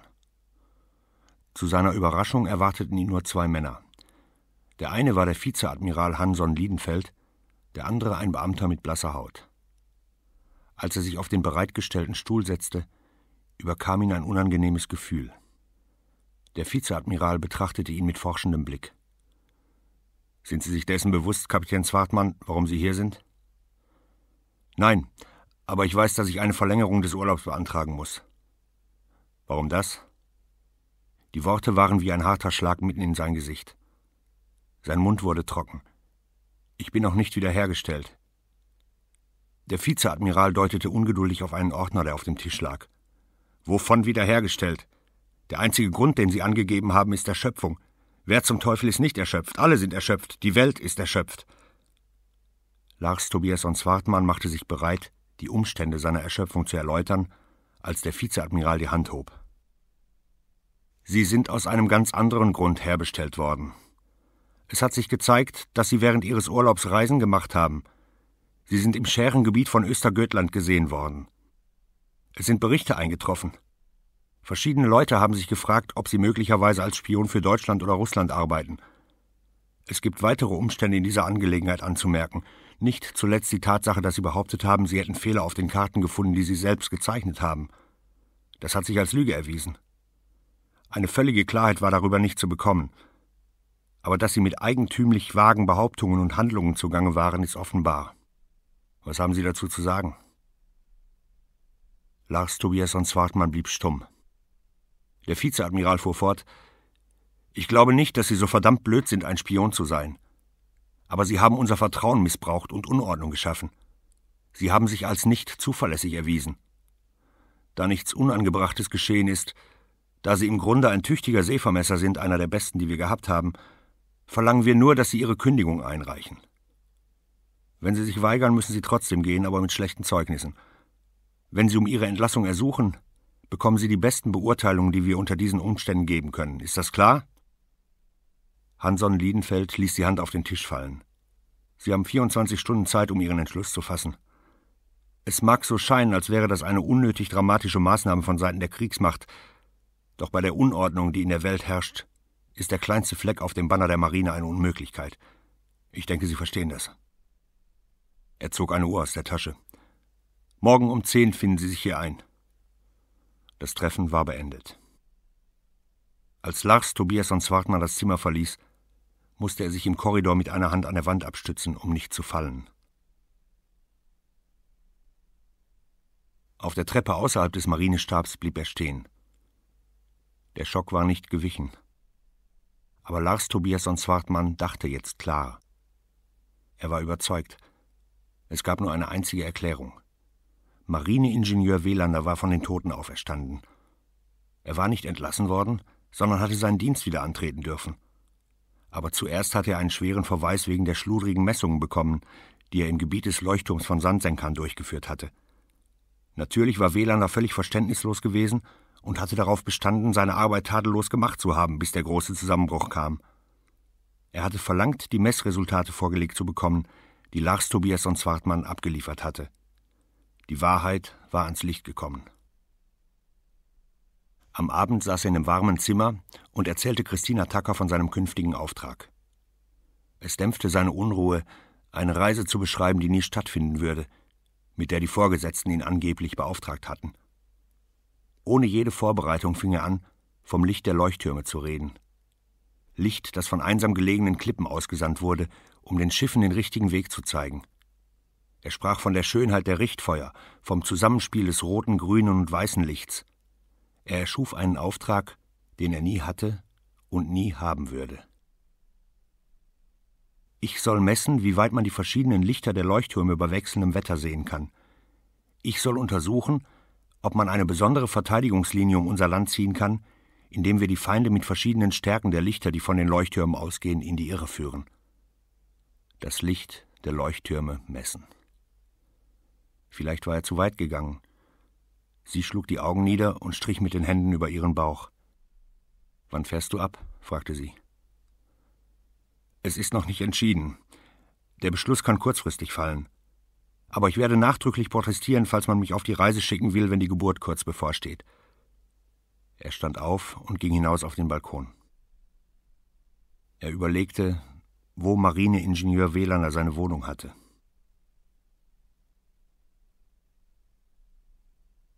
Zwei Tage später hatte er herausgefunden, dass Marineingenieur Welander auf Kungsholmen wohnte. Es wurde zu seinem neuen Auftrag, die Tage vor dem Haus zu verbringen. Es dauerte vier Tage, bis Welander sich zeigte. Zusammen mit seiner Frau und einem etwa 14-jährigen Mädchen trat er aus dem Haus. Früher oder später würde Welander allein sein, dachte er. Dann würde er sich ihm gegenüberstellen. Aus der Entfernung betrachtete er Welanders Gesicht. Blässe und Aufgedunsenheit waren verschwunden. Welander hatte es tatsächlich geschafft, von seinem Alkoholmissbrauch loszukommen. Die Frau war klein und dünn. Sie blickte ihren Mann oft mit inniger Zuneigung an. Die Tage vergingen. Er wartete, stellte sich die Geduld eines Raubtiers vor. Die Gelegenheit kam eines Abends, nachdem er Welander eine Woche lang beobachtet hatte. Der Marineingenieur trat allein aus dem Haus. Es regnete. Er begann in Richtung Zentrum zu gehen. Er ging schnell, den Blick hielt er fest auf die Pflastersteine gerichtet. Dann bog er auf einen kleinen Pfad ab, der sich dicht neben dem schwarzen Wasser des Ridderfjärden dahinschlängelte. Der Pfad schien verlassen. Lars Tobias und Zwartmann schlang einen Schal um den unteren Teil des Gesichts. In der Tasche hatte er einen Hammer, dessen Kopf mit einer alten Socke überzogen war. Er holte den Hammer heraus und folgte Welander auf dem Pfad. Doch er traute sich nicht zuzuschlagen, sondern machte kehrt und lief davon. Er verließ weiterhin morgens die Wohnung. Zu Christina Tacker sagte er, er gehe zu seiner geheimen Behörde. Die Tage verbrachte er in Museen und Cafés. Langsam versöhnte er sich damit, dass er sich nicht an Welander herangetraut hatte. Die Wut war noch da, aber er wusste nicht, auf welches Ziel er sie richten sollte. So vergingen einige Wochen.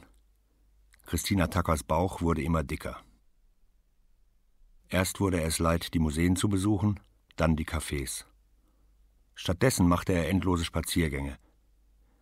Er dachte an Sarah Friedrika und an die Schere draußen am offenen Meer. Eines Abends entdeckte er, dass er sich vor dem Haus befand, in dem Ludwig Tacker wohnte, dem Haus, in dem die verhassten Weihnachtsessen stattfanden. Ihm kam der Gedanke, dass der Schwiegervater regelmäßig einen Abendspaziergang machte. Eine Woche später folgte er seinem Schwiegervater durch die Straßen.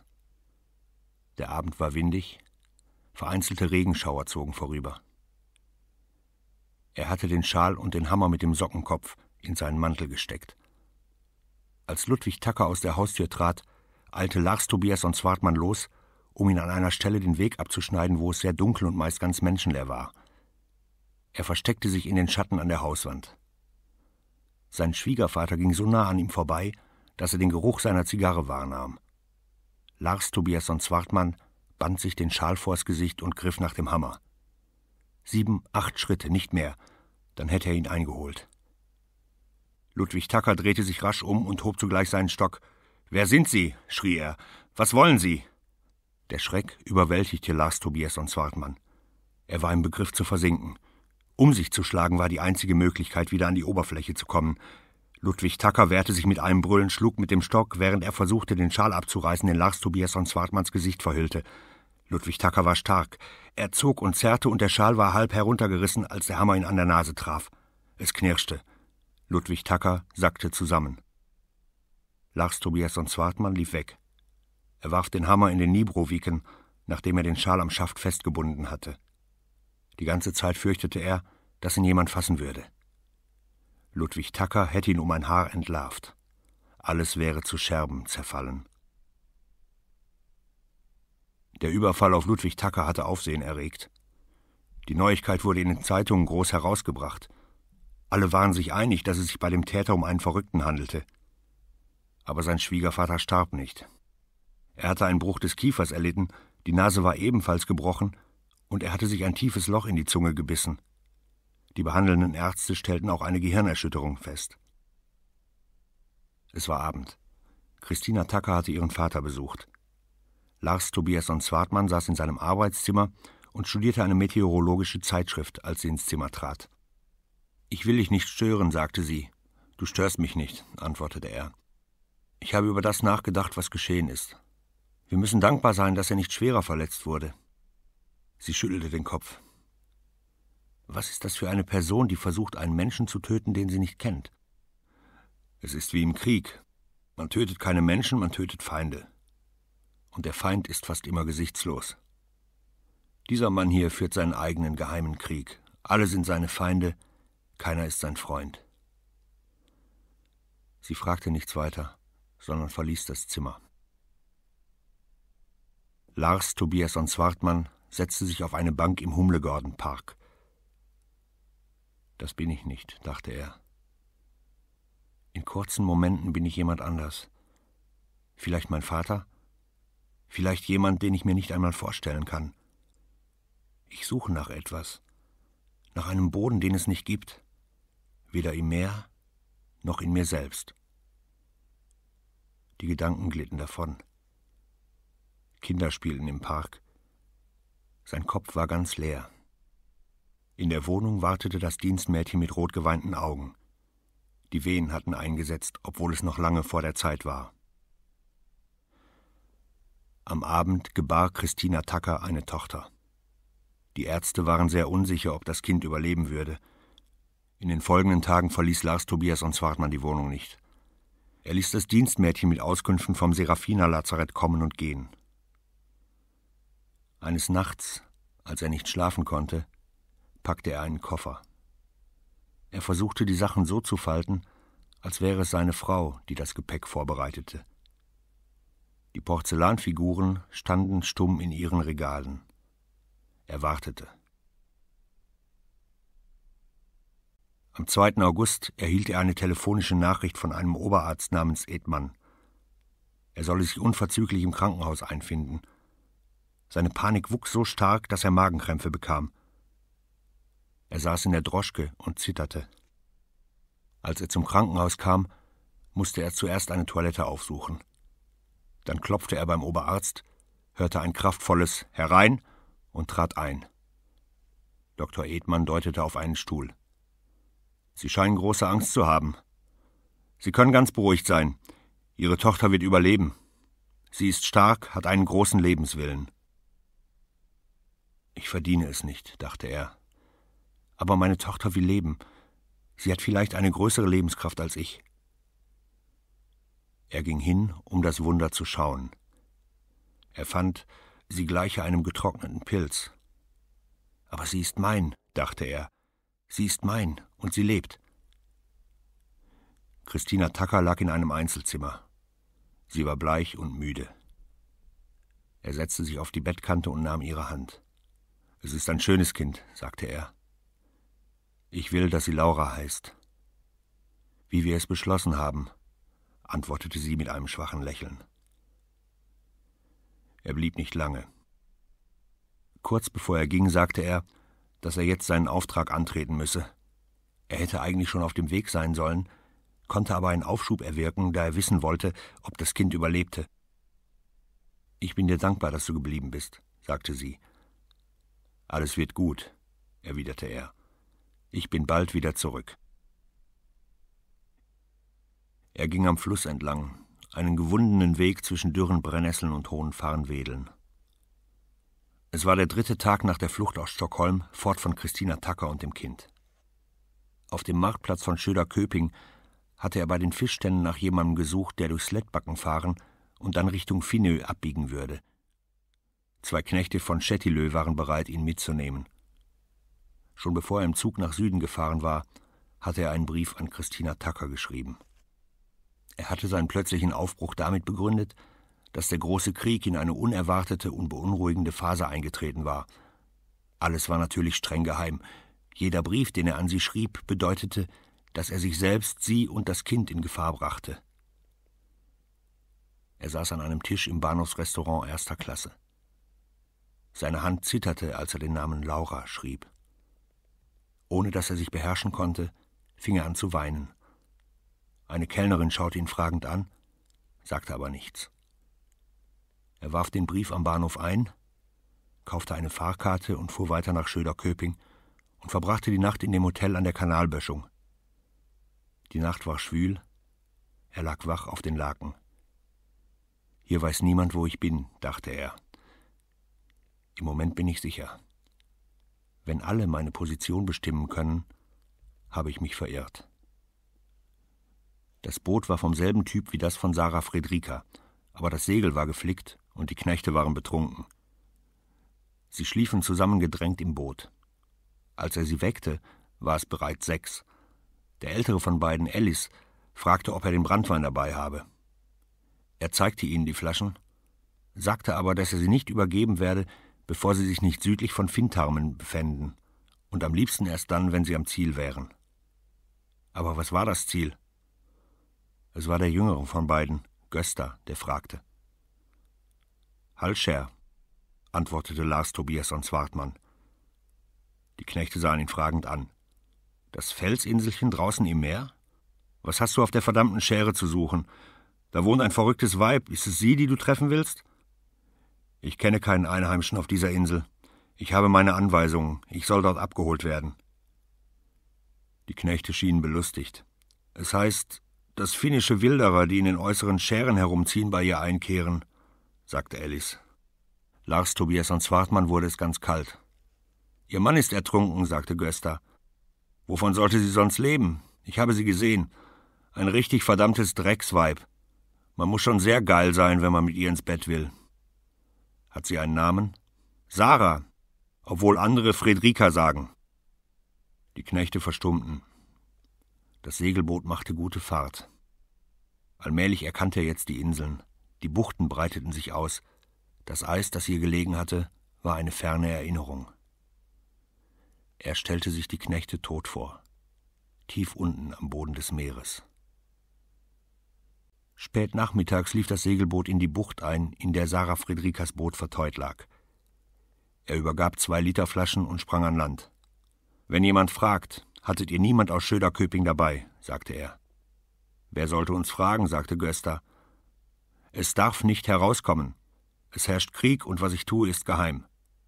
Ein einziges Wort darüber, wo ich an Land gegangen bin, kann euch lebenslänglich ins Gefängnis bringen. Das Erste, was er vor dem Häuschen sah, war eine Katze. Er hatte das Gefühl, es sei dieselbe Katze, die er in seiner Raserei totgeschlagen hatte. Er verachtete das Übernatürliche. Aber die Katze erschreckte ihn. Sarah Friedrika lag auf der Pritsche und schlief. Er starrte auf ihren enormen Bauch. Sie musste ihn gehört oder vielleicht eine Bewegung am Fenster geahnt haben. Sie wandte ihm ihr Gesicht zu und schrie vor Freude auf. Er öffnete die Tür und nahm sie in die Arme. Sie war warm und verschwitzt. Sogleich verdrängte er alle Gedanken an Christina Tacker und Laura. Es gab nichts außerhalb von Hallscher. Nichts, was er nicht mehr kontrollieren konnte. Er hielt alle Abstände in seinen Händen. Du hast eine neue Katze, sagte er. Ich habe sie von Helge. Sie ist eine gute Gesellschaft, aber ihr fehlen die Mäuse. Es gibt keine hier auf der Schere, und vor Schlangen fürchtet sie sich. Sie gingen hinein. Alles war so, wie er es in Erinnerung hatte. Niemand schien im Hause gewesen zu sein, seit er abgereist war. Trotzdem stieg eine seltsame Unruhe in ihm auf, ein Verdacht, dass doch etwas während seiner Abwesenheit anders geworden sei. Es brauchte eine Weile, bis er es erkannte. Ihre Augen hatten sich verändert. Sie sah ihn auf eine andere Art an. Irgendetwas war doch geschehen. Er fragte sie am Abend. Sie hatte Schmerzen im Rücken und lag ausgestreckt auf der Pritsche. Nichts ist geschehen, antwortete sie. Die Katze hat Helge an Land geworfen. Ich habe auf dich gewartet, sonst nichts. In der Nacht spürte er, dass sie Abstand von ihm hielt. Sie war misstrauisch, vielleicht unsicher. Aber was konnte passiert sein? Plötzlich stellte er sich vor, der Deserteur sei an die Oberfläche getrieben oder in eins ihrer Netze geraten. Aber das konnte nicht sein. Der Körper konnte nicht wiedergekehrt sein, er hatte den Senkstein ordentlich befestigt. Auch hatte sie keine Netze, die so tief zum Meeresboden reichten. Die Wärme hielt an. Sarah Friedrika fiel es schwer, sich zu bewegen. Der Rücken schmerzte und sie klagte darüber, dass sie nirgends Abkühlung finden konnte. Er fischte und kümmerte sich um das, was getan werden musste. An einem frühen Morgen Mitte August, als er unterwegs zum Jungfrühgründen war, um ein Netz einzuholen, merkte er, dass er sich in der Nähe der Stelle befand, an der die beiden deutschen Matrosen auf dem Grund lagen. Er könnte dorthin rudern, das Seil von Heck an einem Senkstein festzurren sich selbst mit diesem über Bord heben, und alles wäre endlich zu Ende. Vielleicht war das die einzige bodenlose Tiefe, die er zu finden hoffen konnte, dem Tod entgegenzusinken, nicht wissend, was mit ihm geschah, nachdem sich die Lungen mit Meerwasser gefüllt hatten. Mit festem Griff ruderte er weiter. Als er nach Hause kam, saß sie vor dem Haus und erwartete ihn. Ihre Augen waren blank. Er blieb stehen, um ihr nicht zu nahe zu kommen. Sie warf ihm zwei kleine Holzpflöcke vor die Stiefel. Er begriff nicht sofort, was es war. Dann sah er das getrocknete und geglättete Seilstück, das die Pflöcke verband, seine Eissporen, die er dem Deserteur in die Augen gebohrt hatte. Ihm wurde ganz kalt. Er war sicher, dass er sie in die Kleidung des Toten gesteckt hatte, bevor er ihn mit dem Senkstein in das Eisloch gestoßen hatte. Sie gehören dir, oder? Freilich gehören sie mir, sie waren verschwunden, ich wusste nicht, wo Sie hingekommen sind. Heb sie auf. Er bückte sich. Auf dem hellbraunen Holz befand sich eingetrocknete Farbe. Blut, dachte er. Das Blut des Deserteurs. Sie fing an zu weinen, aber hielt schnell inne. Ich habe sie am Uferrand gefunden. Beim letzten Mal, als ich um die Schere herumging, bevor ich so dick wurde, dass ich mich nicht mehr auf den Klippen bewegen konnte. Du hattest sie immer dabei, wenn du aufs Eis gegangen bist. Eines Tages waren sie dann verschwunden. Jetzt finde ich sie, blutgetränkt. Der Deckel über dem Abgrund war sehr dünn. Er versuchte, sich nicht zu bewegen. Was ist geschehen? fragte sie, an dem Tag, als er starb. Ich habe nie verstanden, nie glauben können, dass er direkt in den Eismatsch und den Tod hineinstieg. Weder das, noch dass er die Katze getötet hat. Ich sollte ihn getötet haben, ist es das, was du meinst? Sie erhob sich mühsam von der Bank. Ich sage nicht, dass du etwas verheimlichst oder die Unwahrheit sagst. Ich habe nur die Eisspuren gefunden und sah das Blut daran kleben. Ich wollte dir einen Teil der Wahrheit ersparen. Er hat die Katze mit den Eisspuren umgebracht. Ich habe sie auf dem Eis gefunden. Sie sagte nichts. Du glaubst also, dass ich dir etwas erzählt habe, was nicht wahr ist? Glaubst du, ich würde so etwas wagen? Verstehst du nicht, dass ich eine Todesangst habe, dich zu verlieren? Zu seinem Erstaunen spürte er, dass es genau das war, wovor er Angst hatte. Sie sah ihn lange an. Dann beschloss sie, ihm zu glauben. Um Haaresbreite wäre der Deckel über dem Abgrund zerbrochen. In dieser Nacht sprachen sie über das Kind und was danach geschehen würde. Wenn es soweit ist, fragte er. Wer hilft dir? Es gibt eine Hebamme auf Krokmarö, Frau Wester. Sie weiß, dass ich in Erwartung bin. Aber du musst nach Krokmarö segeln und sie holen. Vor allem wollte sie über die Zukunft sprechen, über die Zeit nach der Schere. Sie konnte sich nicht vorstellen, dass es für das Kind eine andere Verbindung zu Halscher geben sollte als die, es war der Ort, an dem es geboren wurde und den es danach verließ. In seiner Fantasie hatte er sich einen Plan für ihre Abreise nach Amerika zurechtgelegt. Er erzählte von der Gefahr durch die Kriegsschiffe. Aber dank seiner Beziehung würden sie in aller Verschwiegenheit mit einem schwedischen Schiff in einem geheimen Fahrwasser nördlich von Island fahren. Alles war geplant.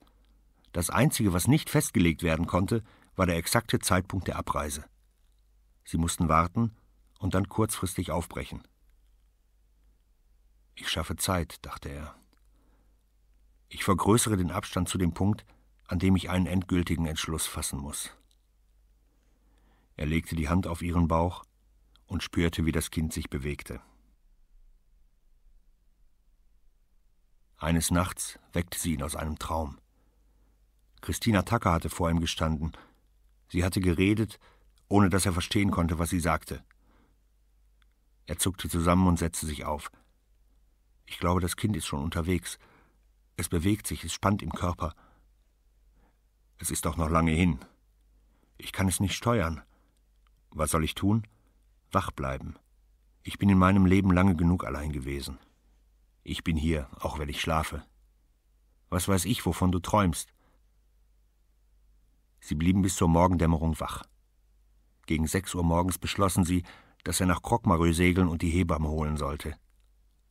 Auch wenn das Kind noch nicht kam, musste sie sicher gehen, dass alles in Ordnung war. Er setzte die Segel. Es blies ein östlicher Wind, drei, vier Meter pro Sekunde. Ihm kam ein Gedanke. Er könnte die Gelegenheit zur Flucht ergreifen. Er wendete nach Westen, zur Hebamme hin und holte die Schoten dicht. Das Boot nahm Fahrt auf. Hinter ihm verschmolz Hallscher mit dem Horizont. Engler hieß sie, die Hebamme. In den Büchern und in der Hebammenurkunde stand Eugenia Wester, aber alle sagten Engler. Sie lächelte gern, hatte eine schöne Stimme und scheute sich nicht, selbst das Dach zu flicken, wenn es nötig war. Manchmal verdüsterte sich ihr Gemüt, und sie begab sich auf einsame herbstliche Segeltouren, und alle im Dorf machten sich Sorgen, ob sie zurückkommen würde. Aber sie kam immer wieder nach Hause. Im Schutz der Dunkelheit glitt sie mit ihrem Boot in die Bucht, wenn alle Düsterkeit verflogen war. Vor allem war Engler eine gute Hebamme. Sie holte Kinder heraus, die hängen geblieben waren. Sie hatte magische Hände. Er legte in der Bucht an und ging den Hang zum Dorf hinauf. Er klopfte bei Engler an, und sie machte ihm sofort die Tür auf. In ihrer niedrigen Küche sagte er, woher er kam. Sie lächelte. Sarahs Kind, sagte sie. Ich nehme an, es ist auch deins? Er schaffte es nicht zu antworten, versuchte zu erklären, wie Sarah es ihm aufgetragen hatte. Spannungen, heftige Bewegungen, Schmerzen im Becken. Sie stellte ein paar Fragen. Ist sie hingefallen? Nein. Und du hast sie nicht geschlagen? Warum hätte ich das tun sollen? Weil Männer ihre Frauen schlagen, wenn ihnen etwas gegen den Strich geht. Hat sie Fieber? Trägt sie schwer? Sie ruht sich meistens aus. Und als du losgefahren bist, hatte es sich beruhigt? Ja. Dann musst du zu ihr zurückfahren. Sarah Friedrika war nicht viel Freude in ihrem Leben vergönnt. Ich bin auch nicht sicher, ob du ihr welche gebracht hast. Aber du musst gut auf sie acht geben. Dann wirst du vielleicht der Mann, den sie braucht. Sie will, dass ich sie von Halscher wegbringe. Warum sollte sie auch auf der Klippe bleiben wollen, nach all dem Schrecklichen, das sie durchgemacht hat? Was soll ich ihr sagen? Dass es noch nicht so weit ist und dass ich komme, sobald du mich holst. Er stieg hinunter ins Boot, sie löste den Festmacher. In der Bucht herrschte Windstille. Er setzte sich an die Ruder. Er schämte sich, wenn er an die Flucht dachte, wie nahe sie gewesen war. Jeden dritten oder vierten Tag setzte er sich hin, um einen Brief an Christina Tucker zu schreiben. An der Südseite hatte er eine Klippenformation gefunden, die ihm eine Bank zum Sitzen und eine raue Tischplatte bot. Er beschrieb die Reise mit dem Schiffskonvoi Richtung Bornholm und zur polnischen Küste. Es sei eine gefahrvolle, aber notwendige Expedition gewesen. Jetzt sei er wieder in schwedischen Fahrwassern. Bald würde er nach Stockholm zurückkehren. Der Auftrag ziehe sich zwar in die Länge, aber ein Ende sei abzusehen, schrieb er. Er fragte nach Laura, danach, wie es ihr selbst gehe und nicht zuletzt nach ihrem Vater. Er vergrub die Briefe unter einem Grasbüschel, verpackt in einem wasserdichten Futteral. Gegen Ende August beschloss er, wenigstens einen von den vielen Briefen abzuschicken. Er sagte zu Sarah Friedrika, dass er sich vorgenommen habe, am letzten Sonntag im August in die Kirche von Grit zu gehen. Sie standen in der Dämmerung auf, sie folgte ihm hinunter zur Bucht. Du hast einen guten Wind zur Kirche und auch wieder zurück, sagte sie. Sing einen Choral für mich. Hör dich auf dem Kirchplatz ein bisschen um. Bring auch Neuigkeiten über die Alten mit. Auf dem Kirchplatz waren viele Leute versammelt. Im Winter kamen selten Leute aus den äußeren Schären. Der Kirchenälteste machte ihn darauf aufmerksam, dass der Mann, der sich in Grit um die Post kümmerte, an der Kirchenmauer stand und Pfeife rauchte. Lars Tobiasson Zwartmann gab ihm zwei Briefe. Er bat darum, den einen Brief sofort aufzugeben, den anderen in zehn Tagen. Während des Hauptgottesdienstes lauschte er zerstreut der Predigt von Probst Gustafsson. Anschließend ging er herum und versuchte etwas von den Gesprächen aufzuschnappen. Ein Lauscher war er schon immer gewesen. Er hatte ein Talent dafür, heimlich mitzuhören, worüber andere redeten. Auf dem Kirchplatz handelte es sich hauptsächlich um Krankheiten und den schlechten Fischfang. Er kehrte zum Boot zurück und segelte nach Hause. Sarah Friedrika gebar ihr Kind am 9. September 1915. Er hatte es geschafft, Engler rechtzeitig von Krokmarö zu holen. Als sie angekommen waren, hatte Engler ihm empfohlen, sich abseits zu halten, zu den Klippen hinauszugehen, wo es vielleicht ein wenig Wind gab, so dass er nicht die Schreie hören musste. Spät am Nachmittag hörte er, wie sie nach ihm riefen. Engler Wester hielt ihm eine Tochter hin. Diesmal fand er nicht, dass der Säugling einem Pilz gliche, möglicherweise aber der farblosen Heide im Frühling. Sie ist gesund und kräftig, Sie wird leben, wenn Gott es will und wenn ihr euch gut um sie kümmert. Wie geht es Sarah Friedrika? Wie es einer Frau nach der Geburt geht. Große Erleichterung, Freude darüber, dass alles gut gegangen ist, eine unendliche Lust zu schlafen.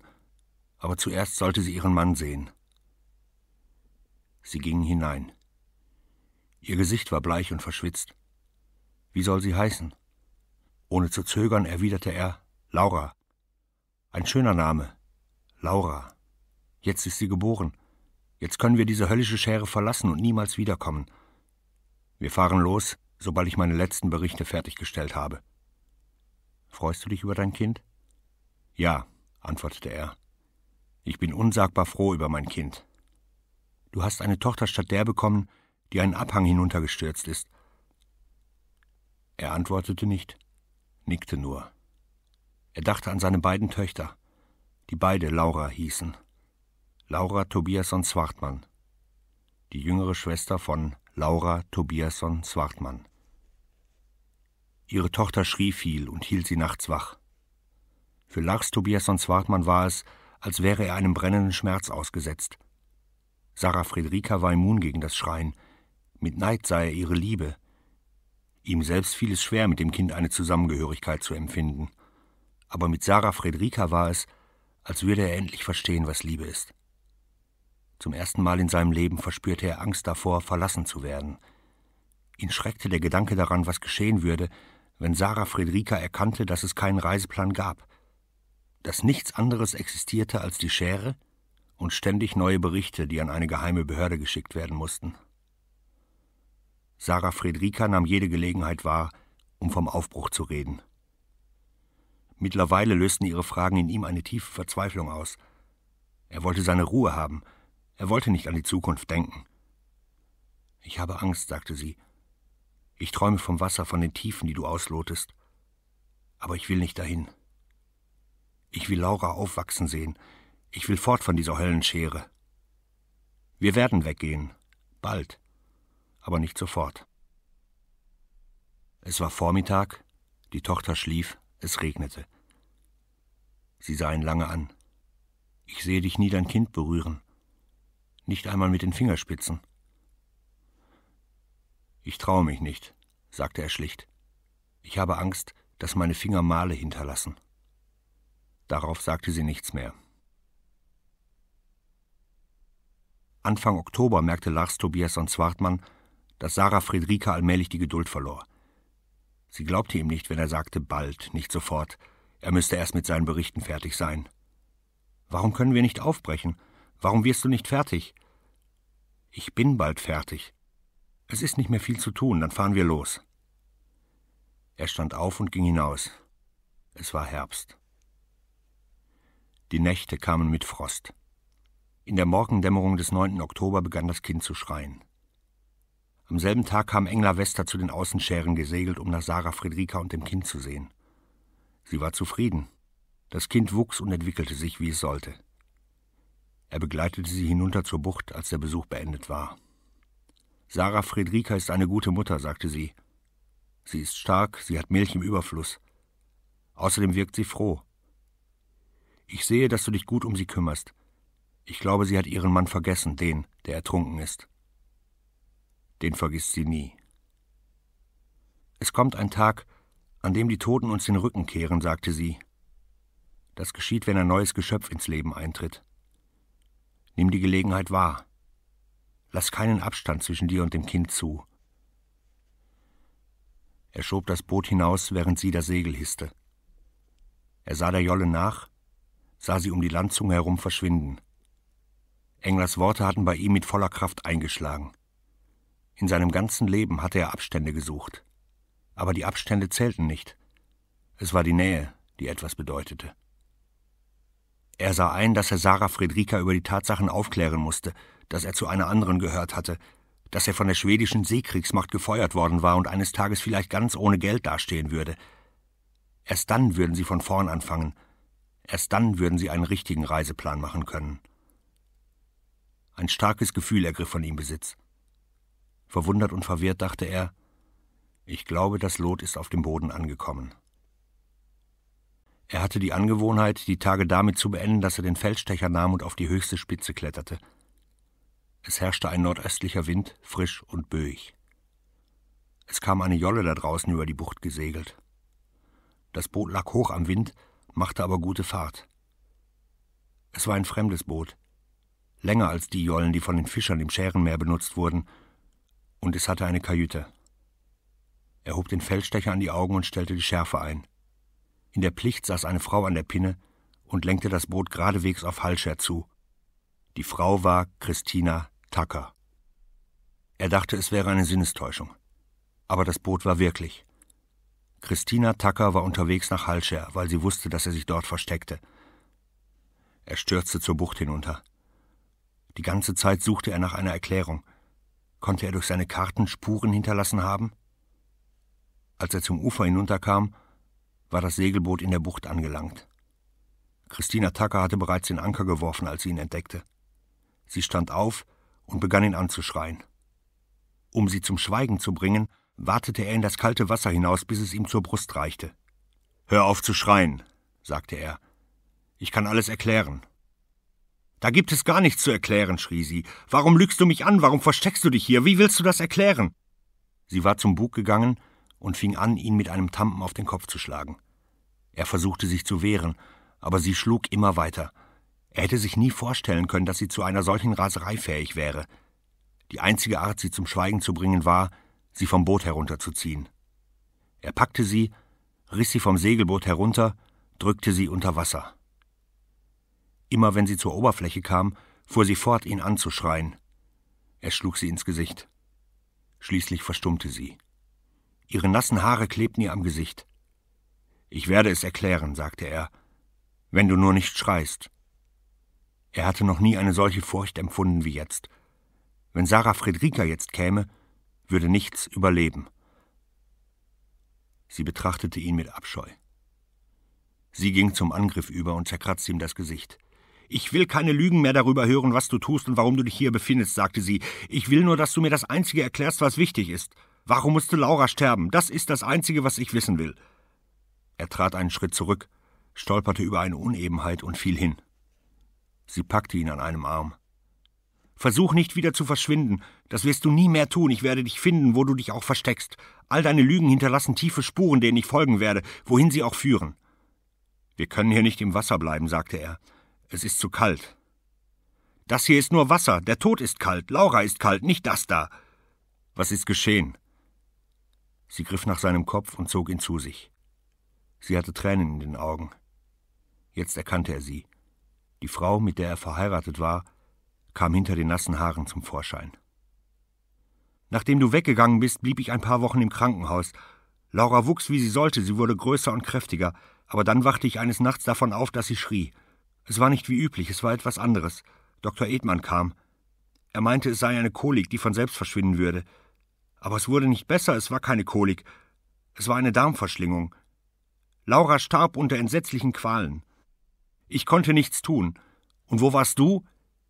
Ich glaubte, du wärst in einem wichtigen Auftrag unterwegs. Ich dachte, du wärst doch in Gedanken bei mir. Ich dachte an all die Trauer, die wir zusammen durchmachen sollten. Aber der Tod des Kindes enthüllte deine Lügen. So hoch war der Preis dafür, dass ich verstand, wer du bist. Sie beugte sich noch näher zu seinem Gesicht hin. Warst du es, der auf meinen Vater losgegangen ist? Natürlich nicht. Aber schrei nicht, ich ertrage keine so lauten Geräusche. Sie schlug mit der Hand aufs Wasser, so dass es ihm ins Gesicht spritzte. Was weißt du von Geräuschen? Du hast keine Ahnung, wie ein sterbender Säugling klingt. Er schüttelte den Kopf. Ich bin verzweifelt, sagte er. Ich verstehe nicht, was du sagst. Ist Laura tot? Am 22. August nachmittags um 4.35 Uhr sagte Dr. Edmann, dass er nur sein herzliches Beileid aussprechen könne. Sie ist tot, aber du lebst.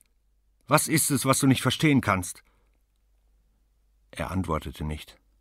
Er versuchte, das tote Kind vor sich zu sehen, aber es war nur wie ein schwarzes Loch. Wir können nicht im Wasser stehen bleiben. Es ist zu kalt. Wieder begann sie auf sein Gesicht einzuschlagen. Hörst du nicht, was ich sage? Meine Tochter ist tot. Sie war auch meine Tochter. Sie war nicht deine Tochter, du warst nie da, du hast sie damit empfangen, dass du dich von ihr fortgelogen hast. Und von mir und von dir selbst und von allem, woran ich glaubte.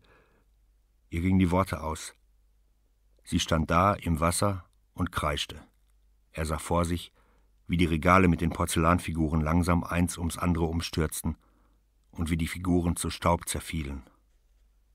Vorsichtig führte er sie aus dem Wasser herauf. Ihre Verbitterung erschreckte ihn, aber noch mehr der unermessliche Schmerz, den er ihr zugefügt hatte. Eine Windböe zog vorbei, kühl, scharf. Beide froren so, dass sie zitterten. Wer bist du eigentlich? fuhr sie fort. Ich versuche zu verstehen, aber es gelingt mir nicht. Ich kann dich einfach nicht zusammenfügen, das Bild bekommt Risse. Du bist nur ein ungreifbares Wesen, das sich von Betrug ernährt. Ich werde es erklären. Ihre Antwort kam ohne Zögern. Wenn du etwas nicht kannst, dann ist es zu erklären. Ich bin deinen Fußspuren gefolgt und es war wie in einen Brunnen hinunterzuklettern, wo der Gestank vom Boden immer beißender wird. Ich habe erkannt, dass ich mit einem Mann verheiratet bin, den es nicht gibt, einem Schatten.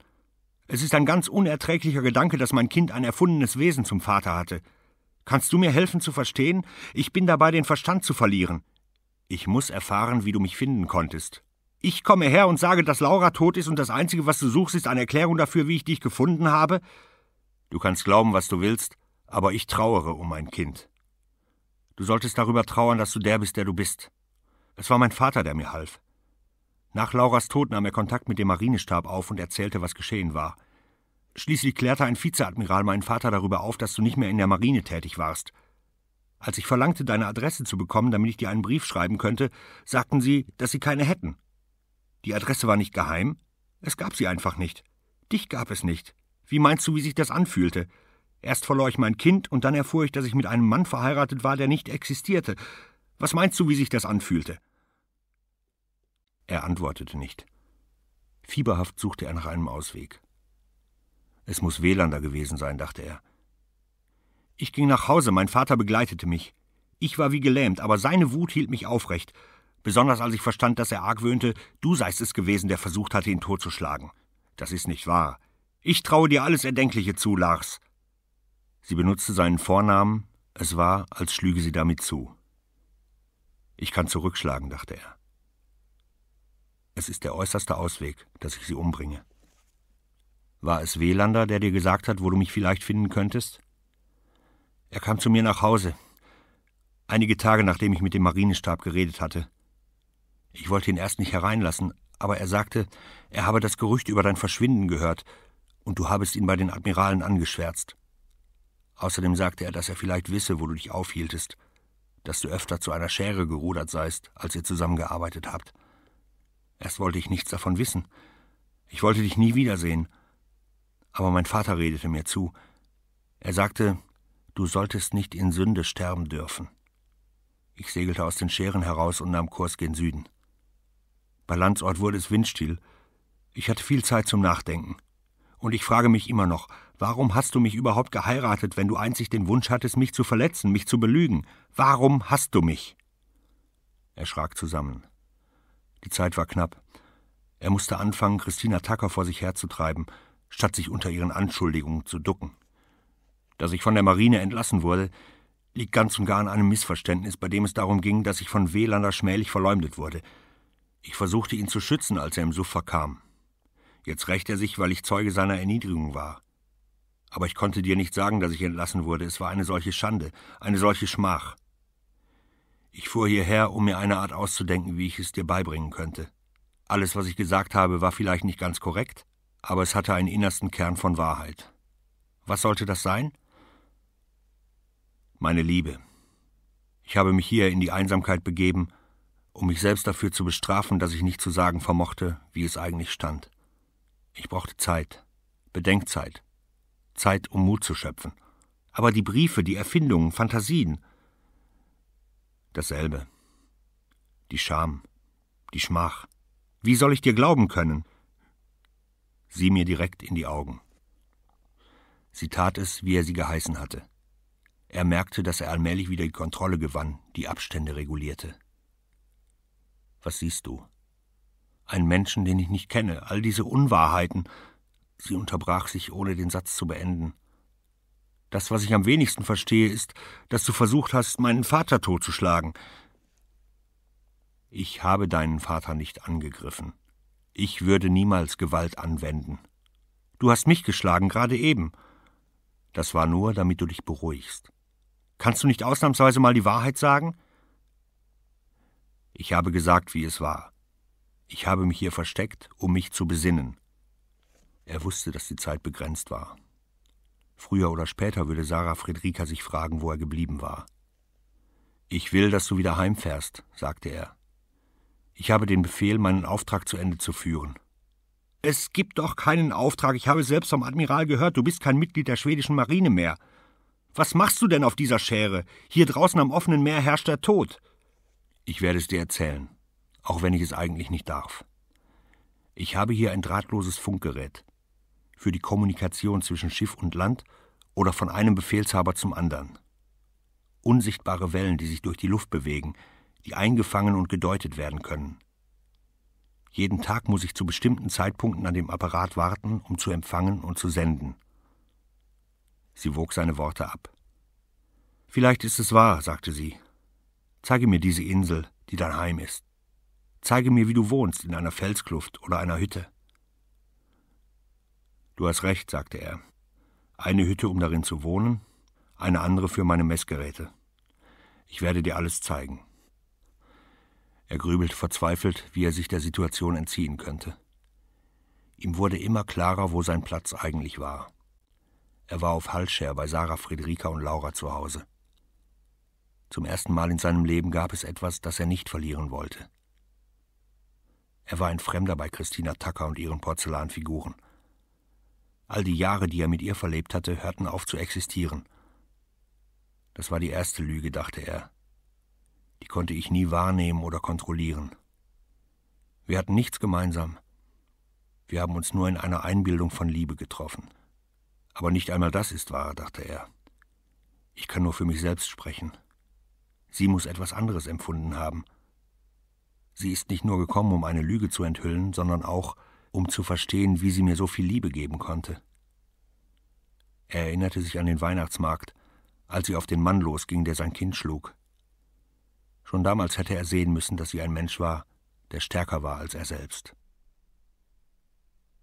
Die Dämmerung war angebrochen. Sie froren. Plötzlich hörte er Schritte auf dem Pfad. Sarah Friedrika tauchte am Weißdorndickicht auf. Wer ist sie? Er antwortete nicht. Sein erster Gedanke war, ins Wasser zu flüchten. Das Segelboot konnte er kapern und auf die See hinaus verschwinden. Sarah Friedrika erreichte sie und fragte noch einmal, wer die Frau an seiner Seite war. Ich weiß es nicht, antwortete er. Du weißt es nicht? sagte Christina Tucker. Du weißt nicht einmal mehr, wer ich bin? Wer ist sie? Sarah Friedrika packte ihn. Wer ist sie? Er konnte nicht antworten. Er steckte in der Klemme. Er vermisste sein Lot. Die beiden Frauen überschütteten ihn mit Fragen. Wer war sie, die aus dem Wasser gestiegen war? Wer war sie, die ihn am Arm festhielt? Er sagte nichts. Die Falle war zugeschnappt. Alles würde bald vorüber sein, ohne dass er sich vorstellen konnte, wie es ausgehen würde. Es waren Sarah Friedrika und Christina Tucker, die redeten. Aber er war es, den sie betrachteten, mit einem wachsenden Wahnsinn bei Christina Tucker und Verzweiflung bei Sarah Friedrika. Er versuchte noch einmal einen Ausweg zu finden, irgendwo in der Konstellation eine Schwäche auszumachen. Aber ihn überkam nur eine unendliche Erschöpfung und die Lust aufzugeben. Schließlich sagte er, wie es war. Ihm blieb nichts anderes übrig. Sie heißt Christina, sie ist meine Frau, ich bin mit ihr verheiratet. Du hast doch gesagt, deine Frau ist tot und dein Kind. Christina Tucker tat einen Schritt nach vorn. Hat er gesagt, ich sei tot? Wer bist du? Ich bin seine Frau. Das kann nicht sein. Seine Frau ist einen Abhang hinuntergestürzt und hat im Fallen das Kind mit sich gezogen. Dann hat er dich angelogen, wer du auch bist. Ich lebe und bin mit ihm verheiratet. Ich bin niemals einen Abhang hinuntergestürzt. Christina Tucker stieß einen Schrei aus und begann den Pfad entlang zu laufen. Sie verschwand außer Sichtweite. Ihr Gebrüll hallte zwischen den Klippen wieder. Wer ist sie? fragte Sarah Friederike noch einmal. Sie sagt die Wahrheit. Ich bin mit ihr verheiratet. Ich habe es noch nicht geschafft, die Scheidung zu beantragen. Aber du hast doch gesagt, sie sei zusammen mit deiner Tochter einen Abhang hinuntergestürzt. Das war meine erste Frau. Ich habe nicht alles aus meinem Leben erzählt. Ich arbeite an geheimen Aufträgen, das steckt an. Ich bin mir schließlich selbst ein Rätsel. Sie trat ein paar Schritte zurück. Er sah, dass sie Angst hatte. Was macht sie hier? Ich weiß nicht. Sie ist mit dem Segelboot gekommen. Christina Tucker kehrte zurück. Er versuchte sie zu packen, um sie zu beruhigen, aber sie schlug seine Hände weg. Sie kehrte ihm den Rücken zu und fing an, mit Sarah Friedrika zu reden. Wer bist du? Ich lebe hier mit ihm. Mit ihm? Was hast du damit zu tun? Es ist mein Leben, nicht deins. Aber ich bin schließlich mit ihm verheiratet. Hörst du nicht, was ich sage? Er ist nicht verheiratet. Er ist hier bei mir und er wird mich in ein anderes Land mitnehmen. Ich will, dass du von hier verschwindest. Noch eine Stimme mischte sich ein. Sie kam von weit her, ein Kind, das weinte. Christina Tucker sah sich unruhig um, ehe sie verstand, was es war. Sie begann zu zittern und fiel zu Boden. Das ist mein Kind, sagte Sarah Friedrika. Es ist meine Tochter, sie heißt Laura. Christina Tucker wimmerte und kroch weg, versuchte sich in das Weißdorndickicht zu drängen. Ist sie verrückt? Sie wird sich an den Dornen stechen. Sie ist krank, erwiderte er. Sie ist sehr krank, sie braucht Hilfe.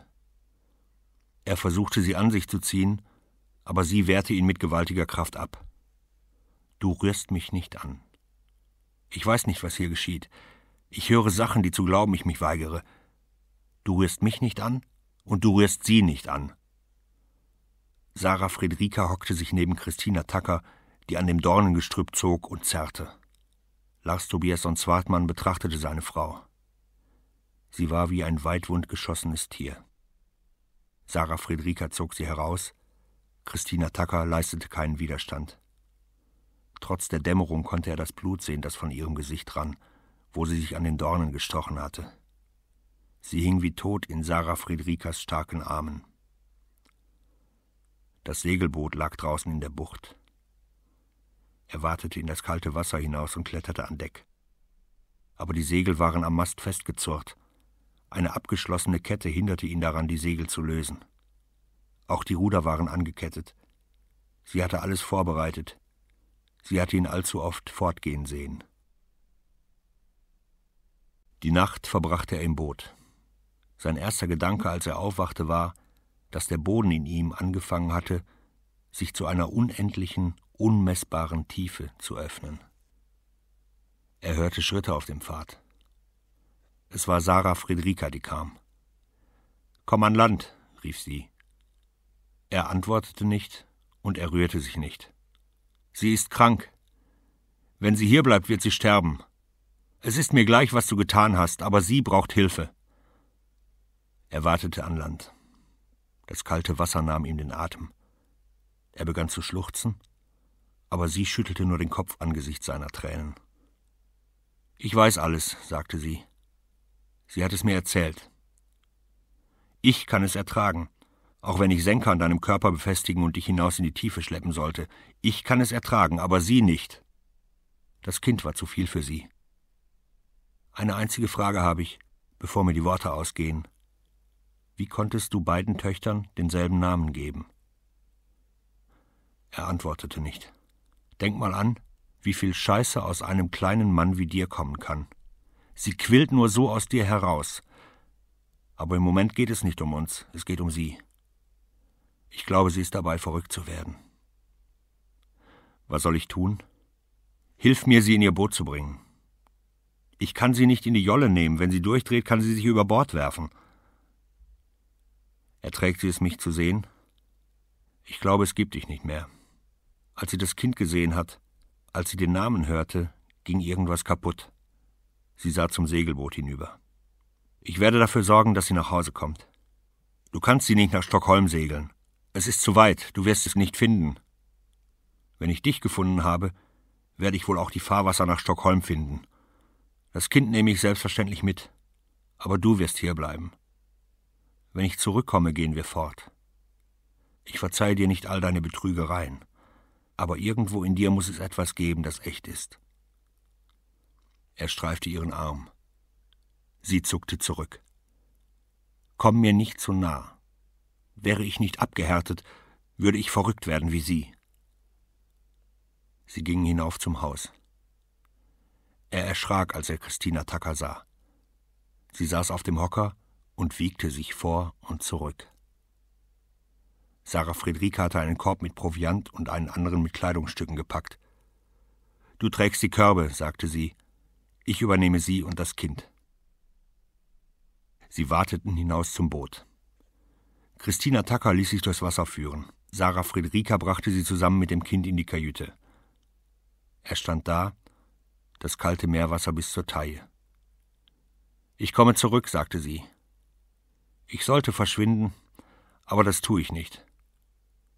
Natürlich kannst du die Jolle nehmen und dich davonmachen. Aber wohin solltest du dich wenden? Du wirst auf mich warten, weil du keine Wahl hast. Die Zeit, die folgte, war wie ein Gespräch mit Schatten. Er ging auf der Insel herum, kletterte auf die Klippen, tastete sich in Klüfte hinunter, die ihm Schutz vor den immer kälteren Herbststürmen boten.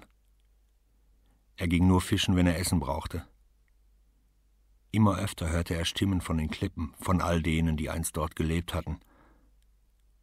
Er versuchte sich vorzustellen, was geschehen würde, wenn Sarah Friederika zurückkehrte.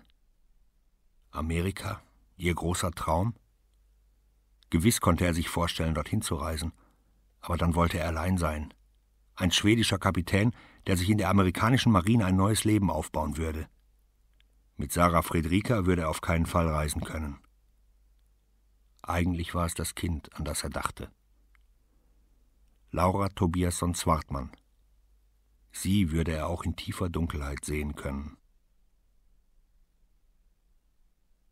Eines Tages, Mitte November, sah er eine pfeilschnell segelnde kleine Yacht über die Buchten gleiten. Es war Engler, die kam. Er ging hinunter in die Bucht. Es war kalt an diesem Morgen. Er zog den Mantel enger um sich, befühlte die langen Haare, die über den Kragen fielen. Engler ging vor Anker und wartete an Land. Sie hatte einen starken Husten und fiebrige Augen. Sie gab ihm die Hand und überreichte ihm einen Brief. Er ist zu mir gekommen, sagte sie, von Sarah Friederika. Ich wusste nicht einmal, dass sie fort war. Er bemerkte ihre Neugier, kümmerte sich aber nicht darum. Du musst heimsegeln, sagte er. Du hustest und hast Fieber. Ich bleibe und warte auf Antwort. Der Brief lag in einem anderen, an mich adressierten Brief. Sie bat mich, auf Antwort zu warten. Er zögerte, ehe er es wagte, das Kuvert zu öffnen der Brief mit der unbekannten Handschrift. Ich komme nicht zurück. Du bist noch da, aber nicht für mich. Ich verstehe jetzt, was ich nicht glauben wollte, dass der deutsche Soldat sich nicht das Leben genommen hat, dass du ihn getötet hast. Wenn du diesen Brief liest, bin ich schon mit Laura unterwegs. Du wirst weder sie noch mich je wiedersehen. Ich lege jetzt alle Entfernungen, die es gibt, zwischen uns. Mit dem, was es auf der Schere gibt, kannst du machen, was du willst. Ich werde nie verstehen, wer du warst. Du verstehst selber kaum, wer du bist oder sein wolltest. Christina ist krank. Ich fürchte um ihren Verstand. Vielleicht kann sie nicht mehr in der Wirklichkeit leben. Wenn es ihr nicht besser geht, wird sie in ein Krankenhaus für Nervenschwache geschickt werden. Mit dem Brief hat mir Anna geholfen, die bei euch angestellt ist. Ich schicke diesen Brief an die Hebamme auf Croque-Mareux. Ich bitte sie zu bleiben, bis sie sicher weiß, dass du ihn gelesen und verstanden hast und dass sie mir später darüber berichtet. Sie hat keine Adresse von mir, wird sie aber eines Tages bekommen. Meine Reise hat angefangen und du bist nicht mehr dabei. Sarah Friederika im November 1915. Ich habe den Brief gelesen, sagte er. Sie bat mich zu bleiben, bis du genau das gesagt hättest. Sie gingen hinunter zur Bucht. Die Wolken sind unruhig, sagte sie. Engler sah ihn an. Ich habe dich nicht kennengelernt, sagte sie. Aber ich habe dein Kind entbunden. Jetzt sind Sarah, Friedrika und deine Tochter verschwunden. Ich habe das bestimmte Gefühl, dass sie nicht zurückkehren werden. Es geht mich nichts an. Aber ich muss trotzdem die Frage stellen, was geschieht mit dir? Wirst du hier auf der Schere bleiben? Überlebst du hier? Nicht, dass du dir nicht deine Nahrung aus dem Meer holen könntest, das schaffst du schon. Aber die Einsamkeit. Du, der aus einer Großstadt kommt, erträgst du die Einsamkeit, wenn die Stürme ernstlich losbrechen? Ich weiß es nicht. Du solltest fortgehen. Er nickte. Sie wartete, ob er noch etwas sagen wollte, aber er starrte nur stumm vor sich hin. Dann verlasse ich dich, sagte sie. Du solltest weggehen. Ich glaube nicht, dass du das Leben hier draußen meisterst. Die Steine fressen dich auf. Ein paar Tage vor Weihnachten ritzte er seinen Namen in eine Klippe auf der Nordseite. Es gab Augenblicke, da waren die Gedanken ganz klar. Da verstand er, dass er niemals einem Menschen hatte nahe sein können, da er eine unvernünftige Angst davor hatte, sich selbst zu verlieren. Er erkannte, dass das meiste in seinem Leben auf eine törichte Vorstellung gegründet war. Er hatte den Abstand bejaht, statt die Nähe zu suchen. In dieser Zeit, an den Tagen vor Weihnachten, hatte er seinen Namen in die Klippe gemeißelt. Hinterher verstand er, dass es sein Grabstein war, den er gestaltet hatte. Der Tod kam an Neujahr 1916. Eines Nachts, als eine steife, hartnäckige nördliche Brise blies, begann die Hütte zu brennen. Er hatte es versäumt, den Abzug in Ordnung zu halten, es war ein Riss entstanden, durch den glühende Flocken gedrungen waren. Die Wand flammte auf, als wäre sie mit Benzin übergossen. Er erwachte von dem starken Licht. Es war schon zu spät, um das Feuer zu löschen. Er rettete das Lot, seine Notizbücher und seine Kleider aus der Hütte. Es brannte schnell. Alles war niedergebrannt, als der Morgen kam. Er begann zu frieren. Der Wind war schneidend. Während der Nacht hatte er gemeint, Sarah Friedrika und Laura im Feuerschein zu sehen. Christina Tacker hatte sich nicht zwischen den Flammen gezeigt. Sie war fort, stumm. Er konnte nicht einmal mehr ihr Gesicht heraufbeschwören. Er fror. Es wurde zu einem Schmerz, der sich dem Punkt näherte, an dem er unerträglich sein würde. Der entscheidende Entschluss näherte sich lautlos. Er kam schließlich wie eine Selbstverständlichkeit. Möglicherweise gab es auch eine Spur Angst in ihm aber es waren vor allem die Müdigkeit und die scharfe Kälte, gegen die er sich nicht wehren konnte. Das Boot glitt aus der Bucht heraus. Er ruderte zu der Stelle, wo die beiden deutschen Matrosen auf den Boden gesunken waren. Als er dort ankam, holte er die Ruder ein, setzte sich auf die Ducht und ließ das Boot treiben. Der Wind blies immer noch aus, das Wasser war spiegelblank. Er hatte beschlossen, dass es schnell gehen sollte. Der Senkstein war schwer. Er nahm eine letzte Messung vor und bestimmte das Gewicht auf sieben Kilo. Das Seil des Steins schlang er sich um die Beine. Aber zuerst zog er alle Kleider aus. Er wollte nackt sterben. Das kalte Wasser würde ihn sofort betäuben. Dann hob er den Stein über Bord und folgte ihm in die Tiefe. Ein paar Tage darauf trieb das Boot am Leuchtturm von Heratschär an Land. Einer der Lotsen erkannte Sarah Friedrikas Segelboot. Mitte Januar fror das Meer zu. Die Eisdecke legte sich auch in diesem Winter 1916 über die Gräber in der Tiefe. Tiefe von Henning Mankell Gelesen von Leonhard Lansing aus dem Schwedischen von Verena Reichel